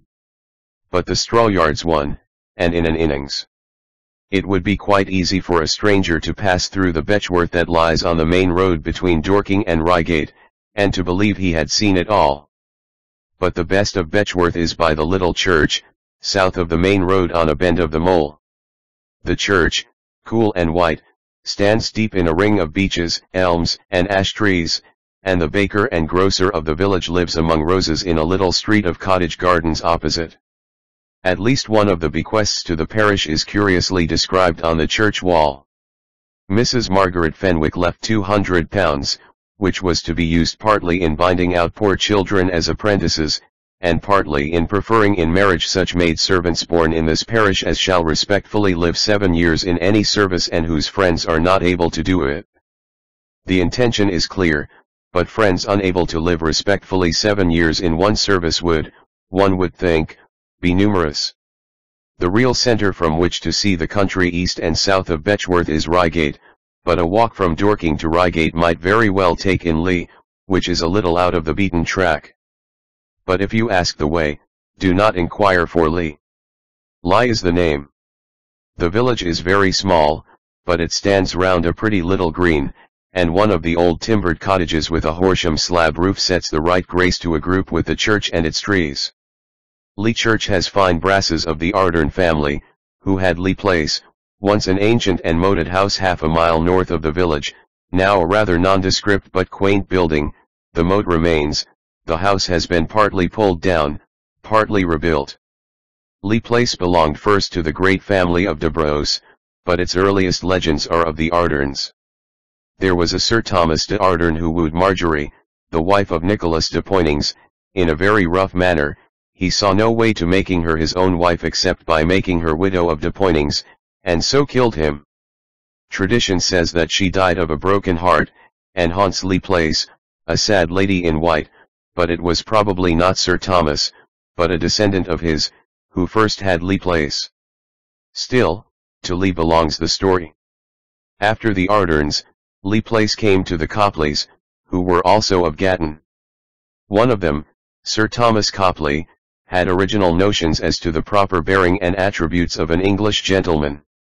Mr. John Watney, writing in the Surrey Archaeological Collections, gives a long letter which Sir Thomas wrote to Queen Elizabeth in 1575, defending himself, among other things, for having taken to himself titles to which he had no right. His defense is ingenious. As to the other point, where your majesty showed to be informed, that I had attributed to myself in those letters of mark greater titles than became me or than I could well avow, that must needs be either in that I termed myself nobiles Anglois, or in that, for more credit both to myself and your service, I was bold to set down Dominus de Gatton, Ruffey etc., naming certain my lordships. To the first I beseech your majesty to consider, that there is no other Latin word proper to signify a gentleman born, but nobiles. As for generosus, as I have read in good writers vinum generosum, for a good cup of wine and equus generosus for a courageous horse, so I never heard generosus alone so used, to signify a gentleman born, but only on the gross Latin current in Westminster Hall, and, if I had set down generosus anglois, it would have then construed rather a gentle Englishman than an English gentleman. And as for armiger, it had yet been more barbarous, for surely the world here abroad would rather have understood by that strange term a page or a sword bearer than a gentleman of the better sort, as custom has made it to be construed in England, that this is simply true, I doubt not, but that your majesty, excelling in your knowledge of good letters, will easily judge a gracious sentence on my suit. So that in setting down the term nobiles used through the world for a gentleman, I had no intention to make myself more noble than I am, but to take only that which was due unto me. Buckland. Buckland. I have taken Lee on the way to Reigate but the best way to see Lee on a short walk is to reach it from Reigate traveling west. The introduction is by way of Reigate Heath, a wide and breezy common on which an old black windmill stands high above heather and bracken, a gaunt and wild neighbor to the orderly villas of the town. Last of the little villages under the downs between Dorking and Reigate is Buckland a handful of cottages, a pond, and a noble barn with upper works like a tower. Buckland keeps tranquilly apart from Reigate, and Reigate, considerately enough, builds her new houses towards the railway and Redhill. The Roman Road at Ockley. The Roman Road at Ockley. Chapter 32. Under Leith Hill. The Battle of Ockley the stone street the prettiest green in Surrey sweethearts and roses when the gentleman went by an engaging family history Oakwood, a forest chapel capel quiet Newdigate bells Martins in September. Battlefields are not very numerous in Surrey. The parliamentary wars shed a little military glory on the north and the west, and attacks on London from the Surrey side its invulnerable side belong to almost every century of London's history. But the Great Surrey Battle, which belongs to Ockley under Leith Hill, is of the battles of long ago, dim and hazy in the mist of centuries, fearful with legends of blood in rivers, and warriors laid in swathes like mown corn. Even now, country tradition asserts, the rain that sweeps down Leith Hill sends the rain pools red in the plain below. The Great Battle of Ockley was fought when the Danes came 215 years before Harold fell at Hastings. They had sailed across to Kent, the historian says, with 350 large ships, and had driven in Ethelstan, who was king of Kent, Sussex, Essex, and Surrey, under his father Ethelwulf. They sacked Canterbury, and went up the Thames to London, there they beat in Beorhtwulf, king of the Mercians, and before them lay but one great town, Winchester, unsacked. Down they swept over the Thames, and out of his own country, Ethelwulf, of Wessex, overlord of the beaten Ethelstan and Beorhtwulf, came to meet them. Up the great stone street, the Roman road that runs as straight as a die from Chichester, he marched, and lay across the front of his enemy, clear of the deep forest that spread south of Ockley. The Danes came on. Perhaps they rested a night in the old British camp on Anstiebury Hill, perhaps they swept straight on, battle was joined hard by Ockley Wood. Local tradition, always apt to associate notable deeds with easily marked places, makes the scene of the battle Ockley Green, but the armies could not have seen each other on the low ground, which must have been half swamp, half undergrowth. They fought, no doubt, on the higher ground near Leith Hill. The slaughter was prodigious, blood stood ankle deep, and the day ended with the great body of the Danes dead on the hills, and the rest flying where they could along the roads and through the woods. Probably not a Dane got away alive. It was a wonderful victory. Today the peace that broods over Ockley is born of wooded parks and sunlit spaces. Ockley Green must be one of the largest in Surrey, and I think is the prettiest of all. Along its western side runs a row of noble elms, bordering the road, and under the shade of the elms an old inn. This road is actually part of the stone street up which Ethelwulf marched against the Danes, and it would be hardly possible to devise a prettier road, as it passes under the Ockley elm trees, or a more tranquil outlook for an inn.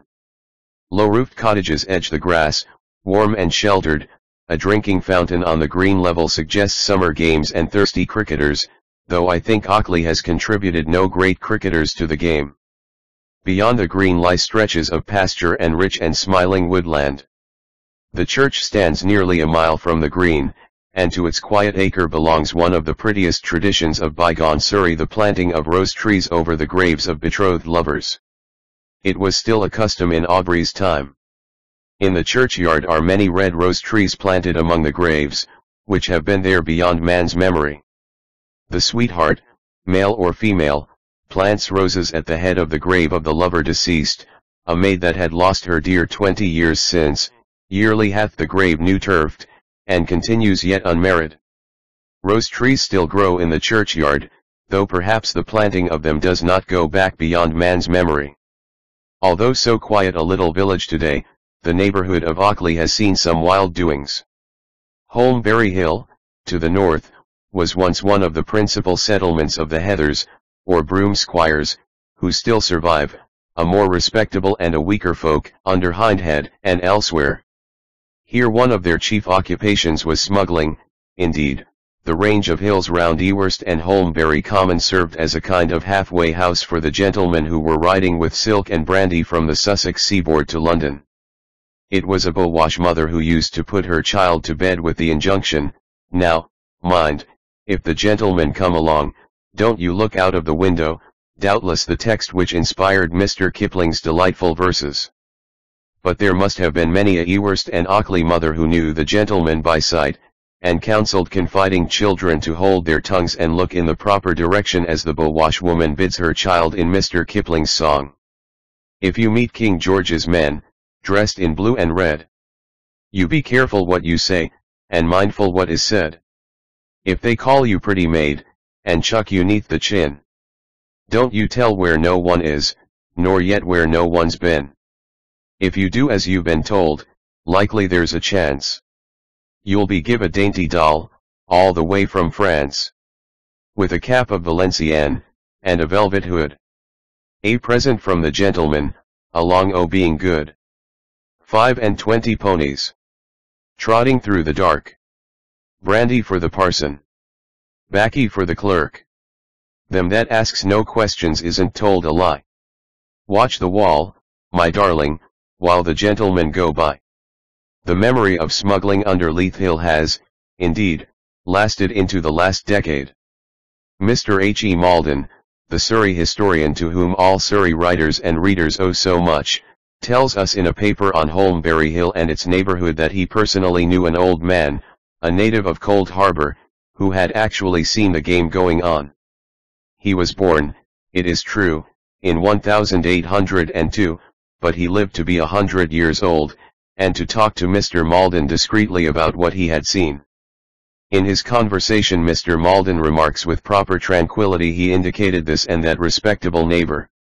Well, he said, his grandfather, and his grandfather and so on, knew something about the smuggling. He, of course, had done nothing in that way, but he remembered his father holding open the gate at the end of Crocker's Lane, Cold Harbor, for a body of men on horseback, each with a keg of brandy behind him, to ride through. A man with whom he had worked told him how he was witness of a scene when a bold gatekeeper refused to open his turnpike gate to a body of armed men on horseback, who, after threatening him in vain, turned aside across the fields. Relics of the past still remain in the district. Under Holmbury Hill there is a cottage of which the cellars run right back into the hill, tradition has placed kegs of brandy in them. A naval cutlass was picked up some 30 years ago in a field by Leith Hill possibly it was used in a smuggler's fray with King George's men. Nor was it long ago that a trackway which runs from Forest Green, two miles to the west of Ockley, through Tanhurst over Leith Hill, was known as the Smuggler's Way. Surrey yeomen come nowhere of better stock than the oldest Ockley families. Aubrey tells a story of one of the Eversheds of Ockley, who, when the heralds made their visitation, was urged to take a coat of arms. He told them that he knew no difference between gentlemen and yeomen, but that the latter were the better men, and that they were really gentlemen only, who had longer preserved their estates and patrimonies in the same place, without waste or dissipation, an observation very just. Aubrey adds, as examples of yeoman families who had land at the conquest, the names of Steer, Harp, Heather, and Aston. Steer, like Evershed, is a name that occurs over and over again in the registers, both at Ockley and Capel. Ockley's parish account books, from which Mr. Alfred Bax one of the oldest of Ockley names has made some most interesting transcripts in the Surrey archaeological collections, furnish some quaint glimpses into the life and customs of a Surrey village in old days. I make the following extracts, of which the first is noticeable particularly as evidence that a post office existed at Ockley at least as early as 1722. Dis yet 29 day 1722. Then John Fan and Mr. John Pratt's clerk of the post office Fan is a victualler at the Cox, corner of Sherborne Lane Cox Sid of the post house both bound in a bond of a hundred pound for the parish of Ockley to pay one pound for the burial of William Drew in case he dy in bedlam and leewise to pay the sergeant for cure of his sore legs and likewise to tack Drew out when cured which said Drew was put in by Henry Worsfold and Edward Bax overseers this year 1722. How many village families could show so long a written history as that of the Rapleys, or so engaging a record? The entries of 1739 and 1740 are a perfect climax of hopes and fears, ending, it is impossible to doubt, in the enjoyment by Sarah Rapley of every conceivable happiness. But the joys hidden under the cold print of the last Rapley entry are only dimly to be imagined. Henry Rapley's return from the sea, cured of his dog bite, must have brought out the whole village. Two miles southwest of Ockley, a short way off the stone street, stands the lonely little chapel of Oakwood.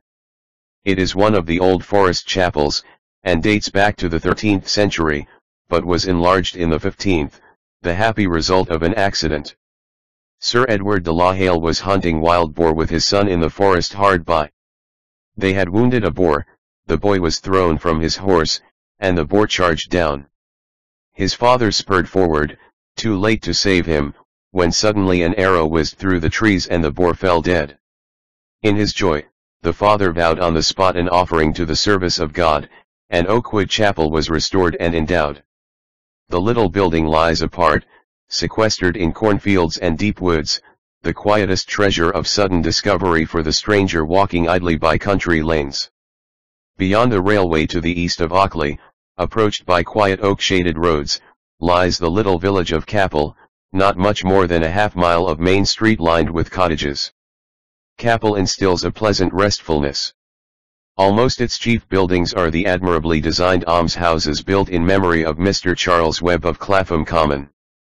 In an age when improvements generally mean the destruction of something old, and additions to village housing accommodation mean yellow brick boxes and slate lids, it is a pleasure to set eyes upon a modern building instinct with the spirit of country places. Capel people have long had proper views as to the right rate of progress through the business of life. They are skilled, or some of them, in topiary, and when the garden of a tiny, red-tiled cottage contains a shaven yew tree recognizable as a fair-sized bird, the tenure of village life must be agreeably even. Third of the three villages which group themselves south and southwest of Leith Hill is Newdigate, separated from Capel by over two miles of a zigzagging road, though the distance for a steeplechase cannot be much more than a mile from church to church. Newdigate Church is the chief part of the little village. The tower is wholly built of oak, and the beams supporting the belfry are almost as fine as those of the Thursley Tower, possibly they are the work of the same craftsman. Like other Wealden churches, Newdigate has an abiding charm in her peal of bells. They have been recast, but the Newdigate bell ringers have long records of changes rung in the little tower. Some of the records are painted on wooden panels in the belfry. To the layman who has never rung a bell the names of the changes are stimulating. College singles, grandsire doubles, college exercise, and college pleasure are fairly simple, but without a dodge provokes thought, and Woodbine Violet must have been named by the village poet. Newdigate Church Newdigate Church Surrey autumns invest the shingled spires of these Wealden churches with a peculiar beauty. Grey and white, black streaked and shining, weather-beaten and weather-conquering, there is nothing in architecture lighter or more graceful than the patterned sheaves of native oak surmounting belfries which, sometimes for centuries, have called the villagers to church but in late autumn, when the swallows and martins are practicing starts for their long journey, the shingled spires turn themselves to fresh uses.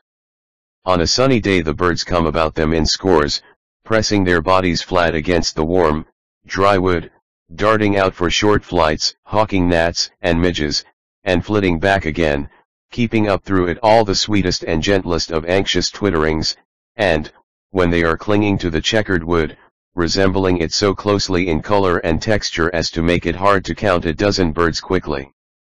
Martins near their time for going enter on all kinds of engaging habits, especially just before and just after dusk, when bands of a dozen or so seem suddenly to make up their minds to trial flights of the most amazing speed, utterly unlike their ordinary, quiet flittings. But there is nothing prettier in all the pageant of the migrants here, than a dozen score martins with the unrest of autumn on them darting round a shingled spire. Chapter 33 Reigate Reigate Castle de Warenne a swashbuckler and a swordsman The Reigate Caves Lord Holland soldiering pilgrims at the Red Cross General of the Royal Navy Old Dutch S.E. North W.W. Reigate Politics The Marble Hall The White Hart A race against time. Four castles stood along the ridge of the Surrey Downs when the barons were at war, and of the four nothing worth the name of a castle remains. Farnham's keep was broken down by Cromwell, Guildford is a shell, Reigate, and Bletchingley have disappeared altogether. Betchworth, never fortified for war, was built later than the others, but Betchworth is an insignificant ruin.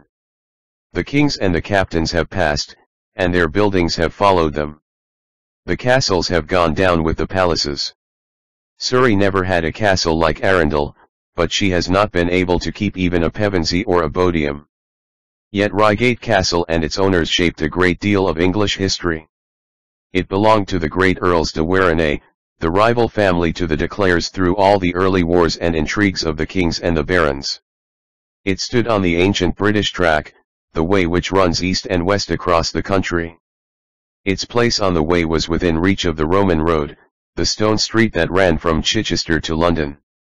Its possessor held the strongest strategic position between London and the coastline, or between Canterbury and Winchester, and when there was any fighting forward the Lord of the Highway Crossroads, the Ridge Gate, was the first person to be taken into account.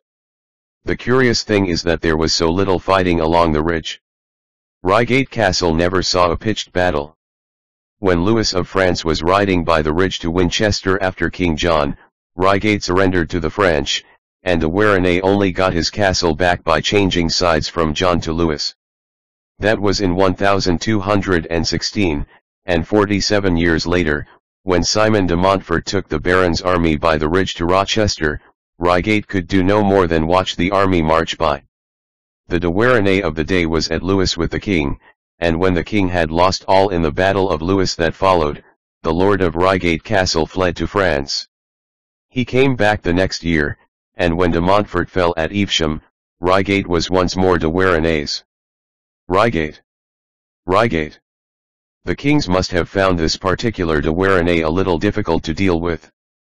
He was a bit of a swashbuckler as well as a swordsman, and once when he found himself getting the worst of a lawsuit at Westminster with one Alan de la Zouche, he ran him through the body in the king's own chamber and was off to Reigate before anybody could stop him. King Henry was furious, and sent Prince Edward, the great de Clare, and an archbishop to bid him come out of his castle and be punished. He came out at last, and was fined 10,000 marks for the king and 2,000 for Alan de la Zouche. But Prince Edward was not done with him.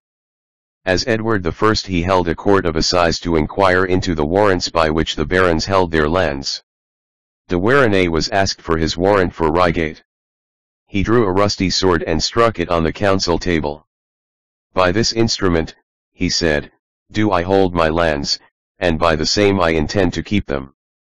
He kept them, but he had to amend his plea into something a little less swaggering. A Reigate byway. A Reigate byway. Of Reigate Castle not a stone remains. But under the great mound which bore the keep you may see what local tradition has named the Barons' Caves, where, as the story goes, the barons met before the signing of Magna Carta.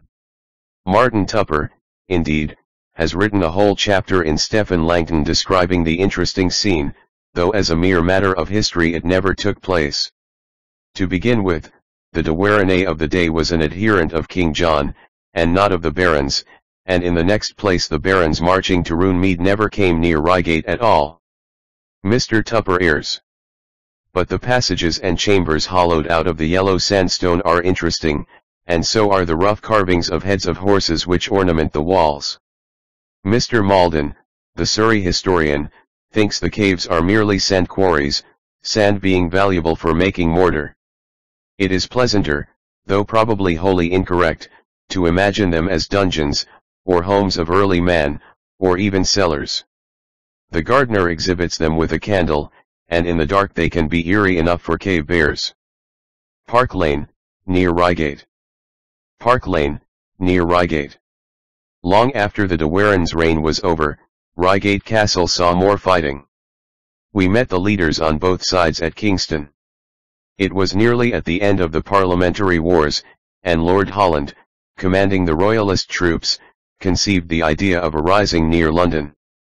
There was to be a horse race on Banstead Downs, to draw the people together, and he was to lead them. Unhappily for his followers, he was a thoroughly incompetent soldier. He hoisted his standard at Kingston, and marched through Dorking to Reigate, where he held the castle and posted his vedettes on Red Hill. Sir Michael Livesey, commanding some Kentish horse for the Parliament, was ordered up from Sevenoaks to meet him, Major Audley, one of Livesey's officers, was moved out from Hounslow, where he had three troops, to clear Banstead Downs. Audley reached Reigate first, and engaged Lord Holland, but found him too strong, he drew off, and Holland, for no soldier's reason, fell back on Dorking.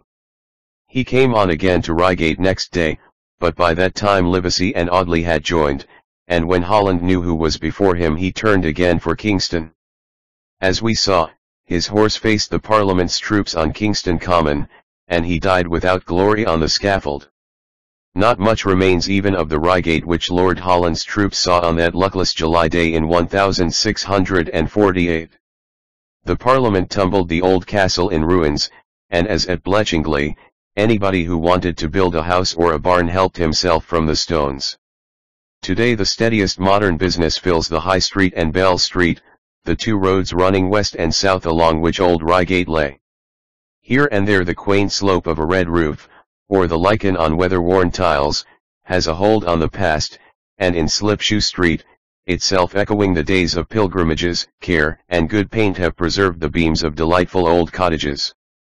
The Swan Inn, which may have liquored Holland's cavaliers, has borne much from later builders, but it stands on the old site.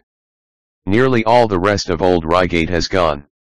The Red Cross Inn, where thirsty pilgrims dropping down from the chalk highway drank ale and rested, has made way for brand new brick and rough cast, painted a bright pink.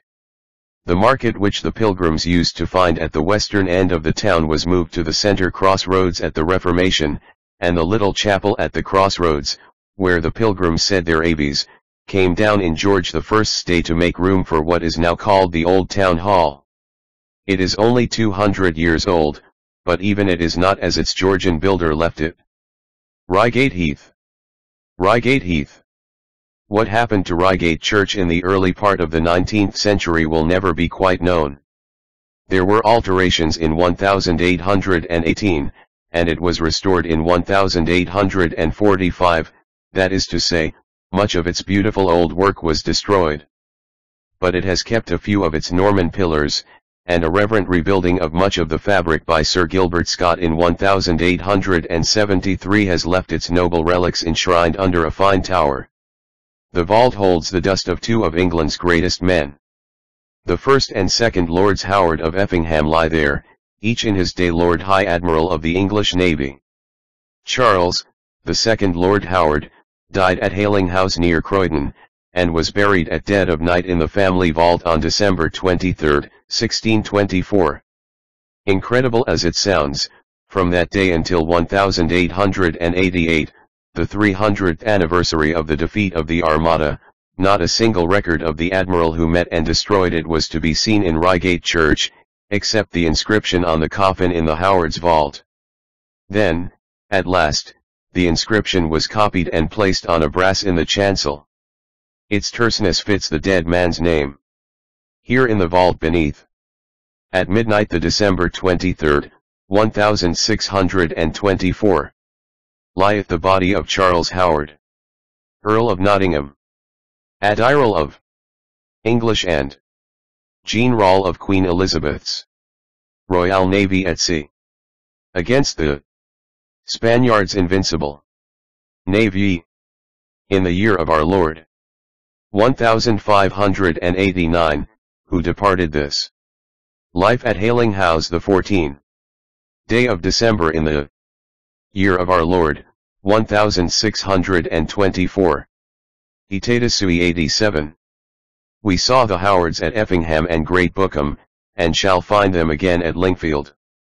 Mr. Granville Leveson Gower, in the Surrey Archaeological Collections, has brought together some interesting particulars of the antiquities of the family. The second Duke of Norfolk, who was father of the first Lord Howard of Effingham, and now lies at Lambeth, left a remarkable will. He was, as his epitaph informs us, a high and mighty prince, and he writes of himself in the royal plural. He orders a tomb to be erected before the high altar of Thetford with pictures of us and Agnes our wife to be set together thereupon. The Lambeth parish registers do not read so respectfully. This is the entry recording the passing of the prince's widow October 13, 1545, my Lady Agnes, Old Duchesse North, buried. Reigate churchyard holds the gravestones of two neighbors in name and place. A goose and a gosling are buried side by side. When Reigate had a castle, it also had a priory. It was founded for Austin canons by one of the De Warennes, and its first prior was an Adam. After the dissolution, the priory estate saw some strangely different owners and guests. The first Lord Howard of Effingham, Lord High Admiral, had it, Fox, perhaps meditating his Book of Martyrs, stayed there as tutor to the son of the Earl of Surrey, a century later the manor came to Lord Somers, the great Lord Chancellor of William of Orange, Today the modern house, built on the site of the old convent, belongs to one of Lord Somers's descendants, Lady Henry Somerset. It holds a famous oak chimney piece, said to have been brought from Henry VIII's vanished palace of Nonsuch. Reigate Priory today means Reigate cricket, played on the Priory ground. Three of the most famous of all Surrey cricketers belong to the town. Stephen Dingate, first of Surrey players before Beldam, was born there, so was William Caffyn, of the days of the giants Fuller Pilch and Alfred Mynn, Tom Lockyer and Julius Caesar, and so, too, was W. W. Read, one of the very few Englishmen familiar to millions by their initials alone. WG and WW belong to the great years of the game. Politics in Reigate are a mixed memory. Like Gatton, Reigate was a pocket borough, and sent two members to Parliament until 1832, when the two were reduced to one. Even the one disappeared in 1867, when the borough was disfranchised for bribery and treating a subject of conversation which Mr. Louis Jennings, writing three years later in Field Paths and Green Lanes, notes as dangerous if introduced too suddenly in social circles in the neighborhood. But an even more remarkable political record belongs to one of Reigate's neighbors. Gatton, once a borough and now a park, had the privilege granted to its owner in 1451 of sending two members to Parliament. The Copleys of Lee were lords of the manor in the days of Henry VIII, and Sir Richard Copley was at one time the only inhabitant of the borough, so that his voting power was considerable.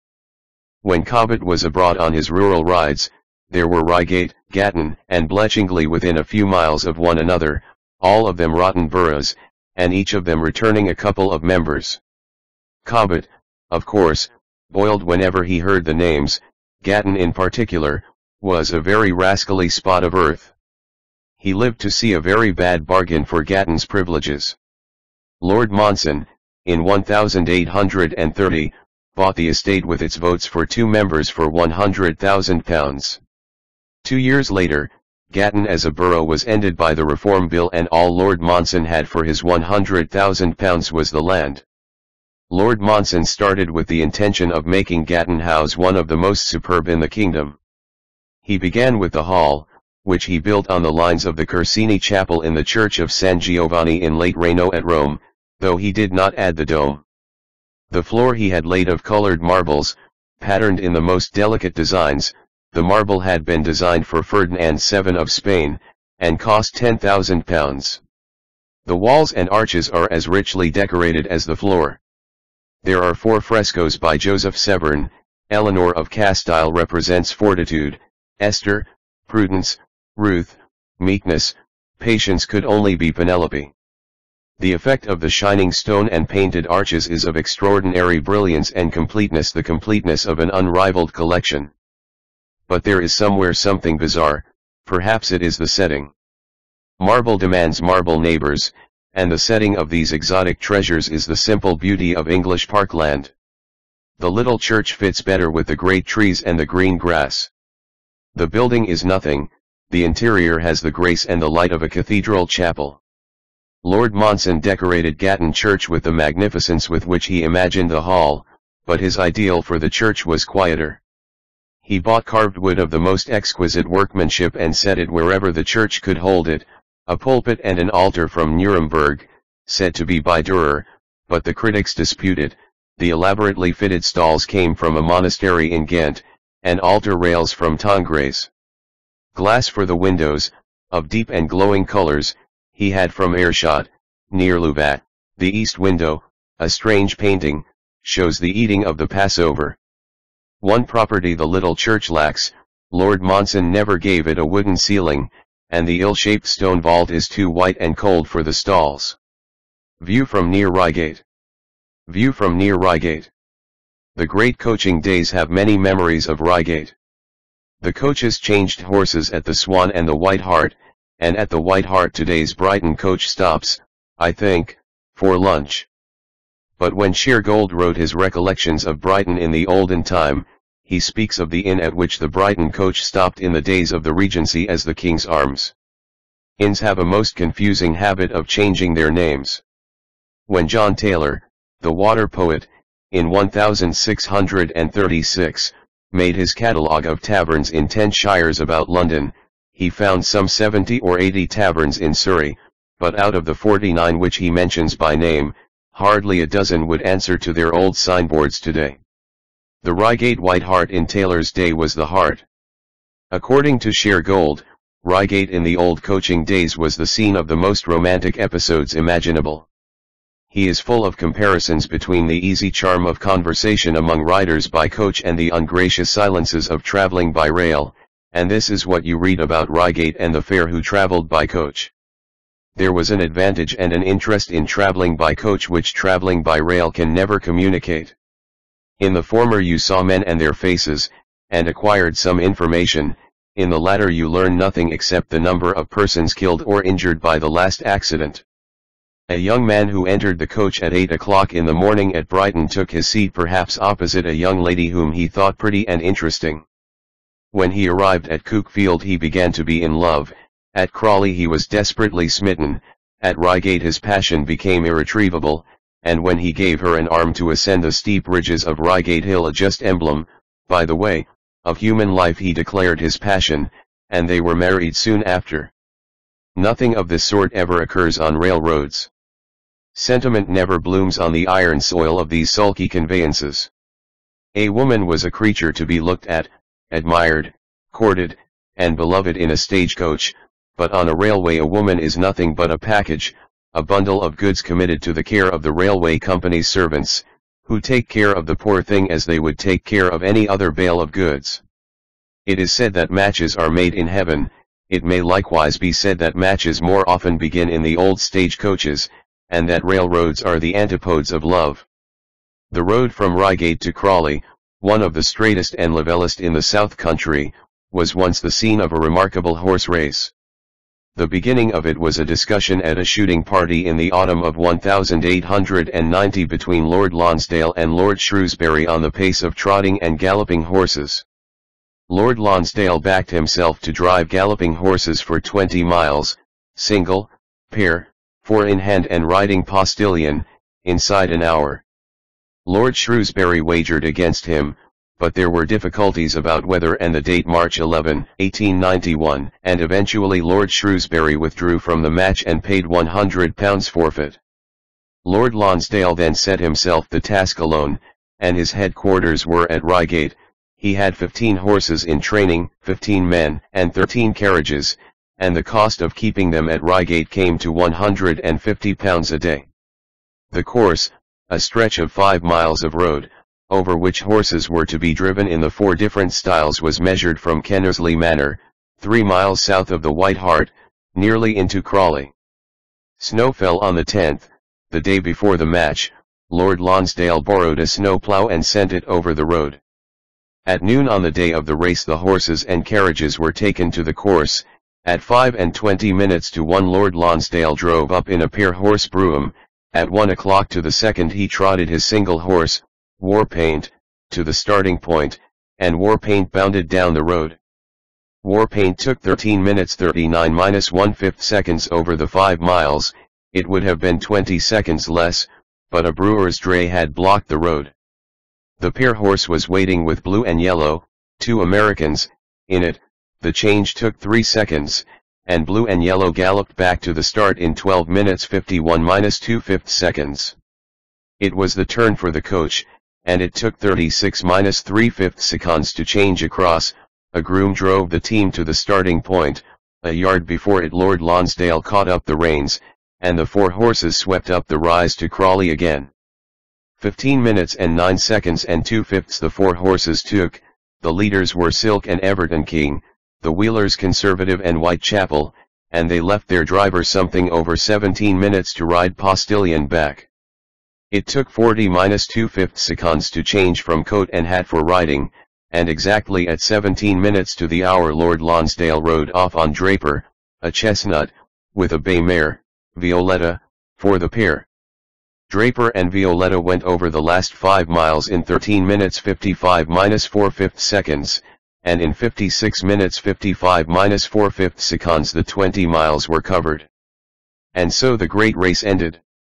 The Pilgrim's Way dropping down like white ribbons over the shoulder of the down into Reigate we have already seen. On the other side of the town the high road climbs up again to the crest of the ridge a road paved and metalled to stand the perpetual wear of shod wheels grating down the hill. At the highest point of the road is one of the finest views in England, one of the finest, Cobbett thought, in all the world. The red roofs of the town cluster among trees below, beyond is all the Weald to the Devil's Dyke and Chanctonbury Ring, best of all landmarks of the Sussex Downs. The separate views of the Weald along the chalk ridge have each their own characteristic, from the Hogs Back to the heights above Titsey.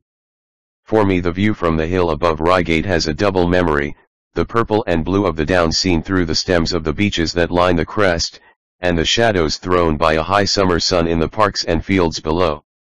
The oaks and elms set themselves in the open grass with little circles of darker green about their feet, like the wooden stands of the trees of a Dutch toy farm. Red Hill joins Reigate to the east, new, red, spreading, a junction of railways, a better sort of Woking. You do not have to wait from 9 minutes to 3 quarters of an hour every time you come to Red Hill. To the schoolboy it has the merit of being a stage on the road from London and the sea. Chapter 34 Croydon Croydon Palace a neglected relic Queen Elizabeth's waiters John Whitgift Hospital, Chapel, and School a record of cricket Macaulay's tyrant Izaak Walton differs Queen Elizabeth's little black husband Croydon Collier's John Ruskin by the parish pump John Gilpin. Croydon is best reached by rail. It cannot be called a convenient centre, for one returns to centres, and Croydon has little that would recall a traveller but it is an easy point of departure either for the country east, by Addington and the Kentish border, or south through Sanderstead to Coulsdon and Chaldon, or west by Beddington and the Carshalton trout ponds to Epsom. You may walk in any direction, except perhaps north, where you will walk into North Croydon. But in Croydon itself there are still two or three things worth seeing. One is the Archbishop's Palace. An archbishop's palace is the very last building which would naturally associate itself with the Croydon tram lines and Croydon up-to-dateness, and it is the last building with which Croydon appears to wish to associate itself. The palace stands apart from the bustle of the place, unhonored, unhappy and ignored. Since the last archbishop left it in the reign of George II it has served its turn as business premises for a bleacher and a calico printer, it has been a wash house, and is now a girls' school. One thing it has never been of sufficient interest to Croydon to be rescued from sacrilege and neglect, and to take the place which is its due among historic national possessions. Perhaps one should be thankful that the palace of Cranmer, Whitgift, and Laud is today in no rougher hands than the gentle sisterhood of a children's day school. If Croydon Palace were rightly restored, how fine a relic it might be. The great banqueting hall, with its noble roof of Spanish chestnut, which has even survived the steam and chemistry of a bleacher's vats, the long, paneled gallery where tradition has set Queen Elizabeth dancing, the guard chamber, perhaps built by Archbishop Arundel, who burnt the Lollards, the chapel with its oak stalls, its poppy head carvings, and the gallery added by the Archbishop who stood by Charles I on the scaffold, if the oak were cleaned and the paint taken from the panels. And if under the mellow brick walls there were set out lawns and flowers, then Croydon might justly boast of its tram lines, its admirable sanitation, and its new town hall. It would possess something else. When Queen Elizabeth lay at Croydon Palace, it was not an easy matter to find room for her train of courtiers. She came in July, 1573, to visit Archbishop Parker, and wished to come again in the following May, with a larger train than before. The steward, entrusted with the task of finding more room where there had never been enough, was in despair, and made out his list of lodgings for the Archbishop, or, perhaps, the Queen's Chamberlain, to see. The Lord Treasurer was to be WHER he was, the Lord Admiral at ye nether end of the Great Chamber, the Maids of Honour WHER they WER, the Law Staff or WHER she was, the Gentlemen Huss hers their old lodging, and so on with a very long list. But the letter ends in a hopeless puzzle. For the Queen's waiters, I cannot as yet find a any convenient rooms to place them in, but I will do the best YT I can to place them elsewhere, but YFYT please you senior YT I do remove them. The gromes of the Privy Chamber nor Mr. Drury have no other way to their chambers but to paw thorough that way again that my Lady of Oxford should come. I cannot then tell WHER to place Mr. Hatton, and for Lockyer we hear is no place with a chimney for her, but that she must lay abroad by Mrs. Appery and the rest of YPRVY chambers. For Mrs. Shelton here is no rooms with chimneys, I shall stage one chamber without for her. Here is as much as I have any ways able to do in this house. Of the great archbishops few, strangely enough, have left memorials behind them at Croydon. Whitgift, Grindal, and Sheldon have their monuments in the church, of the others, Juxon added some carving to the palace chapel. Whitgift was the great Croydon archbishop, and did for Croydon what Abbott did for Guildford. He founded a hospital, and endowed a school. Whitgift's Hospital, Croydon. Whitgift's Hospital, Croydon. Whitgift's Hospital stands today almost as its founder left it. His initials, IW, worked in patterned brick into a gable, and the motto he chose for the doorway, Qui dat pauperi nunquam indigebit, face a roaring thoroughfare and flaring shops, but inside the oak doors little can have changed. Weather-beaten red brick, mullioned windows looking out over flowers and shaven lawns, tiled roofs and tall chimneys make up a picture of solid goodness which fits well with the Archbishop's memory. The chapel stands open, a dark, simple little place.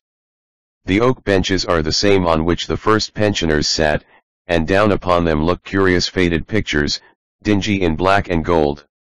One is a fine portrait of the founder at his writing table, with his seal, his sandbox, a bell, quill pens, and a compass, or is it a watch?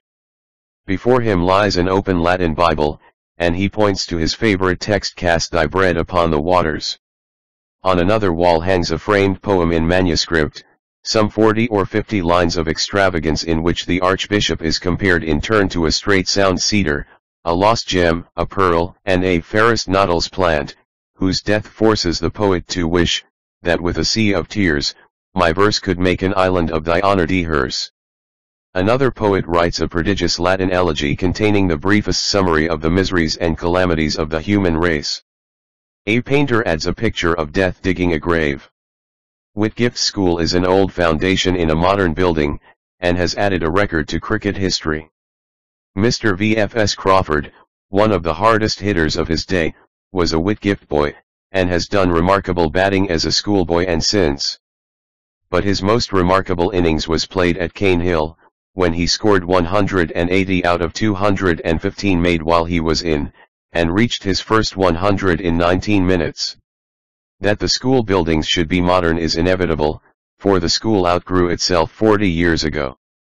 But the schoolhouse which Whitgift built was pulled down in consequence an act which doubtless sits lightly enough on Croydon's conscience. Four years ago the hospital nearly followed the school, the argument being that there was insufficient room for the tram lines. Croydon Church, like nothing else in the town, became modern by accident. It was burnt down in 1867, and Sir Gilbert Scott rebuilt it into the finest church, perhaps, in the county, next to St. Mary's, Southwark. In the fire the tombs of the archbishops almost disappeared. Grindal's is no longer to be seen, though possibly some tumbled stones collected into odd corners may be part of it. Sheldon's is a pile of fragments, heaped together behind a railing, charred and broken, hideous with the sculptured skulls, bones, worms, and winged hourglasses with which our ancestors grimly decked their graves.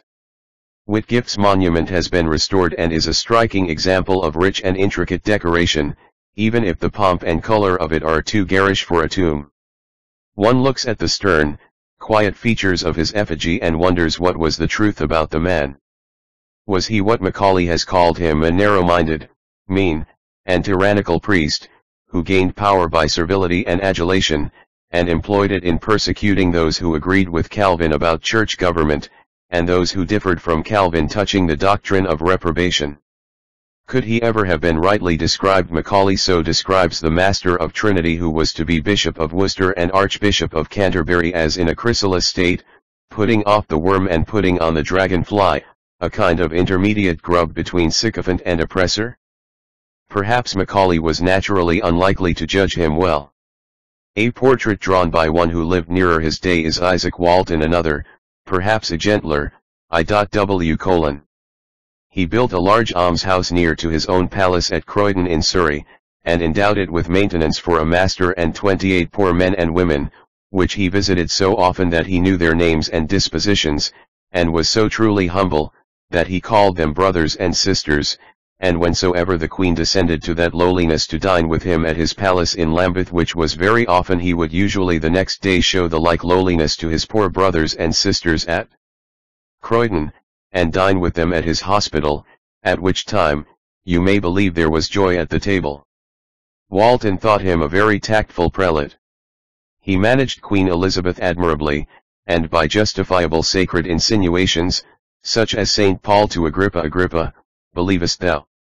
I know thou believest, he wrought himself into so great a degree of favor with her, as, by his pious use of it, hath got both of them a great degree of fame in this world, and of glory in that into which they are now both entered. Queen Elizabeth was devoted to him, and nicknamed him her little black husband. Without a license from her little black husband she would not touch flesh in Lent. The archbishops left Croydon, in 1758, when Archbishop Hutton died. The line of archbishop tenants of the palace had been broken in the days of the Commonwealth, when Sir William Brereton, one of the parliamentary major generals, lived there. He was a soldier of conviction, and was nearly torn in pieces by the mob at Chester, for ordering a drum to be beat for the parliament. Croydon's historian, Steinman, quotes from a pamphlet of Cavalier days, the mystery of the old cause briefly unfolded, a quaint appreciation of him. He was a notable man at a Thanksgiving dinner, having terrible long teeth, and a prodigious stomach, to turn the Archbishop's palace at Croydon into a kitchen, also to swallow up that palace and lands at a morsel. Brereton, as a reward for his military services, had been given several sequestrated properties, a chief forestership, and a seneschalship. Four hundred years ago, Croydon was the center of a great Surrey industry. The Croydon colliers were proverbial. They supplied London with coal, that is, charcoal, before the days of sea coal, the coal which blackens London smoke today. Then it reached London by sea. One Grimes, or Grim, the greatest of the Croydon colliers, who lived in the reign of Edward VI, was actually sued by an archbishop for creating a nuisance with his smoke. The collier won. He was sufficiently celebrated to become the hero of two 16th century plays, one of which bears his name, Grim, the collier of Croydon. To be as black as a Croydon collier, was to be as black as a sweep, and a right Croydon sanguine was a deep red brown. Once Croydon, always Croydon. The first railway line built in the country and sanctioned by Parliament ran from Croydon to Wandsworth. It was part of an original scheme proposed in 1799 for linking up London with Portsmouth by an iron railroad running through Croydon, Reigate, and Arundel.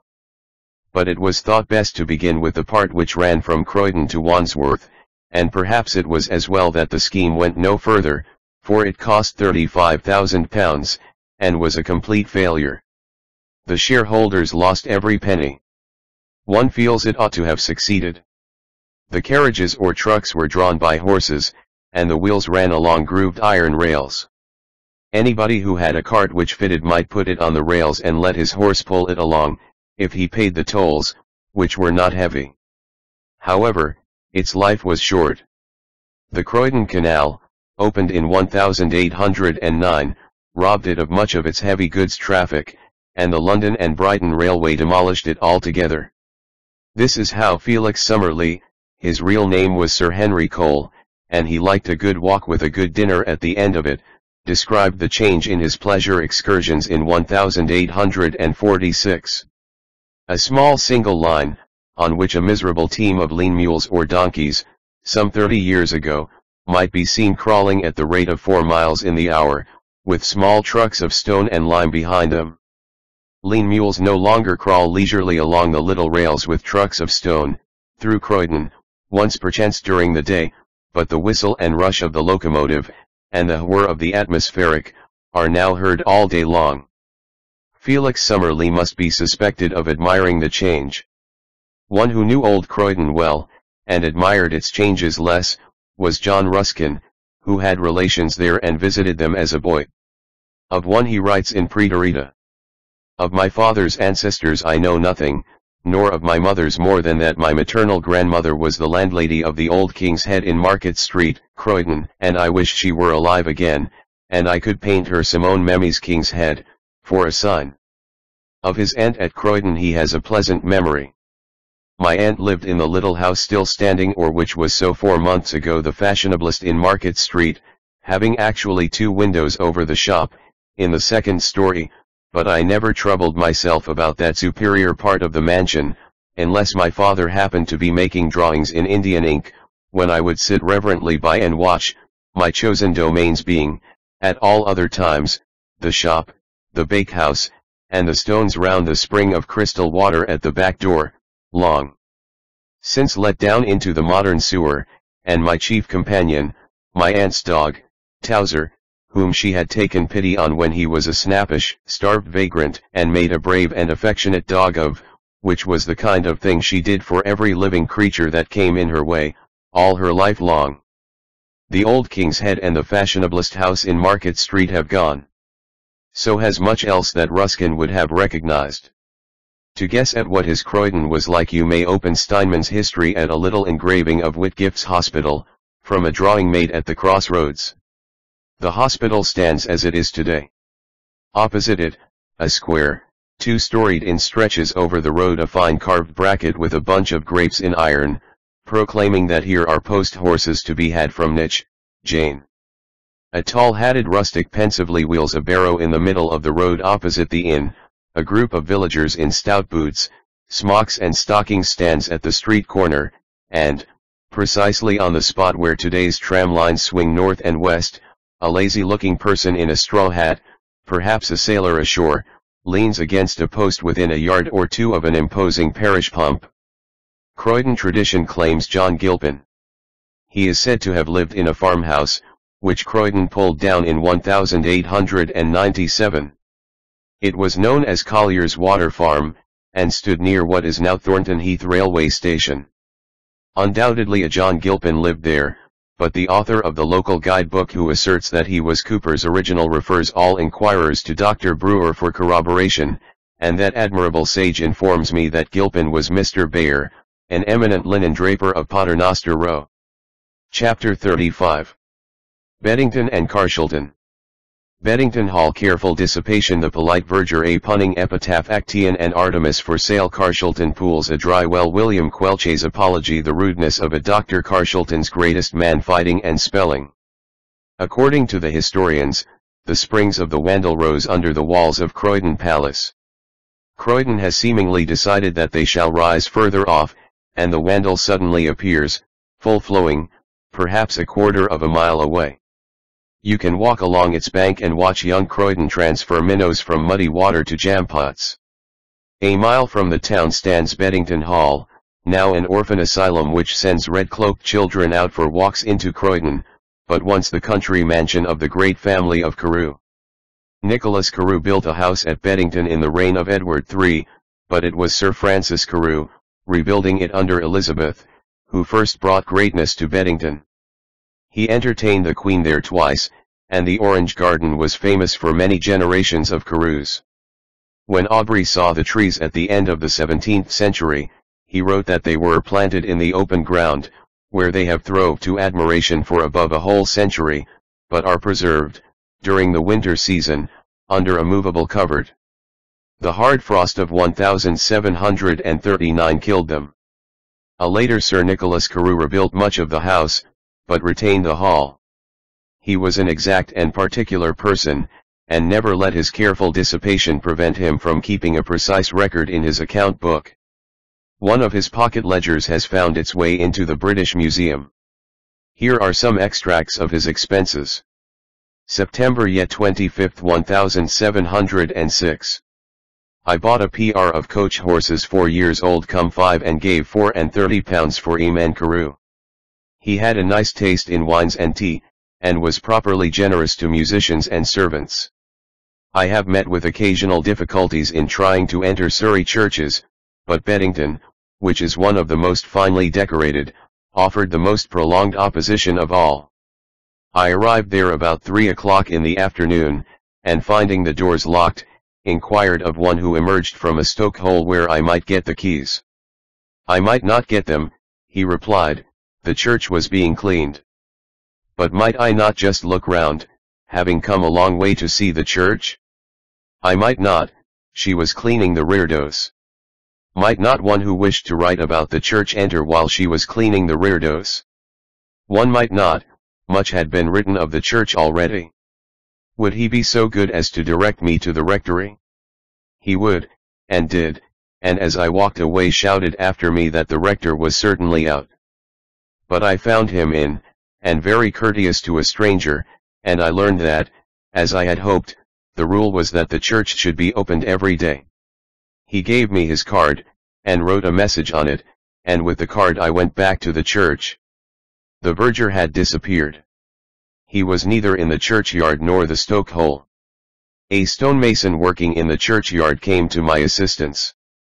The verger was in the church and would doubtless open the door if I knocked. I knocked. Nothing happened. The stonemason knocked, indeed, he knocked a great deal. I begged him to stop knocking, for passers-by stayed to see what this thing might be, but he was thoroughly interested, and went on knocking. Perhaps he knocked for a quarter of an hour. A young girl came up to tell us that the door would certainly open before half past four, for that was tea time. Just then the door opened, and before it was shut again in our faces I just had time to brandish the card. He replied at once he would let me in by another door. He did so, he never asked to see the card, but went on industriously with his sweeping.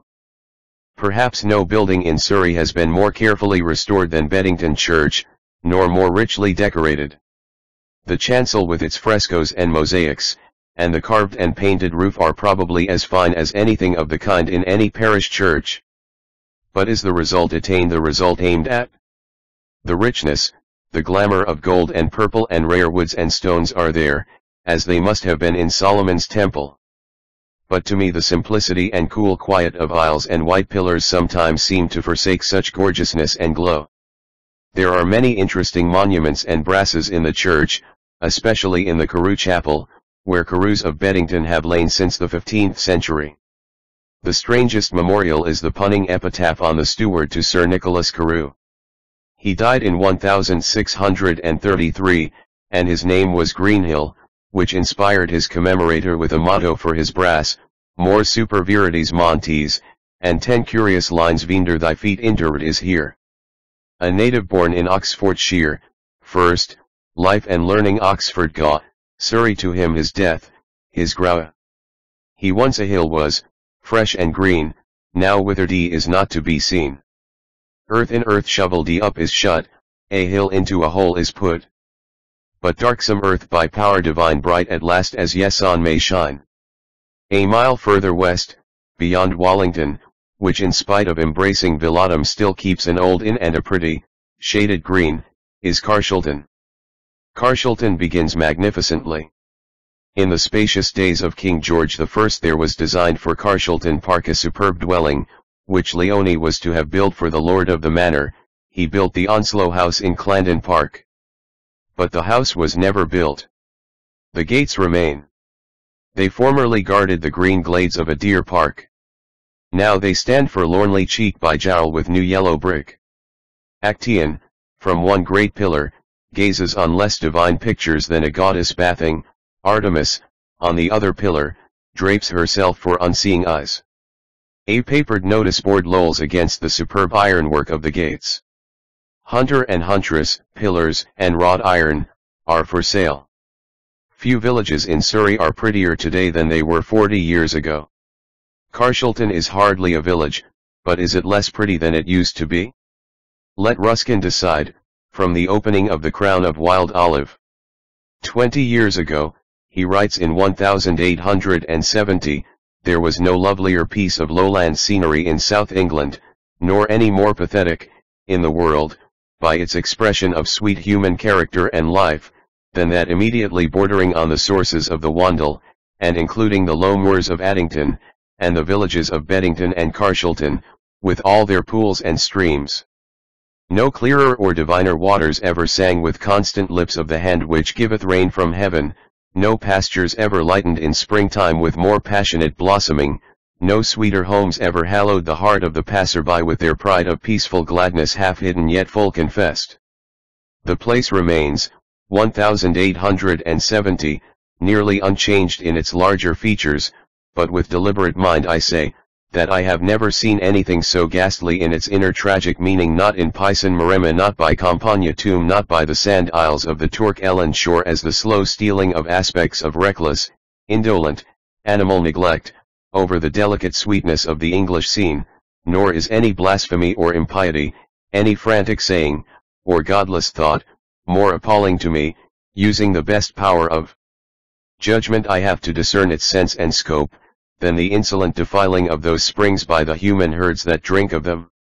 Just where the welling of stainless water, trembling and pure, like a body of light, enters the pool of Carshalton, cutting itself a radiant channel down to the gravel, through warp of feathery weeds, all waving, which it traverses with its deep threads of clearness, like the chalcedony in moss agate, starred here and there with the white grenouillette, just in the very rush and murmur of the first spreading currents, the human wretches of the place cast their street and house foulness, heaps of dust and slime, and broken shreds of old metal, and rags of putrid clothes, which, having neither energy to cart away, nor decency enough to dig into the ground, they thus shed into the stream, to diffuse what venom of it will float and melt, far away, in all places where God meant those waters to bring joy and health.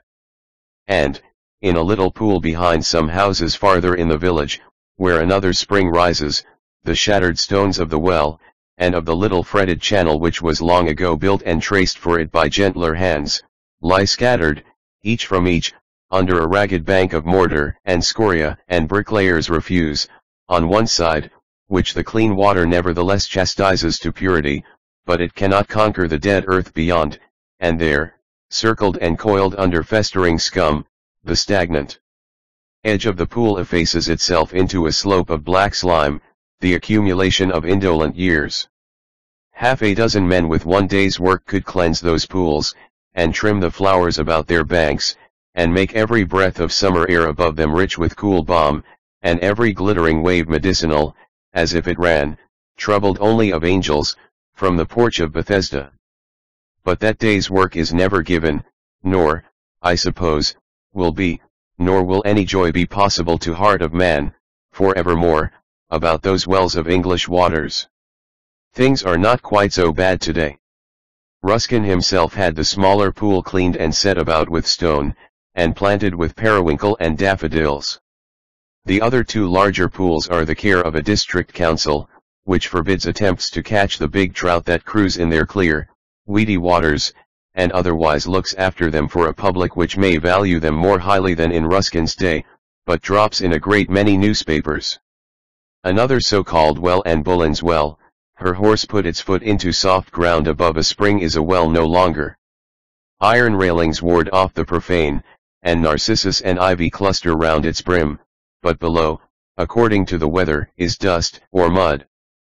At the churchyard gate are the trunks of two ancient but still living elms, to which is fastened a beam beset with hooks, which either hold or once held joints of meat for the butcher's shop behind. The church, which is a strange mixture of old and new, the new being gradually built onto the old, is the resting place of Gainsfords and Ellen Briggies, two of the great old Surrey families, and contains at least one remarkable inscription. M.S. Under the middle stone that guards the ashes of a certain friar, sometime vicar of this place, is raked up the dust of William Quelche, B.D., who many stred in the same since the Reformation. His lot was through God's mercy to burn incense here about thirty years, and ended his course April the 10, in DNI 1654, being aged 64 years. Mr. Quelche was vicar in troublous times, and the distractions of the Civil War led to a hiatus in the parish registers. The fault lay with the parish clerk, but the conscientious Mr. Quelch felt bound to clear himself in the eyes of future ages by a long apology in the register of baptisms, which begins beseechingly enough. Good reader tread gently. For though these vacant years may see me to make me guilty of thy censure, neither will I symply excuse Michel from all blemish, yet if thou do but cast thine eie upon the former pages and se with what care I have kept the annals of mine own time, and rectified sundry errors of former times thou wilt begin to think there is some reason why he that began to build so well should not be able to make an end. But the entries for the years before the war broke out were occasionally a little vague. Here are three full years records of marriages. 1640 A Londoner married Mr. Kep's sister of Mitcham on Easter Monday. 1641 Mr. Meese married a couple who came from Fishstead whose names he could not remember. 1642 Not one married Wotuye Vicar. Some of the names and surnames sound odd Epaphroditus Wood. Epaphroditus Wandling. Anvaker. Hevadebar Hill. Row. Buttonshire. Dilcock. Gander. Mustian. Thunderman. Nep Milfy. Carshalton House, a massive pile of red brick, was built by Sir John Fellows, one of the directors of the South Sea Bubble. It stands on the site of a house which belonged to the most famous doctor of his day. He was John Radcliffe, founder of the Radcliffe Library, and so much run after as a physician that he felt able to be intolerably rude to his patients, even if they happened to be kings and queens. William III never forgave him for telling him that he would not own his majesty's dropsical legs for the three kingdoms. Queen Anne refused to make him her court physician, but sent for him when she was dying. He would not leave Carshalton, pleading the gout, and he lived and died in angry remorse. The Queen never recovered, and the doctor did not dare to show his face in London. Sutton. Sutton. Carshalton's greatest man lies in a nameless grave.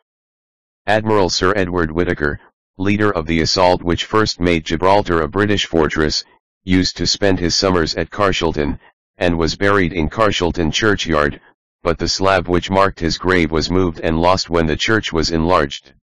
He was 44 when with Captain Jumper and Captain Hicks he led his men against the redoubt, and he was as brilliant a fighter as he was a poor speller. I quote from a letter he wrote describing the siege and assault to his friend Sir Richard Haddock, Controller of the Navy, a day or two after the action. There was three small ships in the old mold, one of which annoyed our camp by firing amongst them. One having about ten guns, lying close to the mold, and just under a great bastion at the north corner of the town, I proposed to Sir George the burning her in the night. He liked ITT, accordingly ordered what boats I would have to my assistance, and about 12 at night I did ITT effectually, WTH the loss of but one man, and five or six wounded. July 23 at 4 this morning, Admiral Byng began WTH his ships to cannonade, a Dutch reared Mel and five or six ships of Tahers along WTH him, WCH made a noble noise, being within half shot of the town. My ship, not being upon service, I desired Sir George to make me his adyukan to carry his commands, from time to time, to Admiral Byng, which he did. P.S. This is right all in a hurry, sir, YT I hope you'll excuse me. The aide-de-camp had not forgotten the concluding formula of the schoolboy complete letter writer. Beyond Carshalton is Sutton, not less exuberant than Croydon. The Cock Hotel of coaching days has been rebuilt, the railway is convenient for Epsom or London. Chapter 36 Caldon to the Downs Coulsdon a giant Christian Prince Chaldon the ladder of life the brig of Winnie Moore Chipstead Merstham a wizard rector Addington the little church's Horne Tooke's diversions. It is possible to escape from Croydon's railway stations. You can push out from its ringing streets into green and quiet country, and find little old churches within a mile or two of the railway, as undisturbed as if no railway were yet running. You may leave the line at Purley, and within an hour's walk find yourself in the wind on the downs, among Anglo-Saxon barrows and immemorial yews, you may even be able, though not without thought, to exclude from a generous view of hill and valley the enormous lunatic asylums which fate and county councils have piled and multiplied in this part of Surrey. There is a strip of country lying south of Purley in which you cannot get more than a mile and a half or so from the railway, but which contains tiny hamlets and lonely roads. Purley and Kenley will one day come out to Coulsdon, perhaps, but Coulsdon's day is not yet. The village itself is nothing more than a cottage or two with a church. But the road to Coulsdon opens on broad slopes of grass and plough, bordered with a line of yews an ancient trackway, perhaps. Such a line, or rather lines, for there are several along the sides of the downs a little further south, would certainly be claimed as evidence of a pilgrim's way if they ran east and west between Guildford, say, and Dorking. Fields with such noble hedges to define them have their own air of wildness and age, it is easy enough, even with Purley slate roofs hardly a mile away, to fancy partridges calling across those open spaces. Coulsdon, indeed, was once celebrated for its game. Aubrey tells us that in the parish there was a large coney warren belonging to the Desbovarys. They, for many years under Stuarts and Georges, were lords of the manor.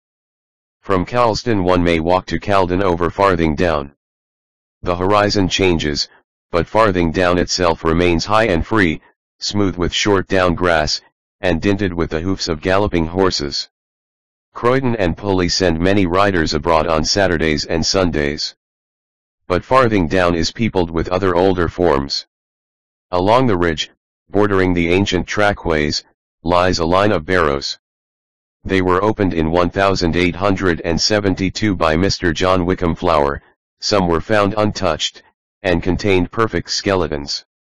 In one grave lay the bones of a great lady, buried with her was a beautiful wooden drinking cup, its staves fastened by bronze bands of an intricate runic pattern of coiled snakes. Another grave held the skeleton of a warrior giant, his sword lying across him and the boss of his shield upon his foot. Mr. Flower thinks he can add a name. Coulsdon is a corruption of Cuthredesdune, and perhaps Cuthred, an Anglo-Saxon prince, lies buried here with his family. Cuthred, son of Cwichelm, and grandson of Cynegils, the first Christian king of Wessex, was baptized in 639 at Dorchester. Farthing Down stretches for nearly three miles north and south, and under its southern slope lies the little village of Chaldon. Chaldon Church holds the most remarkable wall painting in the country. The Ladder of Life, or Ladder of Salvation, is the subject, and it occupies nearly the whole of the west wall of the church.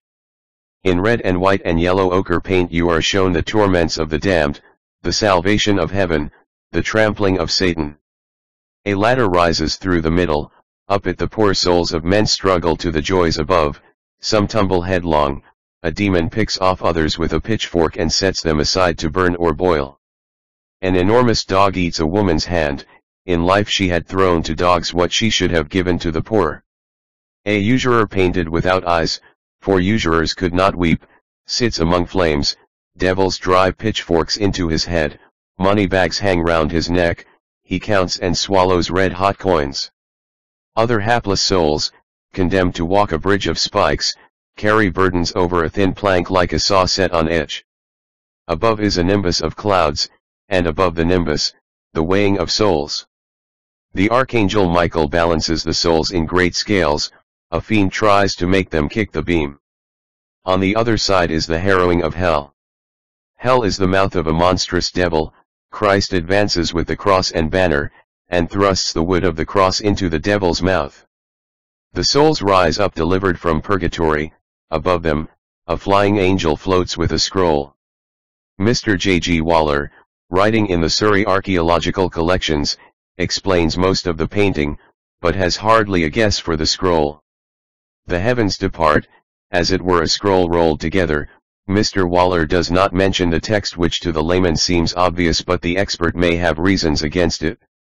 The punishment of the bridge the walking over a sharp edge, set with spikes or narrow as a hair is one of the oldest things of all the religions. The Chinese had it, in the distant Eastern ages, and Mr. Waller, in the collections, prints verses which show it surviving in Yorkshire in 1624. There was a Yorkshire tradition that a person after death must pass over Winnie Moor, and at a funeral it was the custom for a woman to come and chant verses over the corpse. These are an extract. When thou from hence doest pass away, every night and all, to Winnie Moor thou comest at last, and Christ receive thy soul. From Winnie Moor that thou mayest pass. Every night and all, to Brig of Dread thou comest at last, and Christ receive thy soul. From Brig of Dread, and a bradder than a thread, every night and all, to Purgatory fire thou comest at last, and Christ receive thy soul. East of Chaldon is Caterham, west is Chipstead and southwest is Merstham, each two miles or so away as the crow flies and something more as the road runs, and each with a railway station. Caterham once was a valley, Aubrey wrote of it, in this parish are many pleasant little valleys, stored with wild thyme, sweet marjoram, barnel, boskage, and beeches. I do not know barnel, but the last twenty years have set many houses among the boskage. They have built, too, two new churches, one of them set very finely on a hill, the old church is disused, or used, rather, only for a Sunday school. Upon Sunday scholars, from a Norman wall, looks down a hideous stone corbel. A clown's face stretches a devil's mouth wide open with hands like rat's paws, the sharp teeth grin like rat's teeth, perhaps in the Sunday school they make their own faces at it. Chipstead, to the west, is on a hill the other side of the railway. It has some pretty modern cottages by a pond and shading elm trees, a post office also, with the smallest possible aperture for introducing letters to the notice of the postmistress within. The church has some quaint features, there are a number of oddly shaped lancet windows, a curiously carved boss in the groining of the tower, and a strange arrangement by which the members of the choir sit facing the east with their backs to the pulpit. In the churchyard lies Sir Edward Banks, perhaps Chipstead's most illustrious native. He was born poor and he died rich, and he built three great bridges, Waterloo, Southwark, and London. Chipstead Churchyard, too, has a fine yew, but good yews are common in the churchyard south of Croydon. The best walk from Chaldon is over the hill to Merstham, the signposts show you the path and mark it the pilgrim's way to Tolsworth Farm with the utmost assurance. From Tolsworth Farm the path drops over a plough down the side of the hill, before the railway and the tunnel came the old way perhaps went straight across to the church. Merstham itself has little to show except one pretty little side street, but the church is more full of curiosities than any other near. Its builders placed it delightfully on a mound which is all air and sunlight, and though much of the charm of the church was destroyed in 1861, much that is old and curious remains. A queerly placed clock tells the time low down on the tower, inside are ancient monuments, one a stone effigy recovered from use as a pavement, others to the Eilenbrugge family. That is only one spelling of the name, and perhaps as good as any other, variations are Elinabrugge, Illingbrugge, Elinarugge, Elarug, Elmarugge, Elmbrugge, Elmridge, Elmbridge, Elmebrugge, Ilmbridge, Elanrugge, Ellingbrug, Elanbrigg, Elingbrigg, Ellingbrigg, and Ellenbridge. An Elenbrugge in those days could spell practically anything. Other memorials are fragments of stone carving, once belonging to the Southcotes and Waldegraves, and built without reason into windows and walls. Over the west chancel arch is a broken piece of carving from Old London Bridge, and for lornest possession of all, the north chantry is paved with a tessellated floor which was made in prison, I was told, by an unhappy woman who hoped that forgiveness would take and use her work. Merstham has had some famous rectors.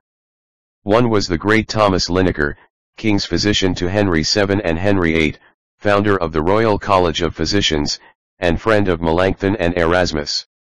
He became a priest when he was 58, four years before his death, and was only rector of Merstham for a month.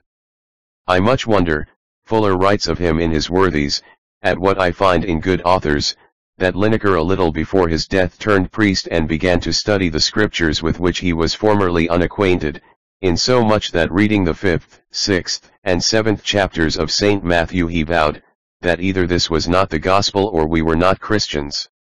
Another rector, Robert Cole, once was a nonconformist, especially in the matter of ecclesiastical vestments, but eventually got rid of his objections.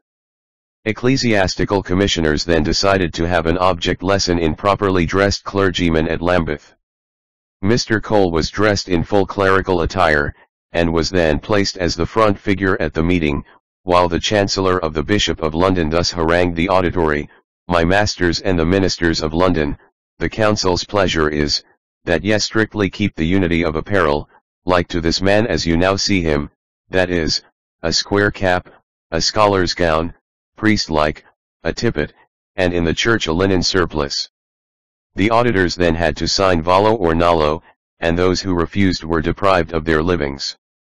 Poor Mr. Cole, priest-like in his tippet, cuts a meeker figure than another Merstham Rector, James Somborn. This reverend gentleman was actually supposed to possess supernatural powers, and when a thief climbed up a pear tree in the rectory orchard, Mr. Somborn went in pursuit, fixed his gaze upon the robber from a suitable distance and from where he stood, using dreadful arts, fastened the robber in the tree. Another walk from Croydon, for those who like a string of little old churches, and an occasional fine view, would be by Addington to the southeast through Sanderstead to Warlingham, or further south to the edge of the chalk ridge at Woldingham. The railway is never very far off. There is nothing imposing among these hillside hamlets, they leave an impression of tiny villages which felt their first need to be a church, the congregations must have been small and poor. They, of the Surrey churches, are nearest in heart to the little, lost down churches of Sussex and Mr. Kipling's most magical poem.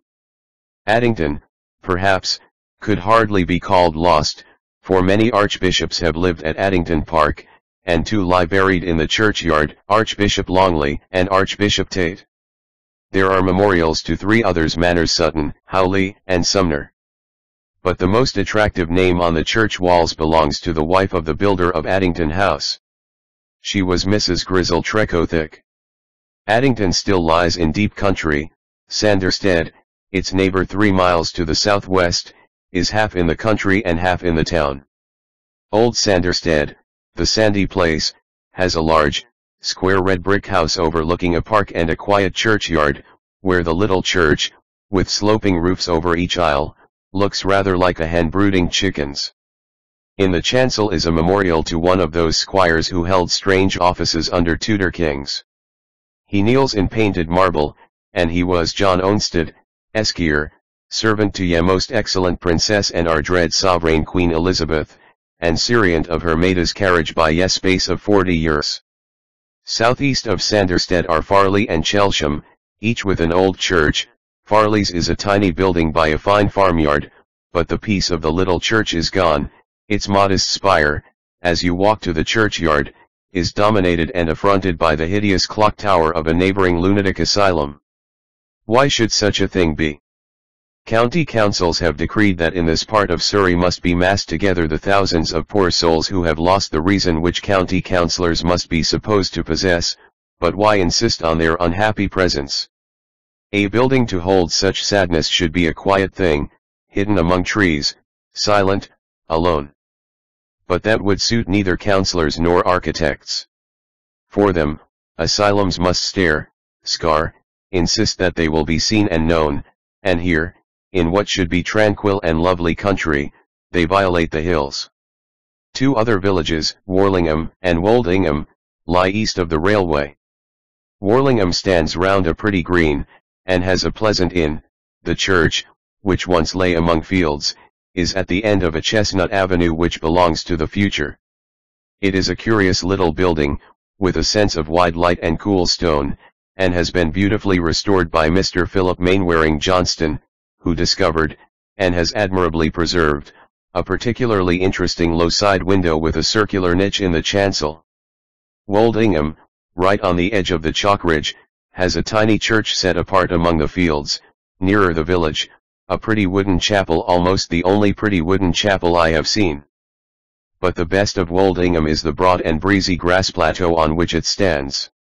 On a clear day you may see London, a better view to the south is blocked by new buildings and gardens. The railway returns to Purley and Croydon, Purley, where Tooke lived, and gave his name to Horne Tooke, with £8,000, for winning him a lawsuit. From Purley Horne Tooke named his diversions, they may have diverted him, but if they did, he could be moved to mirth by a very dreary business indeed. Chapter 37 Horley and Charlwood Restored church windows A cow for an apprentice A Horley 11 Thunderfield Castle Horne Outwood Common A daring jump over the green Burstows Astronomer Causey St. Margaret and the Devil A country sermon.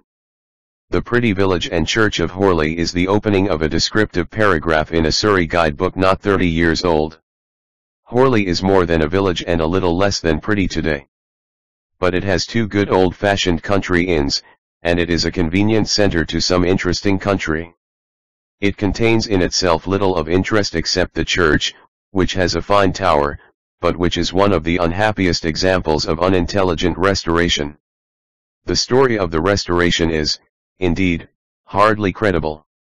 In 1877 the Surrey Archaeological Society visited the church, and Major Heales wrote an admirable paper on its architecture, particularly drawing attention to the beauty of the windows in the north aisle, which dated from 1310, and contained some rare deep ruby glass.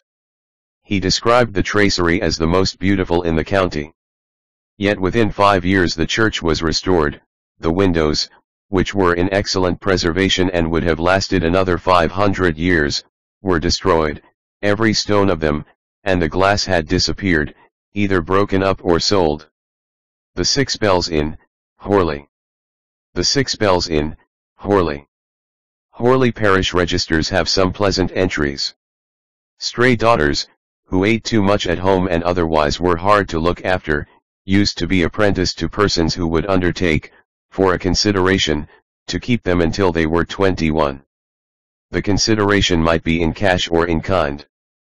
Thus, Jeremy Shue, on January 13, 1604, took in Chamley, daughter of Edmund Chamley, deceased, apprentice until she come to XXJ, in considericon he receives some household stuff to the value of VJS aged and is to be eased in not paying to the poor for third years to come. John Chelsham had a better bargain, for he agreed to take in Williams till she came to 21, and had from her father one mare and a colt in full satisfaction. Sometimes the apprentices were bound even longer. Susan Washford was bound to Bernard Humphrey, and he undertook to keep her sufficient meat, drink, and apparel until she come to the age of four and twenty years. Susan's mother was a widow, and she paid to get rid of her daughter a cow and twenty shillings from the church wardens. Not many Surrey towns or villages can boast a family cricket 11. Horley can. 11 Watneys of Horley have played frequent matches against local clubs, and against 11 Wiggins of Mortlake. Mr. F. S. Ashley Cooper has collected some other instances of family cricket teams in the county. Eleven Bacons, a father, and ten sons, played 11 postmen at Thornton Heath in 1895, but were beaten by the postmen. In 1877 11 Mitchells played 11 Heaths on Shalford Common. The Heaths all belonged to the same family, but the Mitchells were only relations. Eleven Lovells played a match at Tulse Hill in 1901, but had much the worst of it, and, most famous name of all, twelve Caesars of Godalming, three fathers and their nine sons, once played the gentlemen of the district. The family luck was no better, they lost by 16 runs. Hardly a mile to the southeast of Horley lies an enigma Thunderfield Castle. There is no castle, perhaps there never was one.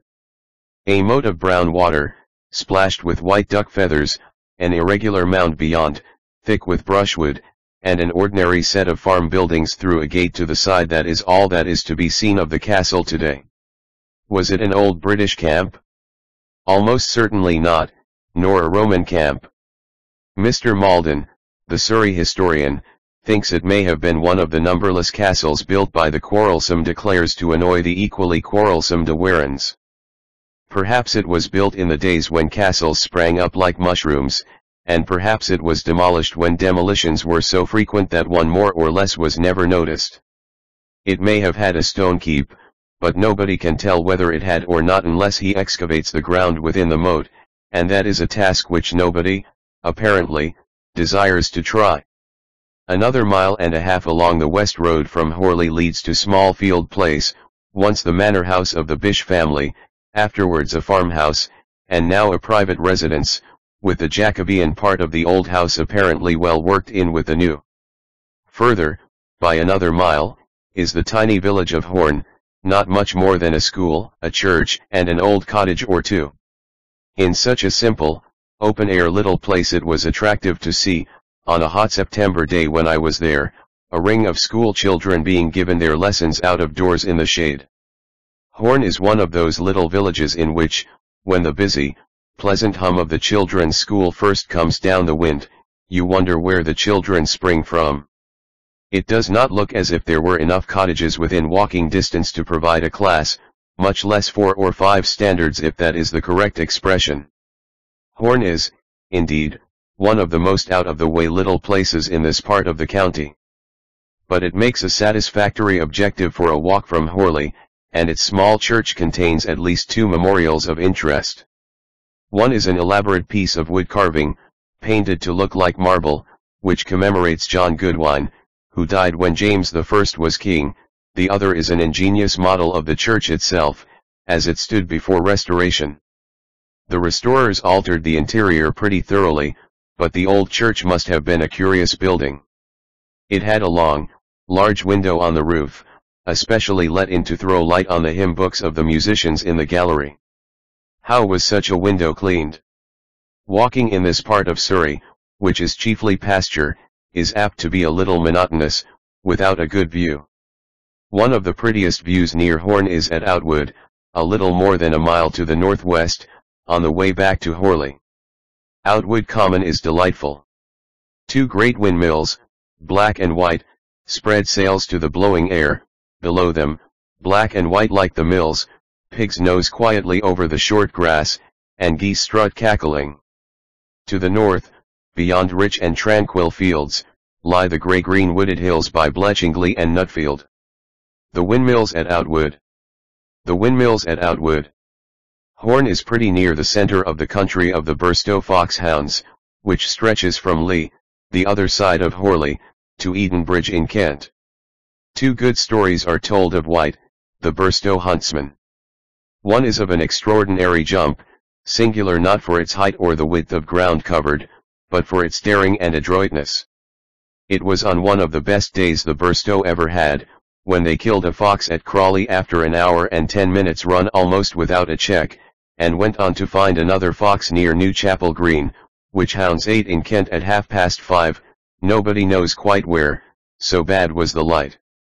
Nearly at the end of the second run White found himself on the edge of a narrow, deep gill, with a stream at the bottom, crossed by an overgrown footpath which went down to the stream and up again by flights of stone steps opposite each other. Riding down two or three of the steps, he took a standing jump over the stream and landed on the top steps the other side. On another occasion his daring was of a different kind, he did not know where he was riding. Hounds had crossed the golf links on Earlswood Common, and White, close behind them, was riding straight for one of the greens. A member of the hunt shouted to warn him, but White, who had not the slightest notion what was meant, galloped straight over the green, turning round to point at the hole and shout to the hunt, where hole? Where hole? Burstow itself, hidden among pines, has named the hounds, but has not a large part in Surrey history. One of its rectors, the Reverend J. Flamsteed, who is buried in the church, was the first astronomer royal. Charles II made him that, when he was 29, nine years later he took orders, and went on astronomising till his death. Newton helped him and quarrelled with him over the publication of his observations, but it was something, even in the days of Charles II, to be made astronomer royal when Newton was alive. Three miles on the other side of Horley lies Charlwood, once a wholly restful little village, but of late years stiffened and discolored by the building contractor. The center street of the village, near the church, is quaintly arched by a pair of elm trees, cropped and pollard to meet overhead. Elms are not often selected for experiments in topiary. But Charlwood has more than one feature peculiar to itself, or at all events to the district. The village lies deep in Wealden clay, which can grow luxuriant roses, but which in days when Surrey roads were less well laid made getting about in the winter rains a matter of difficulty for those who could not drive. So those who walked made their own paths, which can be seen running along the side of most of the roads in the neighborhood. Causeys is the local name for these causeways, which are single slabs of flat stone set like stepping stones in the clay, sometimes for miles together. The villagers tell you that they have been there since no one knows when. They may be right, but their probable date is the middle of the 17th century, when John Gainsford, as we shall see, was making a causeway like these at Crowhurst. Charlwood. Charlwood. A very curious set of wall paintings portrays, in the south aisle of Charlwood Church, the legend of Saint Margaret. Saint Margaret was a virgin and a martyr, a most popular saint in the Middle Ages, and the heroine of a remarkable story. She was the daughter of a pagan priest at Antioch, and since she was a weak child, she was sent into the country for fresh air. Her nurse brought her up as a Christian, and when she was older she was sent into the fields to mind sheep. One day the governor of Antioch, whose name was Olybrius, was out hunting, saw the pretty shepherdess, fell in love with her at sight, and offered her his hand in marriage on the spot. Saint Margaret refused him, she might not wed with a pagan. Olybrius was furious. He seized the poor shepherdess, beat her cruelly, and threw her into prison, even there she was not safe. The devil himself came after her in the form of a dragon, entered the prison and swallowed the saint whole, as you may see in the picture. However, Providence intervened, and by a miracle she escaped from the dragon's body. Evidently Providence then gave up helping, for Olybrius succeeded where the devil had failed. He ordered her head off at once, and the artist has painted her soul flying to heaven in the form of a dove. Another painting sets out a commoner story, the allegory of the three living and the three dead. Three kings ride out hunting in the forest, and are met by three ghastly specters, who lecture them on the vanity of this world's pomps and pleasures. I should think this used to be a favorite. It must have been vastly comforting to the poor, and pretty easy, too, for the parson. Anybody could make a sermon on the sufferings in store for kings and other rich people, and the way they go out hunting and shooting and not caring for anybody, and then the specters come at them and they see how empty life is. Even today those ruddled drawings can set a spell. Stare at them, and the little church calls back its preacher and his flock, there, in the pulpit, he stood, gesturing at the dragon and Saint Margaret, here, below him, sat the quiet-hearted countryman, wondering in the solemn Sunday sunshine, here, perhaps, a child, hearing the story for the first time. Saint Margaret must have been more difficult than the kings. She begins well enough, and she goes on well the village maidens would doubt whether they would have the strength to refuse an Olybrius. Then the deliverance from the devil would do admirably, the bumpkins would swallow that as easily as the devil swallowed Saint Margaret. But how to go on? How to explain the failure of Providence afterwards? The preacher must have slurred that, and got on quickly to the wings of the dove. Two great Surrey families belong to Charlwood. One is the line of Sander, or Sonder, settled at Charlwood as early as Edward II, and still surviving, in name at all events, in the neighborhood. It was Richard Sonder who placed in the church the delicate 15th century oak screen, the most beautiful in the county, but a more famous member of the family was Nicholas Sonder, Regius Professor and Jesuit divine, over whose writings many good churchmen quarreled. The other family are the Jordans of Gatwick, almost as old as the Sonders, and like them surviving in cottage life today. Godstone. Godstone. Chapter 38. Godstone and Bletchingley. The White Hart at Godstone Cobbett's violets Bletchingley beagles and foxhounds Dr. Nathaniel Harris begging the love of neighbors a gratious woman swift and a gentle prelate Bletchingley Manor the master of the revels an English gentleman's armor how to be buried posing for a tombstone Nutfield Fuller's earth and its new uses. The key to the east of Surrey is Godstone.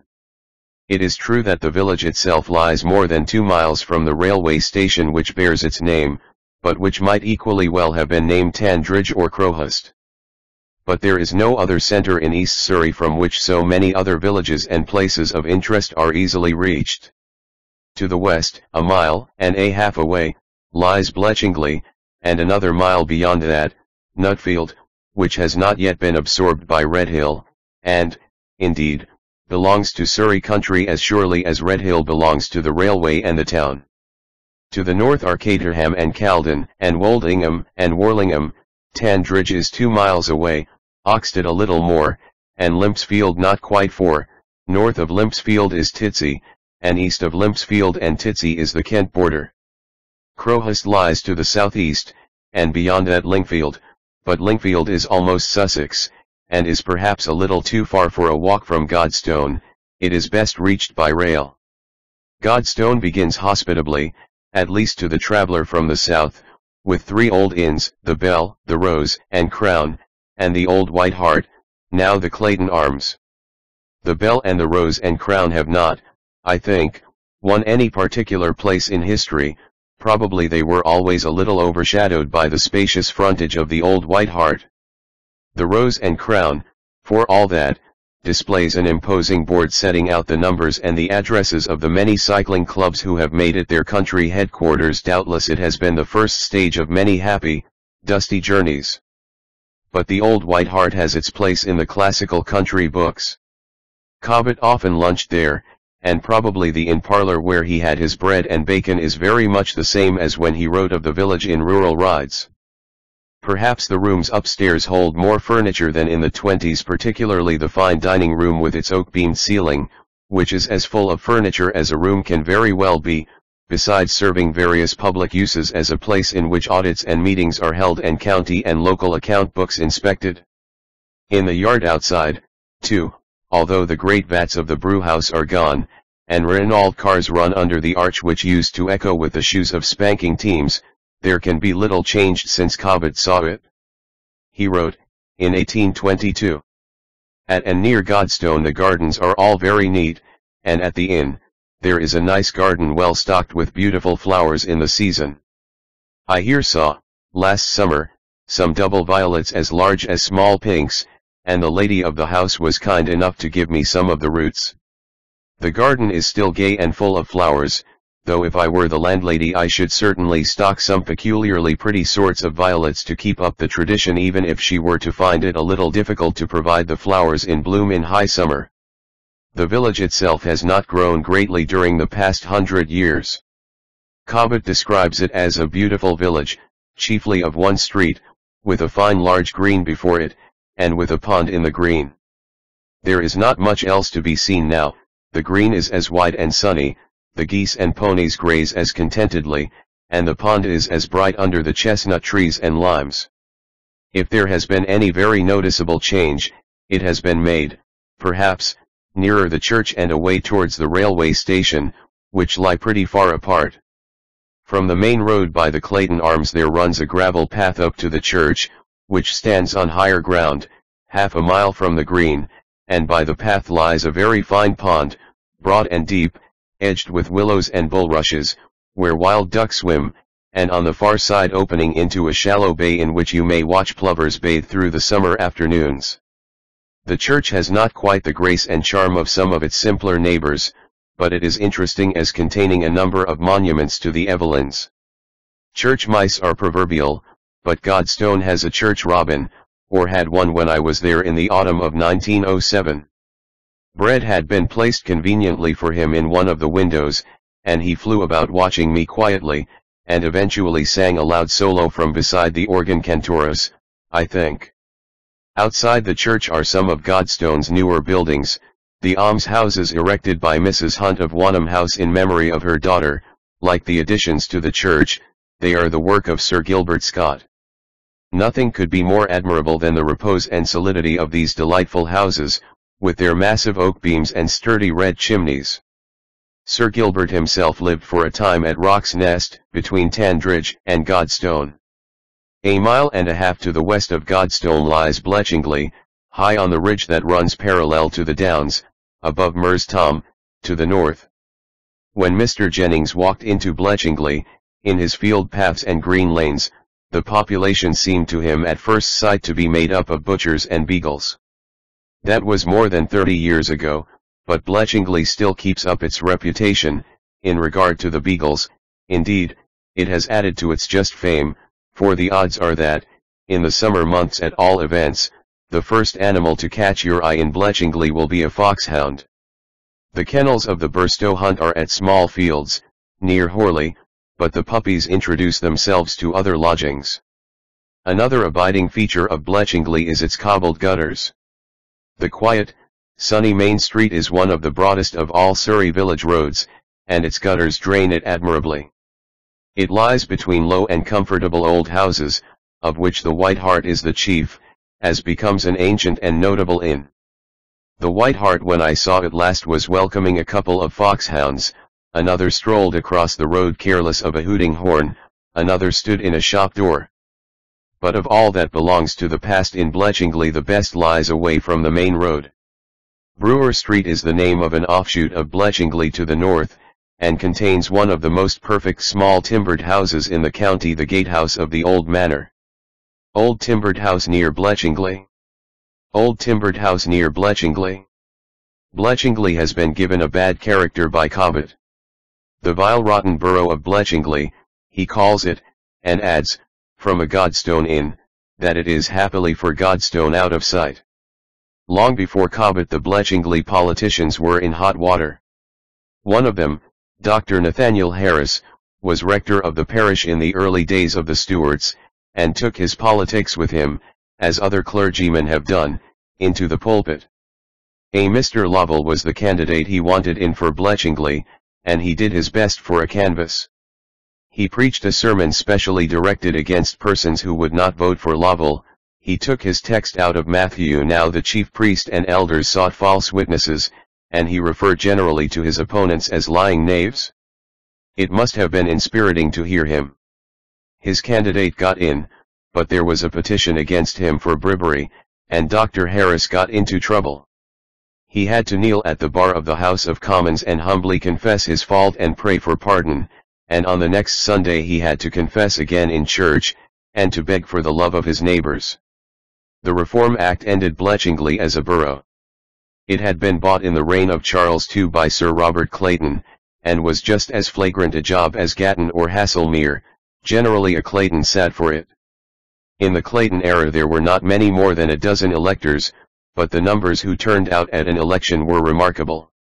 The inns set out their barrels in the streets, free to all drinkers, the Bletchingley cobbles ran beer. As a disfranchised borough, it ended with a flash of distinction, its last members were Thomas Hyde Villiers and Lord Palmerston.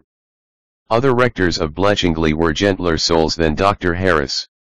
One of them, William Hampton he belonged to a remarkable line of Hamptons, seven generations, and all clergymen left a pretty passage in his will.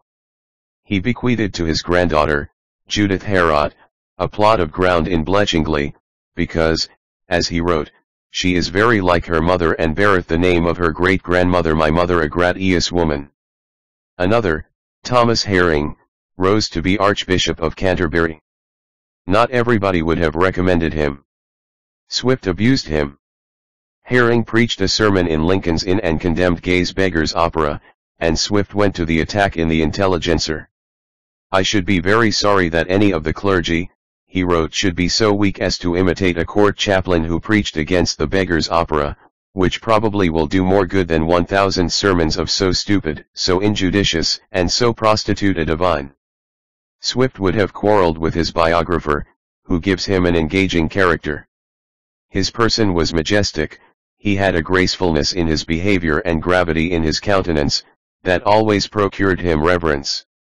His pronunciation was so remarkably sweet and his address so insinuating that his audience immediately on his beginning to speak were prepossessed in his favor. Bletchingley. Bletchingley. Few manors in Surrey have passed through more distinguished hands than Bletchingley. At the conquest it was given to the great Richard de Tonbridge, and perhaps he built Bletchingley Castle. He was pretty well off for land in Surrey, for he held 38 manors in that county alone. He was the head of the De Clares, and they held Bletchingley for eight generations. The most famous of them was the Red Earl who knew how to change sides between Simon de Montfort and Henry III so as to be cursed as a traitor six centuries ago and recognized by later generations as a patriot and a statesman, who could curb the barons as well as resist the king. He was the last but one of the De Clares to hold Bletchingley, and it was during his absence, at the Battle of Lewes, that a royalist party destroyed the castle. His son died at the head of his horse at Bannockburn, and the manor came by marriage into the Stafford family. They held it for another six generations, until the third Duke of Buckingham, Lord High Constable under Henry VIII, ended the splendours of the Staffords on the scaffold. Sir Nicholas Carew had the manor next, and followed Buckingham to Tower Hill. Then Anne of Cleves, too plain for Tower Hill, lived there, and Sir Thomas Cawarden managed it for her and succeeded her. He is the fascinating figure. He moves in a royal light of courts and kings, of hunting and hawking in the sunshine, and plotting in dark chambers, and guessing the value of a queen's smile.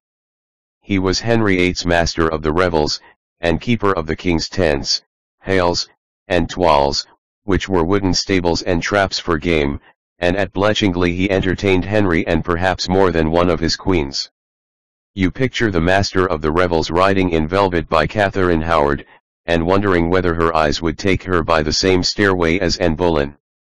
When Queen Mary was proclaimed after Edward, and there were risings and rumours of risings in support of Queen Jane, Sir Thomas Cawarden had his difficulties.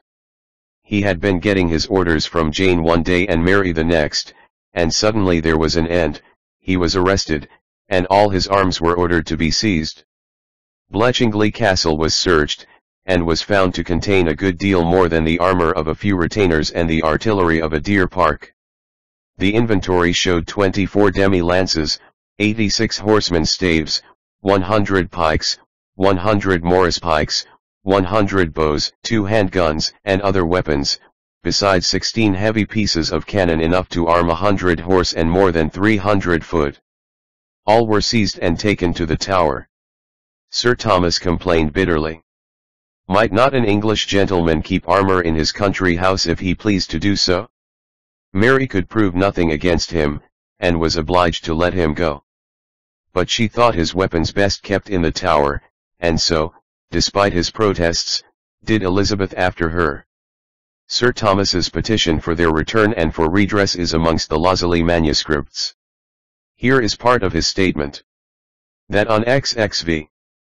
January I marry he was lawfully possessed at Bletchingley of an insertion horses with furniture armour artillery and munitions for the wars and divers other goods to the value of two thousand pounds and that upon certain most untrue surmises bruits and rumours raised against him was brought into divers and sundry vexations and troubles during which time one Sir Thomas Saunders Knight and William Saunders of Ewell on pretence of common did take into their heads and possession the said armour and eight of his great horses and did convey the same in 17 great wains thoroughly loaden and at the same time spent no small quantity of his corn hay and straw and had only restored four loads and of the said eight great horsemen of the best the third day after died.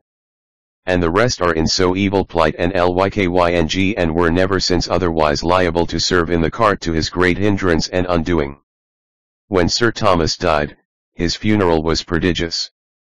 No expense was spared, the feasting was gargantuan, the villagers mourned with the best beef and beer. Mr. Granville Leveson Gower, in the Surrey Archaeological Collections, has obtained from the Loseley Mis a full account of the charges, from which I make extracts. It is headed. Such charges as grew the day of the obsequies of Sir Thomas Cawarden, Knight, deceased, viz. For Saint to George Melsham Chaunt Taylor for Blacklsxley vs. ITM 2 ton of beer thurile. ITM III quarters wheat thurile ZE is thuriid. Item 2 oxen veal ZE is thuriid. Item III veals ZE is thuriid. Item III mutton zatus aided. Item III pigs vs thuriid. Item III dozen pig hans aids. Item 7 dozen conies aidus. Item 4 dozen chickens visated. Item sugary species and fruits vili. Item wine vili. Item to 1 Garrett for helping in the kitchen 2 days IIS. Item to Richard Lees for Monye borrowed of him to be distributed at Horsley when Sister Tom Cawarden died for Nisarais Thurili. Item for the loan of black cotton ZES 1 DOB. Item for the waste of other cotton IIIs. Item for XXVII yards of black cotton that conveyed the wagon wherein the course was carried to Bletchingley from Horsley XVSXed. The black and the bake meats and the beer cost altogether 149 pounds 16s. 11d but Sir Thomas had foreseen it all. There were estimates obtained for such things in those days. Here is the estimate made by a herald of the funeral charges of Sir Thomas's lady. Preparation to be made for the burial of the Lady Carden. First the body to be well sired, seared, and chested. Item a place to be appointed wher the body shall be buried. Item, order to be takin for the hanging of the church-wide blacka. Item, order to be takin for the rails wher the mourners shall null, to be hanged with blacka, and also the church, and the said rails, to be garnished with scotchins. Item, to appoint a gentleman in a blacka gown to carry the pennon of armes. Item, to appoint v women mourners, whereof the chiefest to be in the degree of a lady. Item, to appoint a KNYGHT or esquire to lead the chief mourner. Item, to appoint III gentleman to be assistants to the body. Item, yeoman in black acots to carry the body. Item, to appoint a preacher. Item, to appoint a pall of black velvet to lay upon the body during the service. Item, press and clerks to buy a appointed for the said service. Clarenceux King of Armes was to manage it, to have five yards of black cloth for his morning gown, five shillings a day for his services, three pounds sixs. 8d for his fee, and to be paid back his charges to be borne to and fro. Men knew how to die then, and how to be buried. Bletchingley Manor, after the Cawardens, came to the Howards of Effingham, and so to an heiress Elizabeth Countess of Peterborough, the richest and loveliest lady of her day. Her son fought for the king against his own father, and the House of Commons fined him £10,000 for turning Roman Catholic. The money had to be found, and the manor was sold to Sir Robert Clayton, Whig, Lord Mayor, plutocrat, and, according to Dryden, extortioner. But Dryden's political satire was not always fair. Ishban, in Absalom, and Achitophel is Sir Robert. Ishban, of conscience suited to his trade. As good a saint as usurer ever made. There was a suspicion that Sir Robert would have liked to purchase a peerage, and Dryden was furious at the shame and scandal, though a quieter spirit, John Evelyn, dined more than once with the mayor, and evidently had some admiration for his hospitality. He was a discreet magistrate Evelyn writes, and though envied, I think without much cause. If Sir Robert Clayton was criticized during his lifetime, he left plenty of matter for dispute behind him when he died.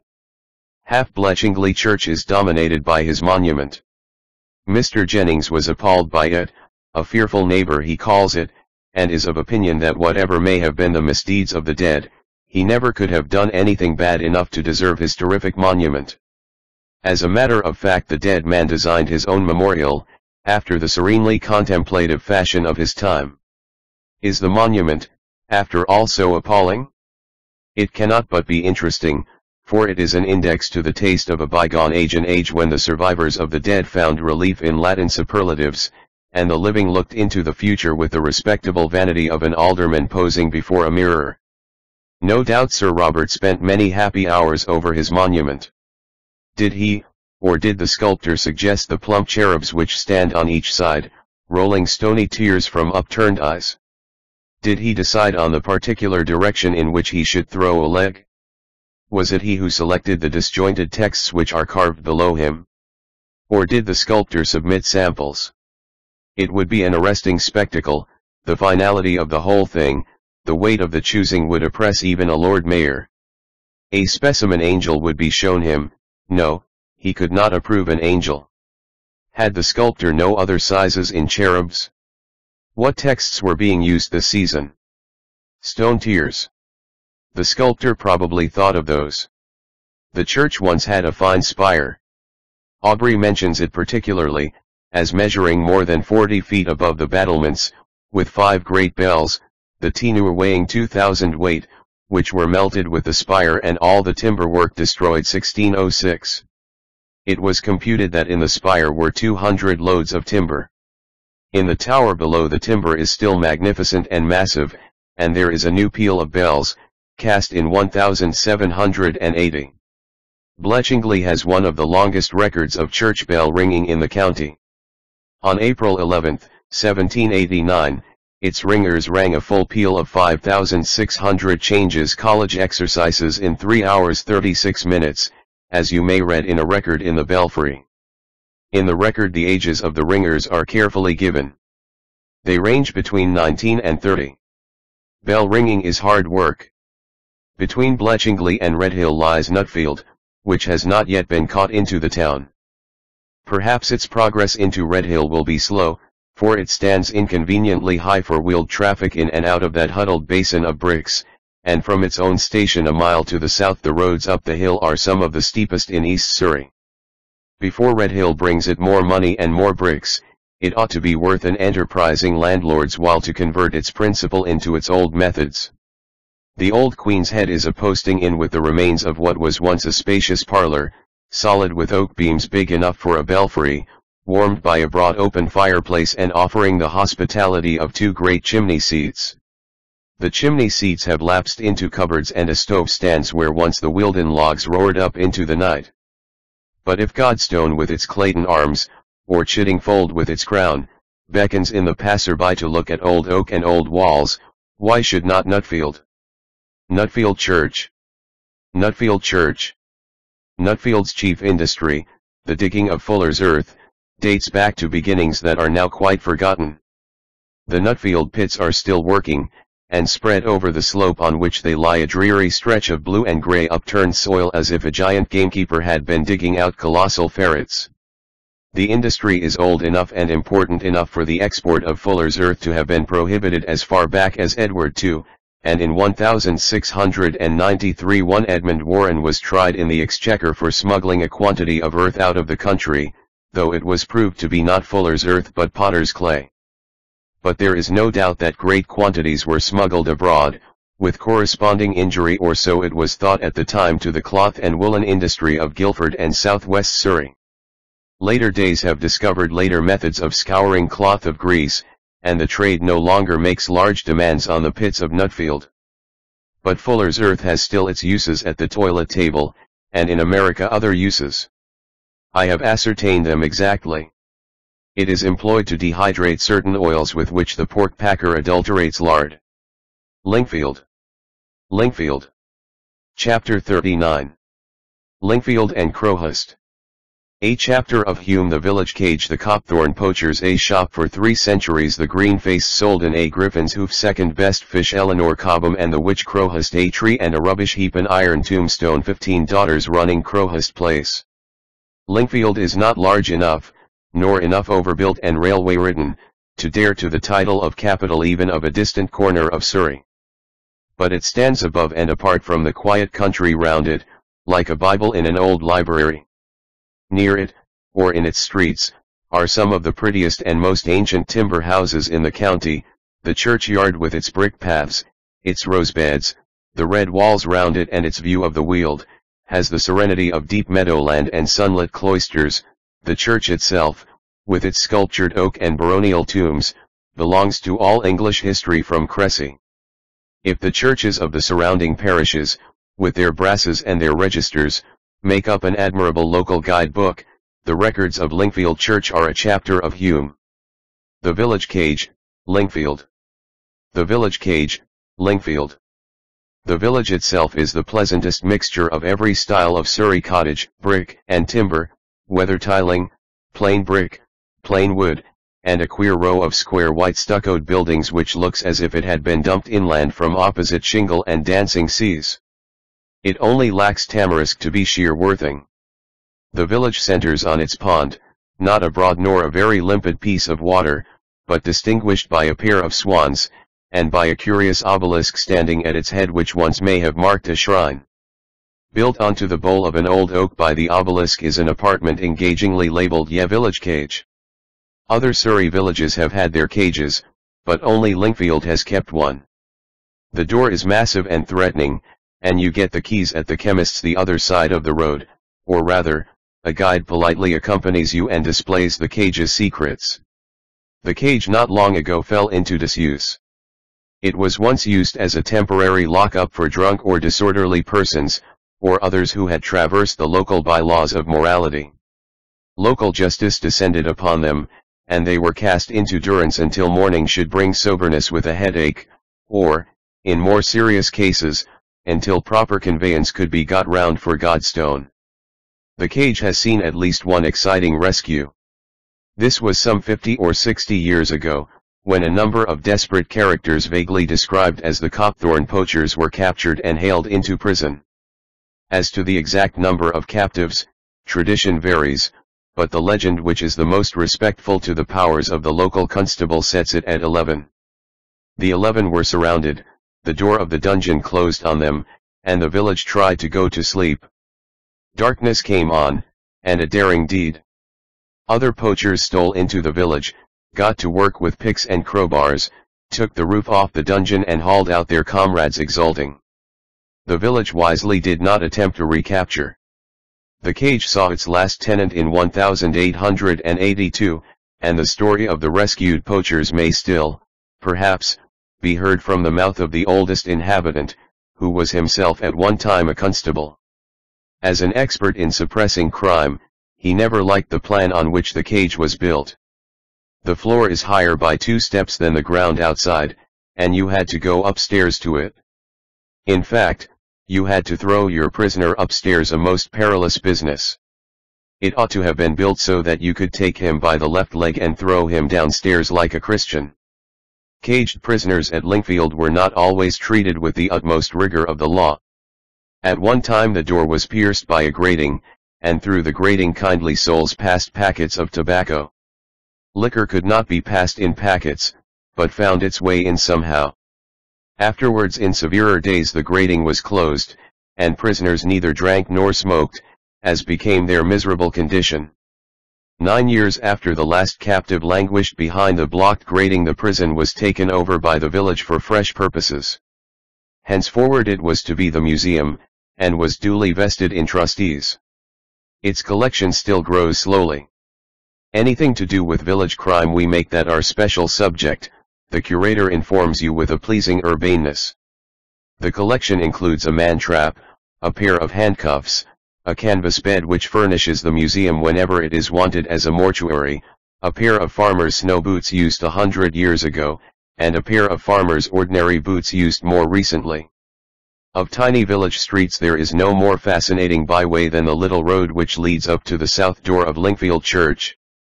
On the right is the Star Inn, taking its sign from the arms of the great lords of Sterborough who lie in the church, and built beside the inn a row of quiet cottages, perhaps once part of the inn.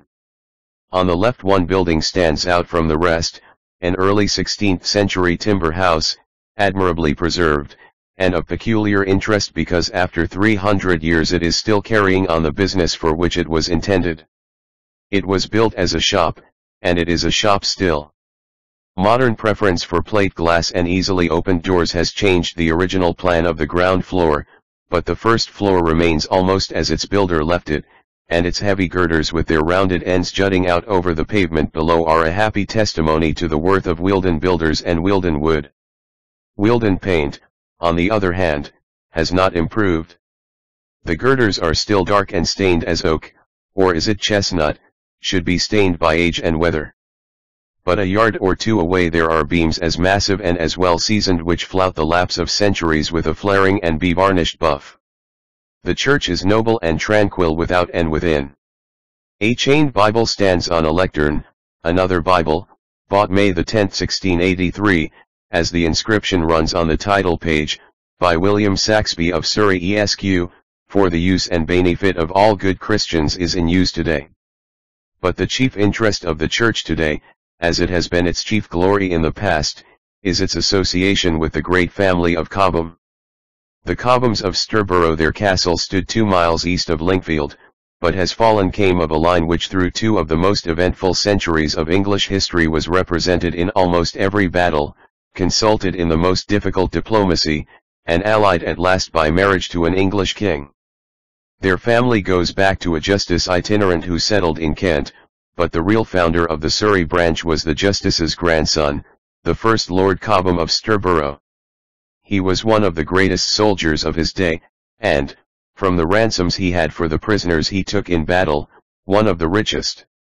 It was to him, with Sir John Chandos and the Earl of Warwick, that Edward III entrusted the Black Prince at Crecy, at Poitiers he rescued the King of France, he was Lord Admiral of the King's fleet from the mouth of the Thames westwards, and to end it all, he died in his bed of the plague. His effigy on his tomb tramples a Soldan, whose face has been duly painted green by the artist an interesting relic, according to Mr. J. G. Waller, of Crusaders traditions. There were not enough names for colors in those days, and perhaps the soldiers trying to describe the olive skins of the Arabs, may have called them green. For some obscure reason, too, the Soldan with his green face and his red beard is intended by the artist to be alive. Nobody can say why that should be, but the sculptor doubtless knew. He was a careful and accurate man, you can still trace below Lord Cobham's left knee the fastenings of the garter. Lord Cobham's wife, Joan, was the author of one of the longest wills in existence. She remembered everybody, including the prisoners in chains at Southwark and the sick men in the hospitals. Her executor Robert Belknap was to have a horn made from a griffin's hoof with a silver core, and the said horn has a silver rim and two silver gilt feet. But she was most anxious, poor lady, about her soul. Before everything else there were to be said 7,000 masses, immediately upon her death, and the priests were to have 29 pounds threes. 40 for saying them. A penny a mass, that is, and the priests took the pence. But it was twelve years before they had said the masses. The second Lord Cobham had mingled experiences of love and war. According to the inscription on his tomb, broken in the church but preserved in the College of Arms, he was as brave as a leopard, a sumptuous entertainer, handsome, imperturbable, and courteous. He was a soldier, but the great struggle of his life had nothing to do with a battlefield. It was his attempt to secure a dispensation from the Pope for marrying his cousin in defiance of the canon law. Almost a year passed before the Pope gave his decision on the point, and then he ordered the unhappy cousins a horribly tedious penance. For four years they might not eat meat, they might not drink wine on Wednesdays, and at the six fasts they might only eat the second best kinds of fish, and not those which were most agreeable to them. They had to feed four poor persons daily, and wait upon them themselves, and these poor persons were to have bread and meat or fish, with half a flagon of ale, and were to have new tunics and new russet hoods every year. All this was in addition to various heavy fines. The money part must have been the least exasperating, but it might have been amusing to choose the less agreeable kinds of fish. The eldest son of this much bepenanced marriage had two distinctions.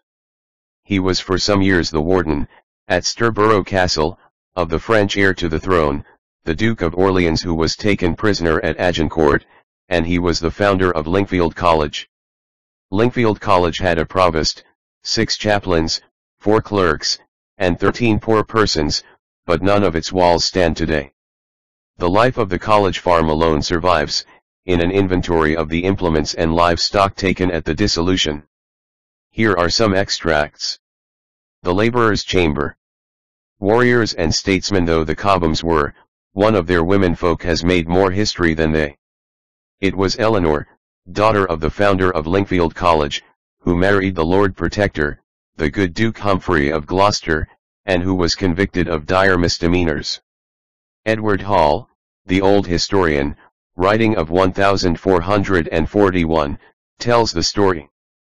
For first this year, Dame Eleanor Cobham, wife of the said Duke, was accused of treason, for that she, by sorcery and enchantment intended to destroy the KYNG, to then tend to adjuvants and to promote her husband to the crown, upon these she was examined in St. Stephen's Chapel before the Bishop of Canterbury, and there by examination convict and judge to do open penance, in IIJ open places, within the city of London, and after that a judge to perpetual prison in the Isle of Man, under the keeping of Sir Johann Stanley, KNYGHT. At the same season were arrested, as aiders and counselors to the Seti Duchess, Thomas Southwell, priest and chanon of St. Stephen's, in Westminster, Johann Hum, priest, Roger Bolingbroke, a coning necromancer, and Marguerite Jourdane, surnamed the Witch of Eye, to whose charge it was lied yt they, at the request of the Duchess, had devised an image of wax, representing the KYNG, which by their sorcery, a little and little consumed, entending thereby in conclusion to waste, and destroy the Kingi's person, and so to bring him to death, for the which treason they were adjudged to die, and so Marjorie Jourdane was brent in Smithfeld, and Roger Bolingbroke was drawn and quartered at Tyburn, taking upon his death, that there was no or no such thing by time imagined, Johann Hum had his pardon, and Southwell died in the Tuileries before execution. The beautiful Duchess's penance is in all the history books. But it is Shakespeare, and not the historians, who makes her walk through the town in a white sheet and barefoot. Three miles north of Lingfield is Crowhurst, one of a noble pair of names. Crowhurst in Sussex and Crowhurst in Surrey each has its immemorial yew, a tree of trees. But the yew of the Surrey churchyard is there no better way of honoring a tree than the Crowhurst way? Who is to look at a tree like this without unhappiness? From the road the first impression to be had of it is nothing very imposing, a mass of deep and shining green, of no great stature, with strong, springy branches brushing the church walls that is all. But the nearer view. You expect, and find, an enormous gnarled trunk, and then your first idea is that someone has thrown a rubbish heap at the tree, and that most of the rubbish has stuck old tea trays, broken kettles, saucepan lids, the sides of tin trunks. You then perceive that over gaps and wounds in the vast and writhen shell there have been bound, or nailed, or otherwise fastened a number of patches of thin sheet iron, painted a peculiarly ugly red. These patches of paint shriek with the names of a thousand cockneys, and the names suit the method of mending the broken tree. Gus should be the name of the man who fixed that patch, Herb, surely, daubed on that paint, Alf, I think, drove in that nail. Could none of the foresters of the Weald have helped a great tree better in its old age? There should be methods of preserving a tree which are not of necessity hideous, else, it would be better for the giant to die as it pleased. The church stands commandingly on a hill, overlooking level pastures and woodlands. But the view to the west, with all its breadth and quiet, is not more happy than the nearer picture to the east. Church gates stand opposite few more charming medleys than the multiplied gables, tumbled triangles, and oblongs of red tiles belonging to the roofs of the house on the other side of the road. This fine old brick building, with its formal garden path and clipped yews is now, like the Gainsfords Manor House a mile away, merely a farmhouse. But it was once the family residence of the Angels, the other great family of Crowhurst after the Gainsfords. Like the Gainsfords, the Angel family has disappeared. The last John Angel died in 1784, and left a very curious will. His property was to go to anyone who could prove himself, not herself, descended from an ancestor of his who lived in the reign of Henry VI. Many claims followed, none were proved. Crowhurst Church and the Old Yew. Crowhurst Church and the Old Yew. The house has one record at least of unrequited hospitality. This is an extract from the parish registers. 1653 July 24 William Hillier son to Hillier of Bingfield in Berkshire who coming as a stranger to Mr. Angel's house in Crowhurst died, by whom being carefully attended by Physitians and others in his signs and decently and in good fashion buried, the father of the said William Hillier refused to paye one farthing for his Physitian and burial like an unnatural father. Inside the church is a strange monument a slab of Sussex iron, let into the floor near the altar, and commemorating Anne Forster, the granddaughter of a patriarchal neighbor, Sir John Gainsford. It is odd in more than one way, it is the only iron tombstone in the county, though it is a tombstone that has often been copied. There are still several reproductions of it scattered about the country in the form of firebacks, evidently the founders considered the design convenient. Perhaps they might have made a better job if they had been severer scholars, for some of the lettering on it is quaint and topsy-turvy, the SS being twisted the wrong way round and the FS lying unhappily feet uppermost. Yet it fits well with the other old Gainsford and Angel monuments, and is also a memorial of a dead and gone industry, the iron smelting of Surrey, Sussex, and Kent. The farmhouse opposite Crowhurst Church. The farmhouse opposite Crowhurst Church. Leisure churchgoers should choose a service at Crowhurst at sunset, September drives the sun at the right angle to light its dark oak and the great beams of the belfry. Many churches have windows built high in the west end, through which part of the splendor of the setting sun can filter, but this window is set low, and the red sky floods the church. From the church to Crowhurst Place a mile away runs an interesting byway, the only one in Surrey, so far as I know, built by a private gentleman of permanent material, extending for a mile from his house to his place of worship. In the year 1631 the John Gainsford of the day, at the fine old age of 76, determined he would walk wet to church no more. He had a stone-flagged causeway laid from the manor house to the churchyard, it being before, as the parish register informs you, a loathsome dirty way every step. He paid two workmen £50 for the job, and the causeway is still to be picked out across the meadows. Crowhurst Place Crowhurst Place The Gainsfords were one of the best, though not the greatest of the old Surrey families. They are first heard of in the reign of Edward III, when John and Marjorie Gainsford had the manor of Crowhurst from John de Stangrave and Joan his wife a delightful gathering of English names. One of them, in Tudor days, was Sheriff of Surrey, and well in the Tudor fashions, he had six wives. But he must have found them disappointing in their family duties, for the first five of them brought him fifteen daughters running, and it was only from the sixth and last that he got a son and heir. He was one of a long succession of Johns and Erasmuses, but the line failed at the end. There were never enough boys in the Gainsford families, and when at last the manor went to a daughter the spell was broken, the house was sold. The bridge over the moat, Crowhurst Place. The bridge over the moat, Crowhurst Place. Crowhurst Place was originally a timber house built in or near the reign of Henry VII, and according to tradition Henry VIII used to stay there on his way to visit Anne Boleyn at Hever Castle over the border. It was, and still is in some respects, an admirable example of the masonry and carpentry of the 15th century, but the destroying hand of later builders has removed part of the timber and filled up the gaps with brick and weather tiling, so that its full character has been taken away. The Great Hall, with its glorious beams, was too much for the utilitarian. The waste of space distressed him. He therefore cut it in two by running a floor across the length of it halfway up, and subdivided his floor into bedrooms to accommodate the resident farmer's numerous family. It would be difficult to ruin a fine hall more completely.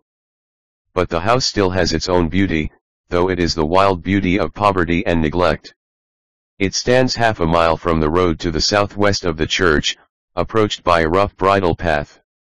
The first glimpse through the trees is of gables striped white and dark, a moat, befeathered and noisy with ducks, and a little wooden bridge crossing the moat to a side door. Beyond lie great barns, a flagged courtyard and flagged paths, and round the corner a second bridge over the moat, brick-built and massive, and by the garden gate a mounting stone, which it would be pleasant to think gave Anne Boleyn's royal wooer an easy step into the saddle. But it came later, perhaps. Is it not possible that Crowhurst Place may be rescued as Tangley Manor was? It has the hall, and the kitchen and the oak paneling, and the great fireplaces for which we search all the house agents' catalogues, it is moated, it has dined a king, there should be a ghost somewhere. But it rests apart, a farmhouse only. Brambles grow about it, such as should fence in a castle of sleep, above them timbered gables and tall chimneys to fit the cold and spacious hearths within. The fires that lit those hearths wait their rekindling. Chapter 40 Oxted and Limpsfield East of Godstone Tandridge the notebook of a Surrey justice sturdy rogues Oxted a rustic Guildford mittens and corduroys Limpsfield self-criticism the old oak chair Titsey Park and the Roman villa Tatsfield above the downs. East of Godstone five churches stand in a bow stretch to the Kent boundary. Not each church has a village. Oxted and Limpsfield, in the middle of the bow, are nearby railway station, and Limpsfield plays golf on the common, both are little old villages with many new houses about them. But Tandridge and Titsey, towards each point of the bow, are churches almost without cottages, but with great parks beside them, Tatsfield, easternmost of all Surrey villages, has houses and cottages, but the church stands apart, looking out over the weald. Tandridge was once Tanridge, and had a priory, which disappeared, of course, at the dissolution. It was quite a little place, its earliest record, dated somewhere near the end of the 12th century, describes it as the Hospital of St. James, in the Ville of Tonrege, with three priests, in perpetuity there serving God, and conf raiders of the said hospital. So Odo, son of William de Dammartin, writes of it in his deed of gift of lands, a windmill, and silver cups to make a chalice. The establishment was less a priory than a small hospice, in which poor and needy persons were cared for, and to which wayfarers might come for refuge, one of those gentle places for the help and refreshment of sorrowing men that are set so strangely before the days of Tudor cruelties and tortures. The prior's hospice welcomed and comforted the tired poor, Elizabeth's age beat them, men and women, for sturdy rogues. Tandridge Church Tandridge Church Later Tandridge history centers round the church and Tandridge Court. Tandridge Court has had noble owners, but perhaps the most interesting is Bostock Fuller, who was a justice of the peace in the days of Elizabeth, and who has left a notebook describing his work and the cases that came before him, which takes his reader extraordinarily close to Tudor times and customs. The manuscript, entitled Notebook of a Surrey Justice, is in the Bodleian Library at Oxford, and Mr. Granville Leveson Gower in the Surrey Archaeological Collections, has made extracts from the Bodleian transcript. Here are some of them. The seventh I rode with Mr. Evelyn to Sir W. Gainsford's who was Sci, to have his testimony versus George Turner and that day we took Thurage Rogues two men and IJ women on Blindley Heath and had them to Godstone they had stolen IJ ducks and accused each other of other facts, and the eighth day I went to Mr. Evelyn's and there we saw them whipped and made them passports to Devonshire and Somersetshire. The fifteenth day I caused two stout rogues called Mary Rendall a widow, and N. Marks a whip to be whipped at Tanridge and sent to Rawlins in Essex. June 1608. The 2-2th I rode to Kingston Assizes and there I stayed 2-3th and 24th days. Botley and Renfield whom I sent to the jail were there hanged and Burgess whom Mr. Evelyn and I belled was burnt in the hand. January 1608. John Barry whom I sent to the gaol for stealing coalcocks and white's hens was arraigned and whipped. Bartholomew Gander being accessory and Roker, were put into the BYLL with the principal. 1612 December 23. I sent a warrant for Richard Matthew of Reigate for hunting my lord at Irles conies. 1613 The 4th of June. Amias Gullock brought to me by the officers of Gatton the 4th day of June for stealing of a petticoat which was taken with him, but the party would not accuse him of felony, and he said he bought it.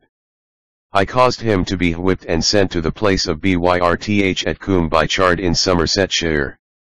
July 19. 1613. The Abu Abounden John Lamb is accused by the Denny's for shooting in a gun and being lawfully killing of his conies. July 1616. The Zith I sent Elias. Edsel Siruan to Richard Green to the House of Correction for striking her dame and threatening her after and for departing from her Sirius. 19 degrees November. They brought Toller with a goose which he said he stole from Rose Harling, and I charged the constable to lay him by the heels all night and to bring him again next morning. He brake the stocks and ran away. So went village life for Tandridge in the golden days. Few cottages have been added since Mr. Bostock Fuller used to ride to the assizes. He would see little change, perhaps, in the church, with the glorious oak beams that bear up its belfry, and little, too, in the mighty yew whose branches brush its tower. Over one gravestone he might be puzzled. It has been placed in the grass, I think since his day, near the south door, and is an ancient monument of hard sandstone with a cross carved on it. Legend says that it was brought from Tandridge Priory, but there are others like it at Oxted and Titsey which belong to an older date than the Priory. A street in Oxted. A street in Oxted. Oxted is northeast of Tandridge, but there are two Oxteds. One is the new village near the station, with new shops, a new inn, and the old church.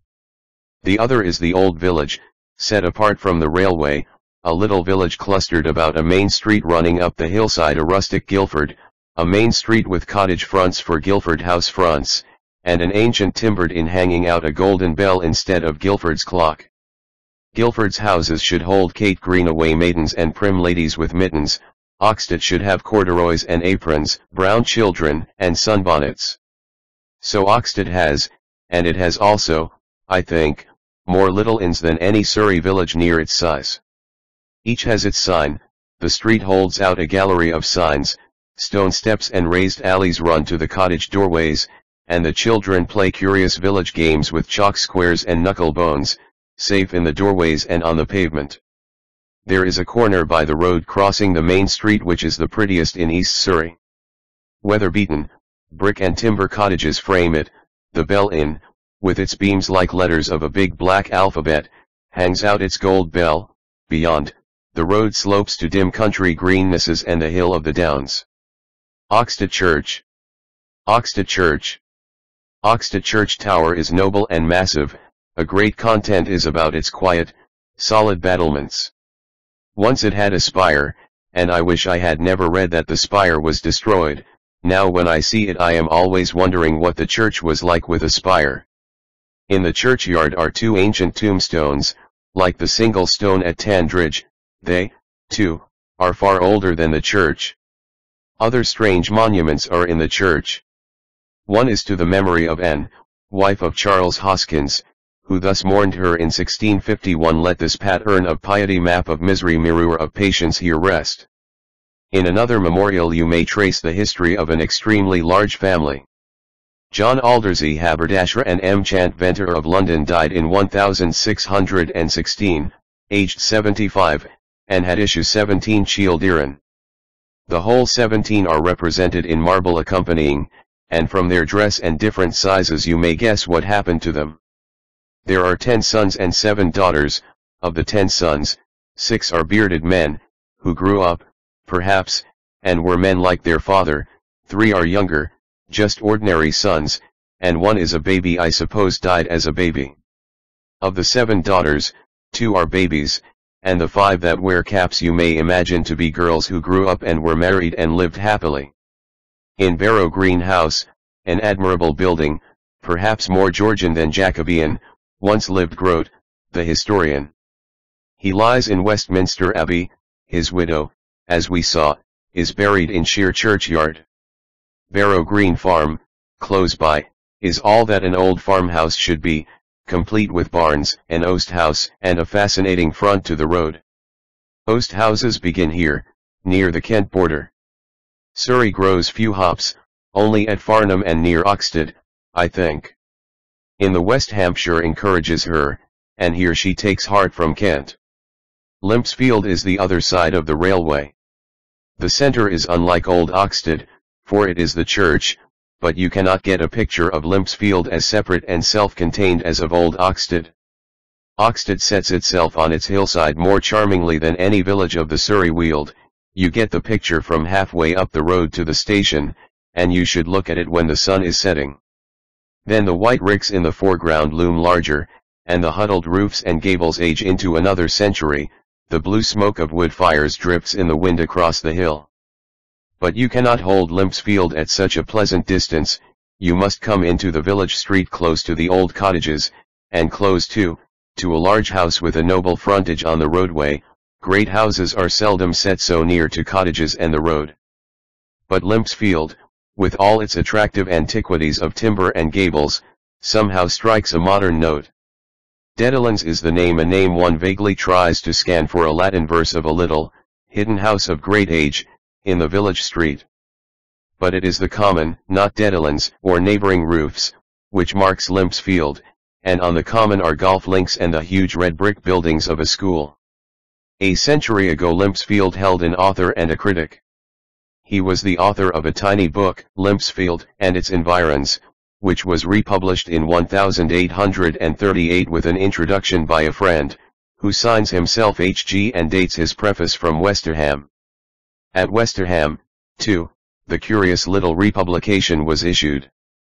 It is illustrated by George Cruikshank and with pleasant prints of old penciled drawings, and besides a poem, contains a number of descriptions of the chief houses of the neighborhood. Here is one of them. Charts Edge. On inquiring of a native, we were told that this place was the residence of Mr. Antiquary Streatfeild.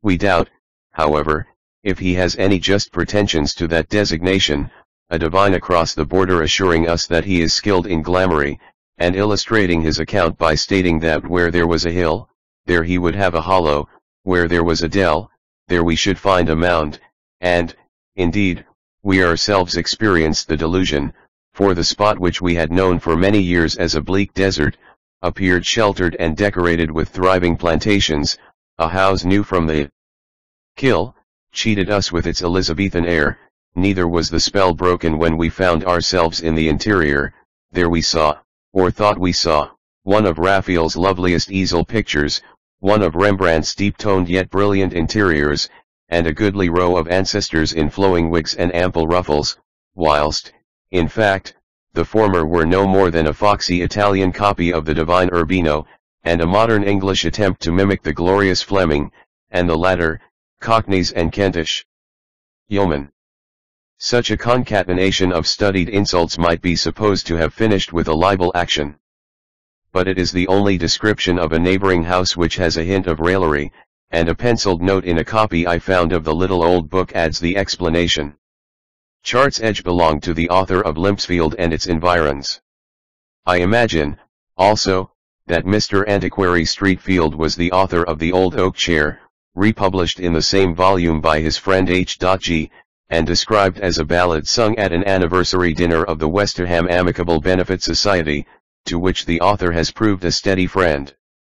This is the ballad of the old oak chair.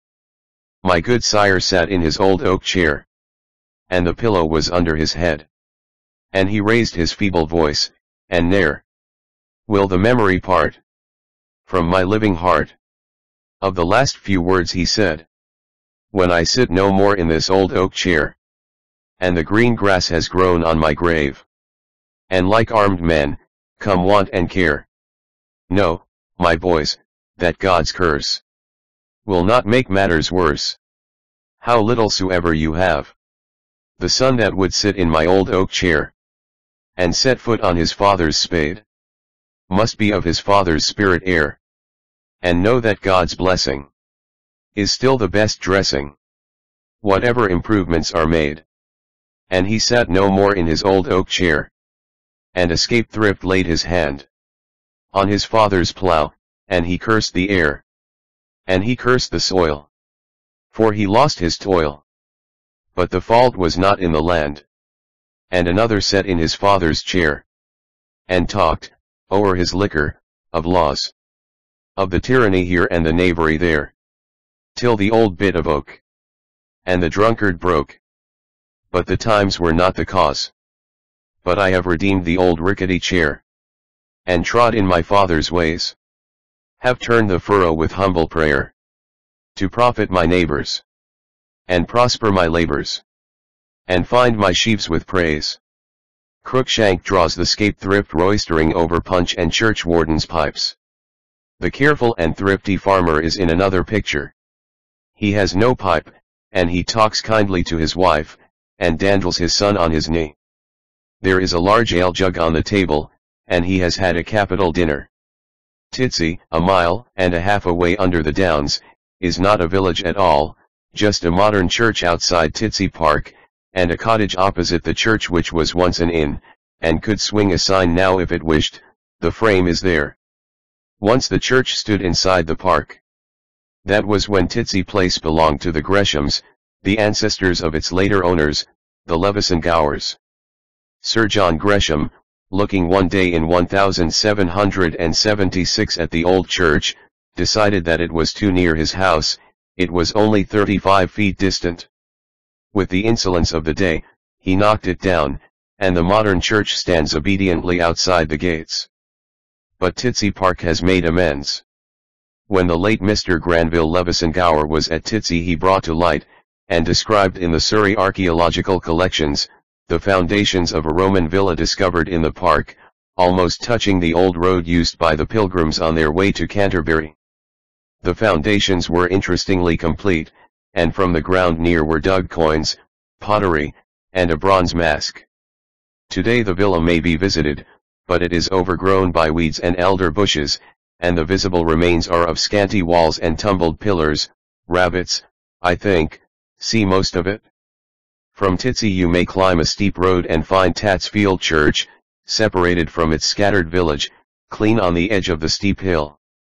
Tatsfield Church, which is old and small, stands nearly 800 feet above the Weald, and its little churchyard, with a path in it leading to no gate, but only to a hedge, lends a curious sense of a garden.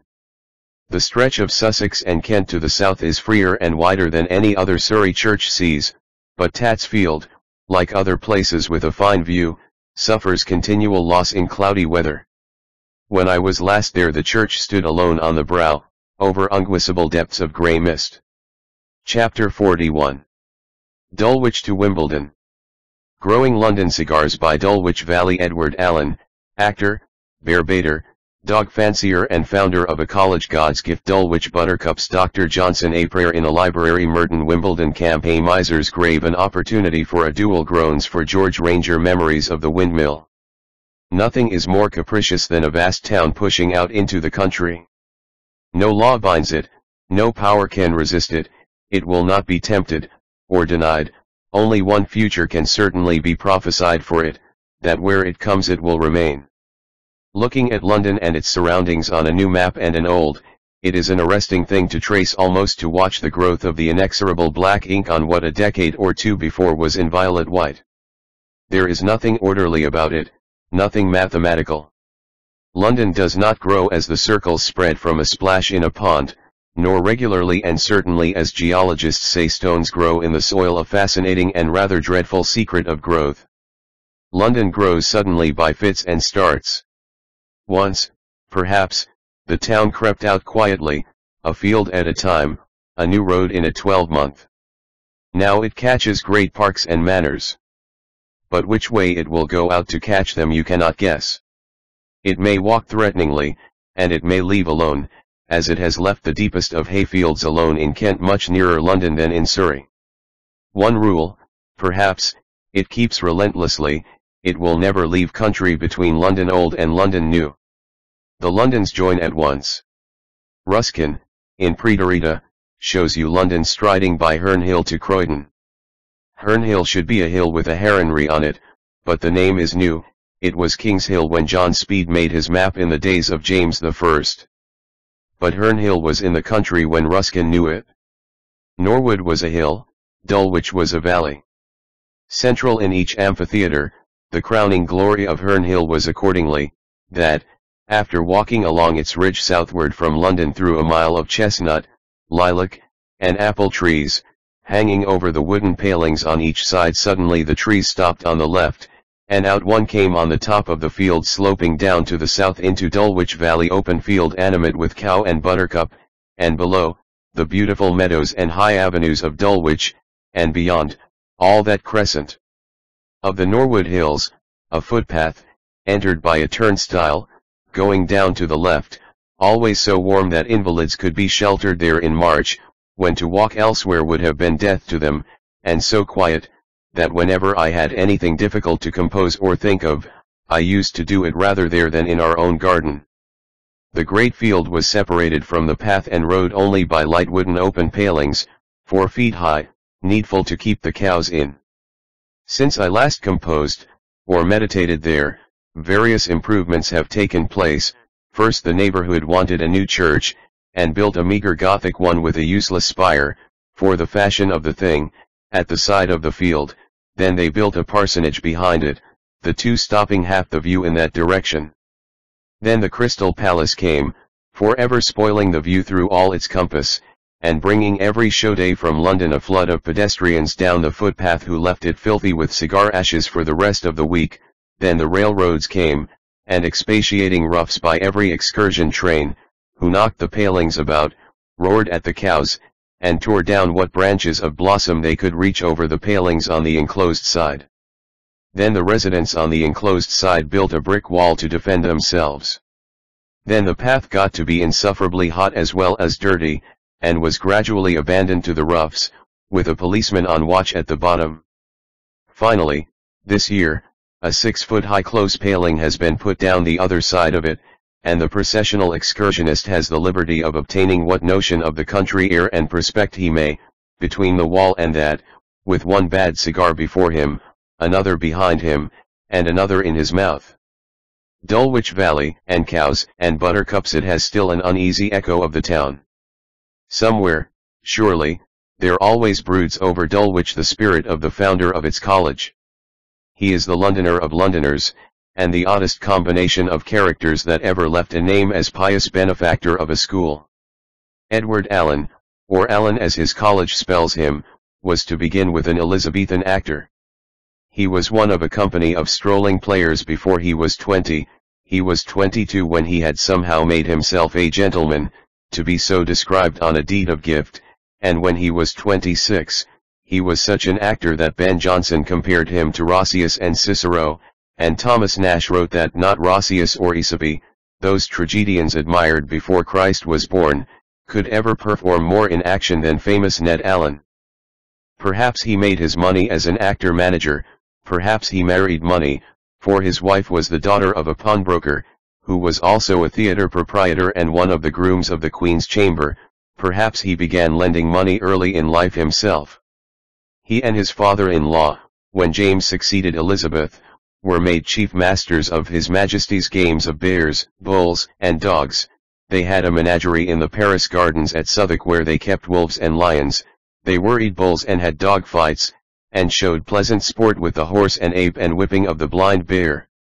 Money rolled in, with the apes and the bears and the loans, and in October, 1605, Allen, by this time full esquire, bought the manor and lands of Dulwich for £4,900. Eight years later he left Southwark for Dulwich, and set about founding his college. Aubrey has a quaint legend of the foundation. How should an actor found a college? The devil was in it somewhere.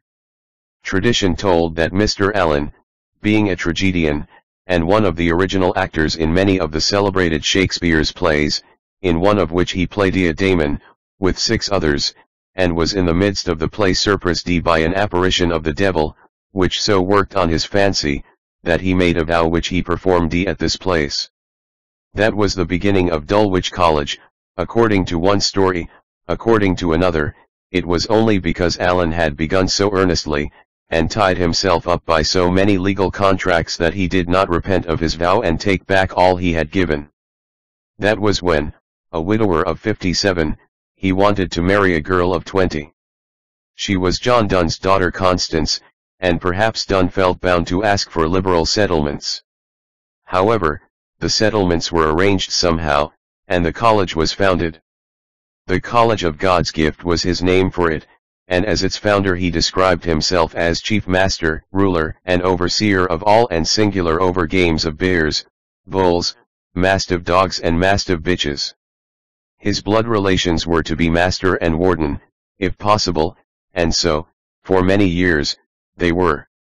One of the statutes explains the name God's gift. There were to be twelve poor scholars, chosen partly by merit and partly by chance. When a place became vacant three or four children were to be elected by the parish vestries, and of these two were to be chosen by the master and warden, and then the two were to draw lots. The manner of drawing of the said lot shall be thus, two equal small rolls of paper to be indifferently made and rolled up, in one of which rolls the words God's gift are to be written, and the other roll is to be left blank and so put into a box, which box shall be thrice shaken up and down, and the elder person of those two that are elected to draw the first lot, and the younger person the second, and which of them draweth the lot wherein the words God's gift are written, shall be forthwith admitted. Another gift followed Allen's. When Sir Francis Bourgeois died early in the last century he left his fine collection of pictures to the school. The gallery is open to the public, but a description, in the space I have here, could be no more than a list of names. Dulwich still has some of its fields and buttercups, the playing fields are a pleasant oasis which is the last vision of sunlight and grass for the traveller on the Chatham and Dover Railway before plunging into the murk of the Penge Tunnel. Of its neighbours to the west, Streatham clusters about a tangle of railways, Streatham, which was deep country for Dr. Johnson, knocked down, in 1863, the house and cut up the park that Dr. Johnson knew when they belonged to the Thrales. He would not recognize the church the church to which he bade farewell with a kiss it has been rebuilt. The library, which, if it were standing today with the books that Johnson read, would be the most sought for room in Surrey, went, of course, with the house. Eighty years before it fell Johnson had parted from it with a prayer. Help me, he prayed, that I may, with humble and sincere thankfulness, remember the comforts and conveniences which I have enjoyed at this place, and that I may resign them with holy submission, equally trusting in thy protection when thou givest, and when thou takest away. That was the library which was destroyed only 45 years ago. But Streatham, when it knocked down the Thrale's house, had very good authority for parting with all it had of Dr. Johnson. Mrs. Thrale would not have minded. She sold all the letters Dr. Johnson wrote her for a matter of £500. Between Streatham and Wimbledon London strides out in patches. It has not yet taken in Mitcham, which has a fine green with memories of great Surrey cricket, and which grows all manner of scented flowers, lavender and mint and rosemary and everything old-fashioned for herbalists and perfumers and ladies' sachets and linen chests. But Merton, northwest towards Wimbledon, has been caught fast.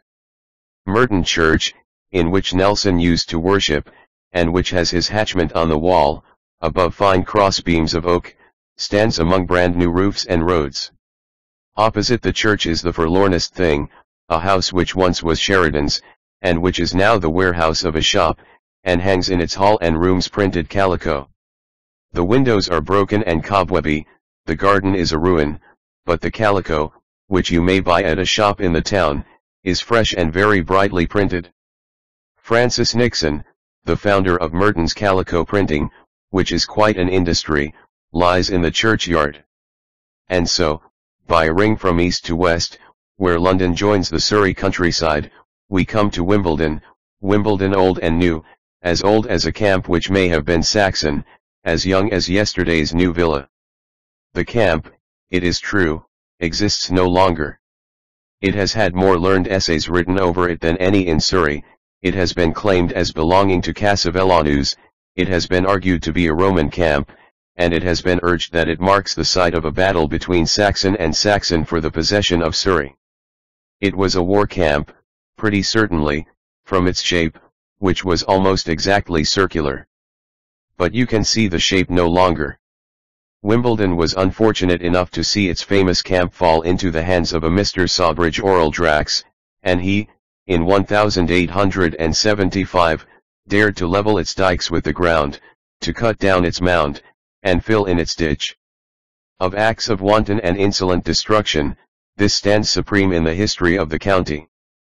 Wimbledon has held a great house, and has seen royal progresses which cost the lord of the manor a fortune. Thomas Cromwell was one of the lords of the manor, and after him came Catherine Parr, but the great days were those of the Cecils. Lord Burleigh, Elizabeth's treasurer, lived at intervals at the rectory house, and some of Elizabeth's summer excursions came to Wimbledon, she stayed with her treasurer and with his son. But the Cecil who belongs most to Wimbledon is not the treasurer whose nod summed up the wisdom of a parliament, nor any lord of Burleigh, but a younger son who was a soldier and a sailor. He was admiral and marshal general of the forces sent by James I and Charles I against the Spaniards, he was made Lord Wimbledon, and his memory on the records of the army of his day is that his name of Cecil was punned into General Sitstill when he was a soldier of almost foolhardy personal daring, and that he reintroduced into the army the old English march. There was one certain measure, a royal warrant informs us, which had been lost through the negligence and carelessness of drummers, although it had been by the approbation of strangers themselves, confessed and acknowledged the best of marches. This march, at the instance of Lord Wimbledon, was beaten in the King's presence at Greenwich in 1610 and ordered to be exactly and precisely observed by all drummers in the Kingdom of England and Principality of Wales, without any addition or alteration whatsoever. We do not hear it in these days of battles without drums and colors, but we do not fight much better, perhaps, without the drums. The old Wimbledon church was demolished, the new church was built in 1786. It has many monuments, but the grave which fascinates is the tomb neither of a great statesman nor a good man. It is apart in a far corner, over it is laid a huge slab of black stone, perhaps half a foot thick, and the stone tells you that under it lies the body of John Hopkins, Esquire, familiarly known as Vulture Hopkins. Misers have had hard things said of them often enough, of Hopkins Pope wrote that he lived worthless, but died worth £300,000, and, reflecting on the use of riches, Pope made a couplet on his funeral. When Hopkins dies, a thousand lights attend the wretch who living saved a candle's end. But those legends belong to paper and books. They are less easily destroyed than an epithet engraved on a stone, but who of deliberation would carve an insult, as this is carved, for a dead man? The Golf House and Windmill, Wimbledon Common. The Golf House and Windmill, Wimbledon Common. Wimbledon will never belong to the town so long as it keeps its common. It is the wildest thing near London. It is almost as wild and lonely a place today as when in Georgian and early Victorian days statesmen and noblemen chose it as a fashionable and convenient ground for dueling. The Common has seen more than one historic duel. The Duke of York and Colonel Lennox met there in 1789, the Duke received the Colonel's fire, and the ball grazed his hair, but he did not fire in return. Pitt fought a duel with a Member of Parliament on Putney Heath north of the Common in 1798, each fired twice at 12 paces and hit nothing. Sir Francis Burdett and Mr. John Paul fought in 1807, wounded each other and went back together to London in the same carriage. Canning and Castlereagh fought in 1809, and Grattan, two years after Queen Victoria came to the throne, received Lord Londonderry's fire and himself fired in the air. Another Grattan could meet another Irish peer today, and if they chose their places well, nobody would hear a pistol at all. The bracken and the heather slope into dells and valleys which would shelter three duels in a morning, you could deliver a salvo and hardly scare a nursery maid. But Wimbledon's longest acquaintance with firearms was in the days before the National Rifle Association moved to Bisley. Queen Victoria fired the first shot on July 2, 1860, when she pulled a scarlet cord and scored a bullseye with a Whitworth rifle, a red and white flag was shown in an instant, you read, and three points were scored to the Queen of England. The last shot was fired in 1889. I went to that meeting as a schoolboy, and am even now filled with an awe that belongs to spacious days, remembering that we were told that on the last evening the whole camp was to give three great groans for George Ranger, the Duke of Cambridge, whose duty it had been to declare the common unfitted for the distant probings of misdirected Martini Henry bullets. Those concerted, resentful, thousand-throated groans seemed a tremendous nightly business, there were campfires, one imagined, from which the circular groan would ascend, a rumble which should expel a ministry, unseat a prince. Not very much came of the groaning, I suppose, certainly the volunteers liked the Bisley Ranges, next year, much better.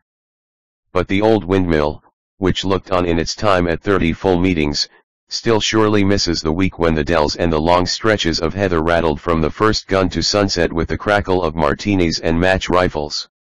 The windmill watches red-coated golfers today, playing to some of the prettiest greens in the south of England, but the days for the windmill were when the tents were white about the heather, and when they sold Stewart's verniers where today a more leisure generation misses short putts.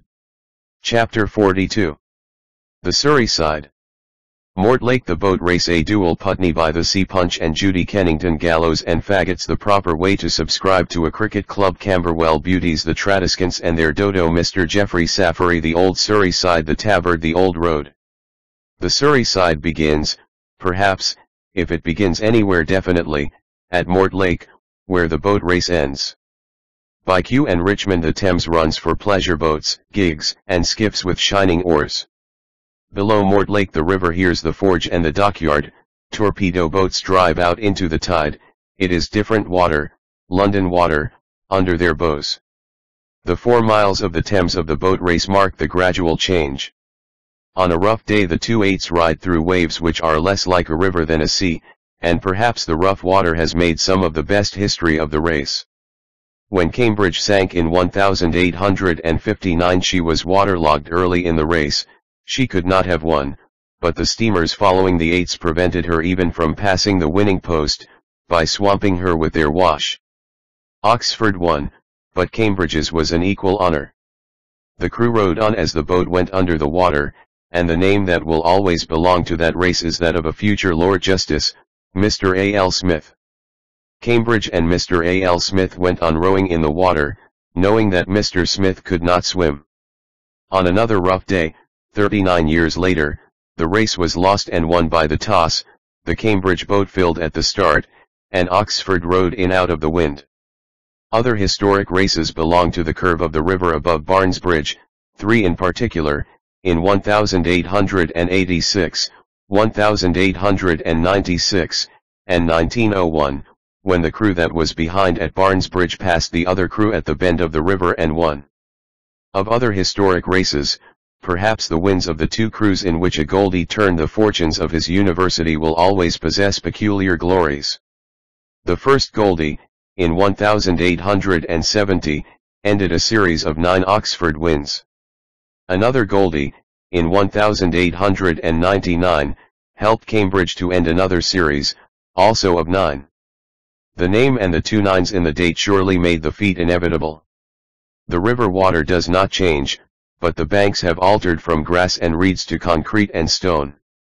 It was a mile or so from Barnes Bridge, in a field near Barn Elms, but who could guess where, that the second Duke of Buckingham fought and shot Lord Shrewsbury.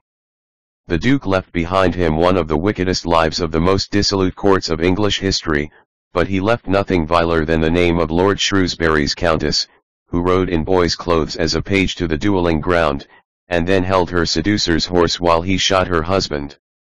They left him dying and rode back together.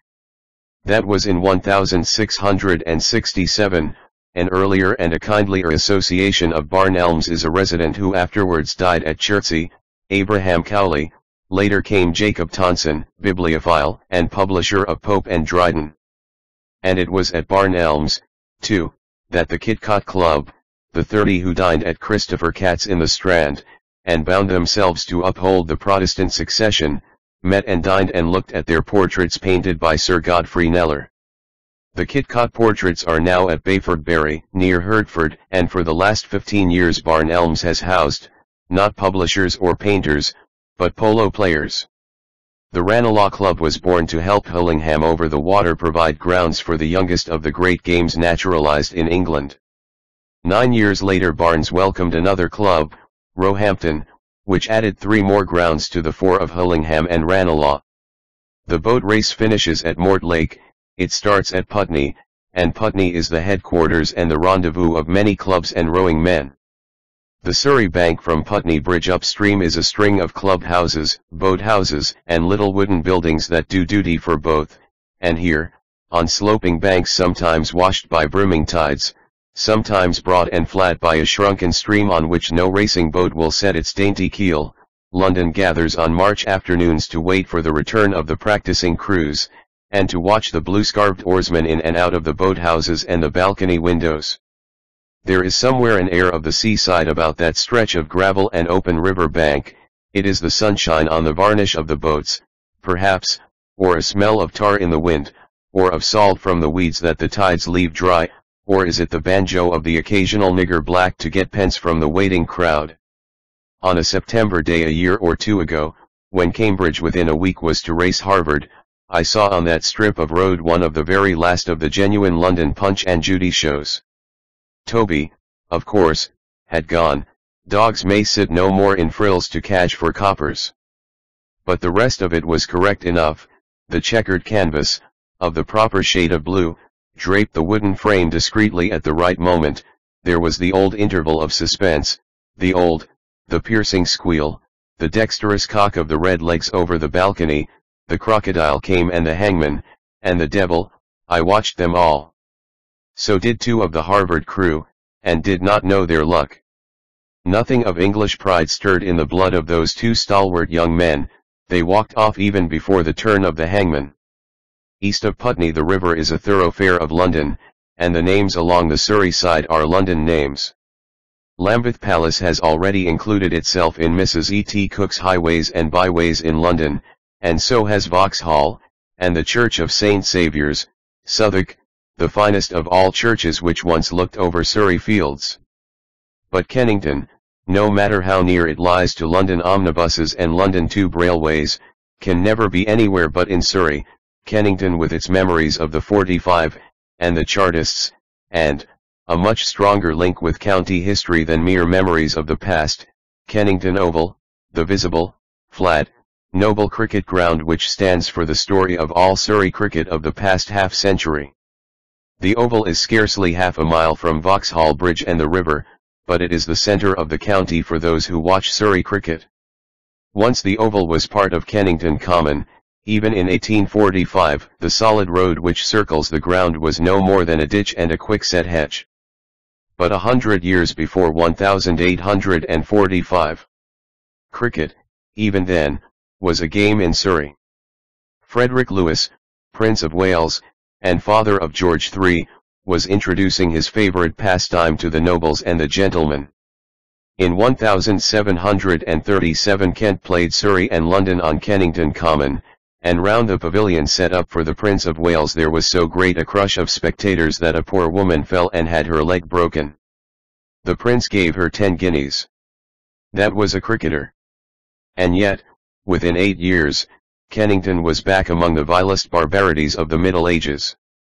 The 45 was to set a mark of ferocious savagery in Kennington annals hardly surpassed by Tyburn.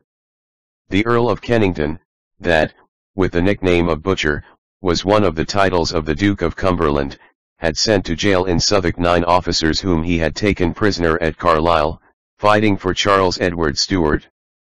They were ordered for execution, and on July 30, at 11 o'clock in the morning, were taken on three sledges to Kennington Common.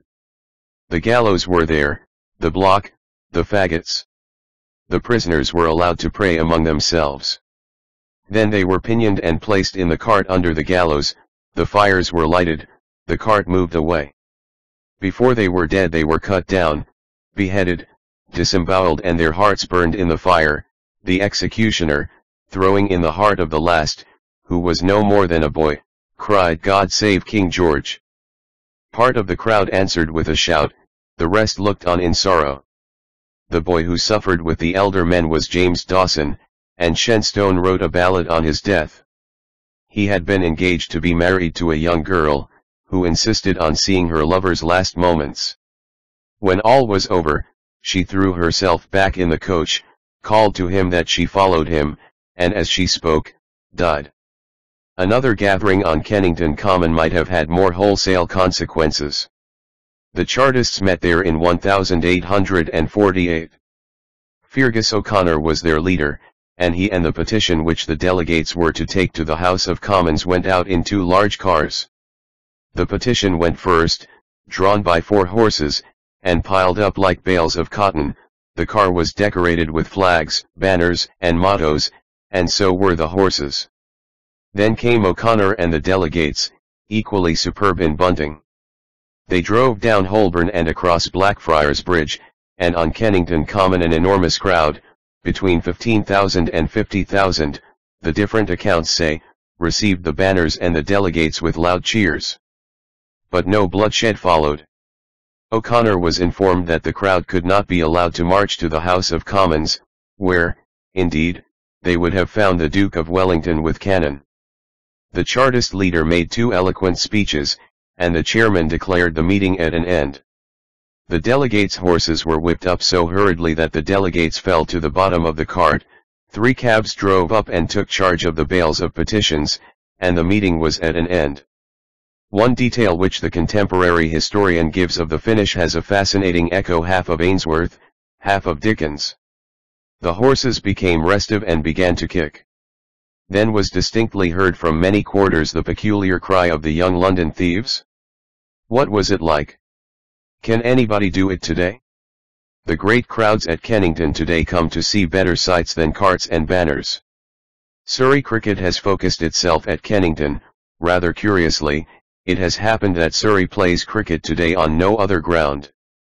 Kent and Sussex, two neighbours, play their county matches on three grounds or four, Surrey, which has traditions at Mitcham and Dorking, has shrunk back to Kennington only.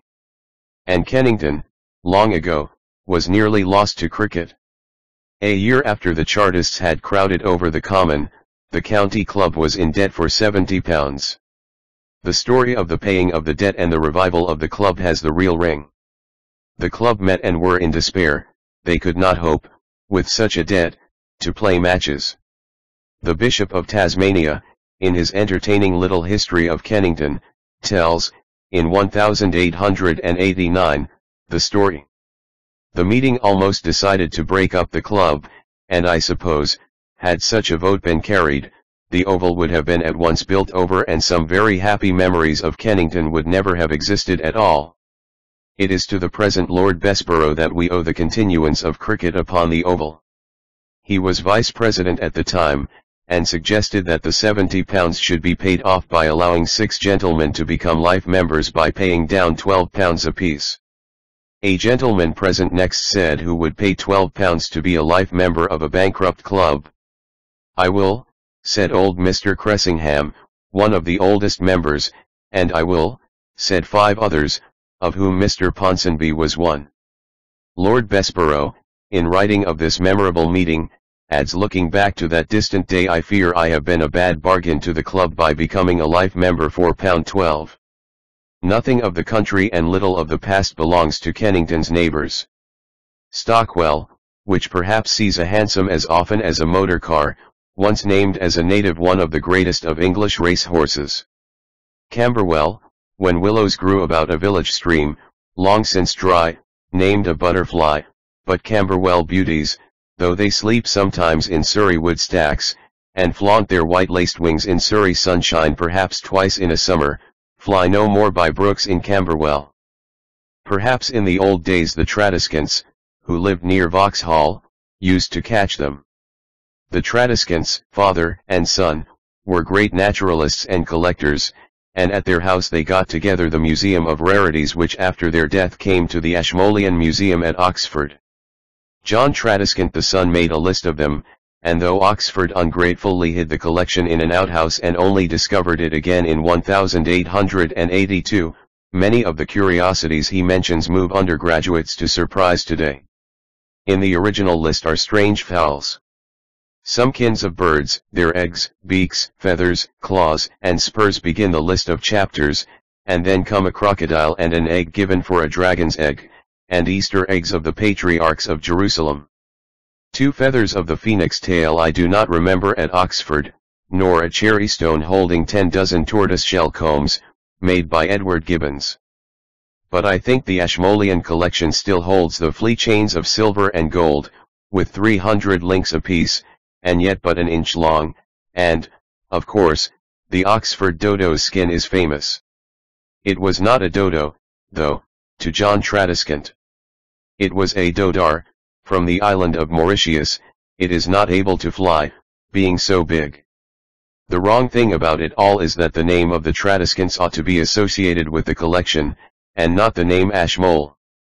It was never Ashmole's to give to Oxford.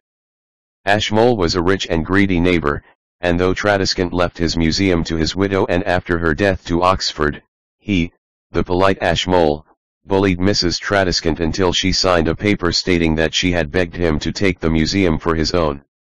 She would have signed anything, poor lady, to get rid of him. She suffered so much from persecution from the generous donor of her husband's museum to Oxford, that she drowned herself in a pond, a few months before having signed a statement that she had caused a great heap of earth rubbish to be laid against his garden wall doubtless she caused nothing of the sort so high that on the first day of August last, in the night, by the help thereof, it is strongly presumed that thieves got over the same and robbed the said Mr. Ashmole of 32 cocks and hens. Easternmost of Surrey in London, Rotherhithe lies about the docks of the pool. The pool should have a book to itself, and will not go into mine, but of Rotherhithe ashore there is a record which deserves keeping. Aubrey, or his later editor, gives a list of the Rotherhithe residents who contributed to the rebuilding of St. Mary's Church, and the names, sorted and classified, should be set aside for a future Dickens. Here are a few of them Blois, Figgins, Cuthbert Finkel, Gollop, Cronker, Shadrach Lifter, Walter Mell, Mr. Jeremiah Rosher, Mr. Jonas Shish, Mr. Nathaniel Stiffon, Mr. Matthias Walraven, Mr. Scroggs, Mr. Geoffrey Safari, Mr. Valentine Teed. Bermondsey, which has kept the Tooley Street of the Three Tailors, but elsewhere preserves names only instead of stones, has memories of one of the three Surrey abbeys.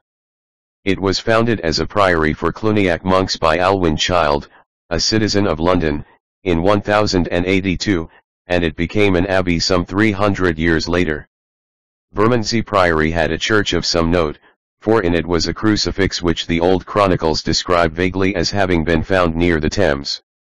The crucifix attracted special pilgrimages, and when the monasteries were ended, it disappeared. There was the picture of Saint Saviour that had stood in Barmsey Abbey many years in Southwark Talkin Down, a diarist writes at the time. All that remains of the church and crucifix is the name, which has come to Saint Saviour's, or the Church of Saint Mary Overy the style now is to call it Southwark Cathedral.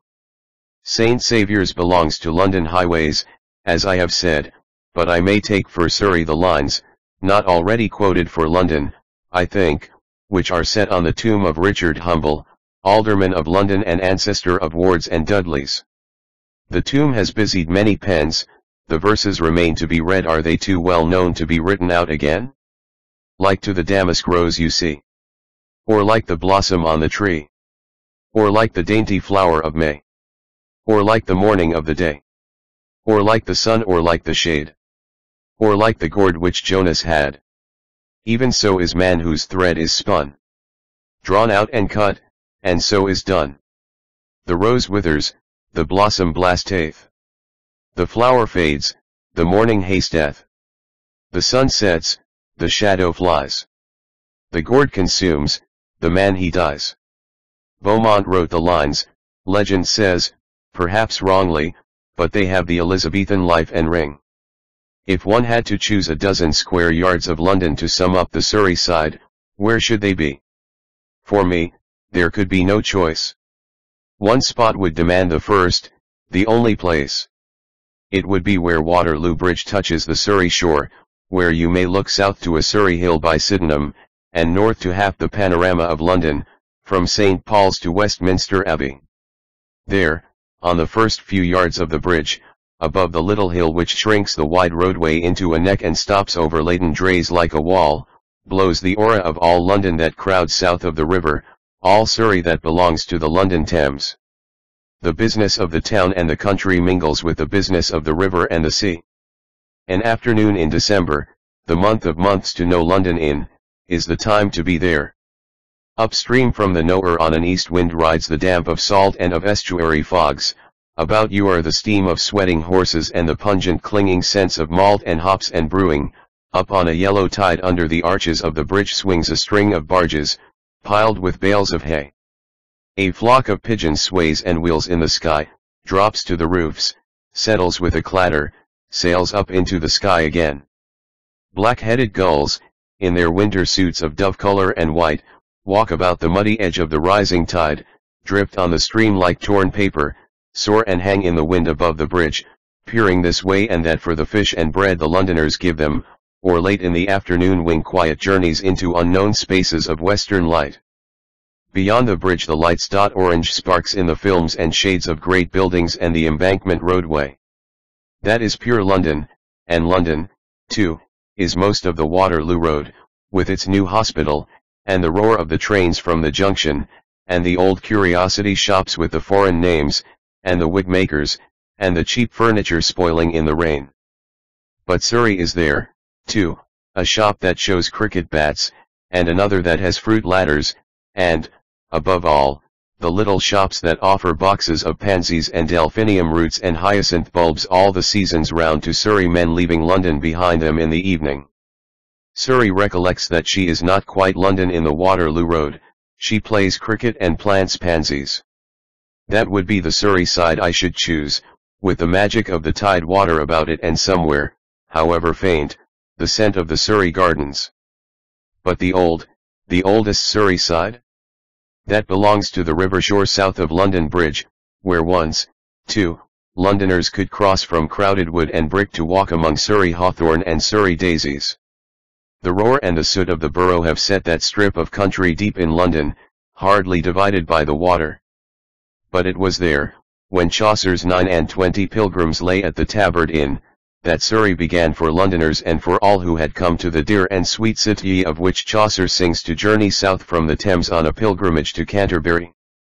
The Tabard Inn is no more, the fire that swept over Southwark ten years after the fire of London destroyed the building Chaucer knew. The piety of a later day raised another tabard, perhaps like the old tabard with the same galleries and balustrades to look down from upon pilgrims and minstrels and monks and fools. But that tabard inn became the Talbot in a careless age, and as the Talbot it was razed to the ground forty years ago, when nobody minded what became of the old inns and churches and the things best worth keeping in old Surrey. The tabard has gone, but the ancient road remains. Smoke and stone are about it, where once it stretched out bare among green fields, but the fields are there, for those who can see them, behind the veil of smoke, and through them a wayfarer may still travel with the knight who loved freedom and courtesy, the monk shaking his belled bridle, the ploughman on his mare, and the dainty-fingered prioress with her eyes as grey as glass, riding to join other pilgrims travelling east to Canterbury by the old road. Map of the County of Surrey. The End.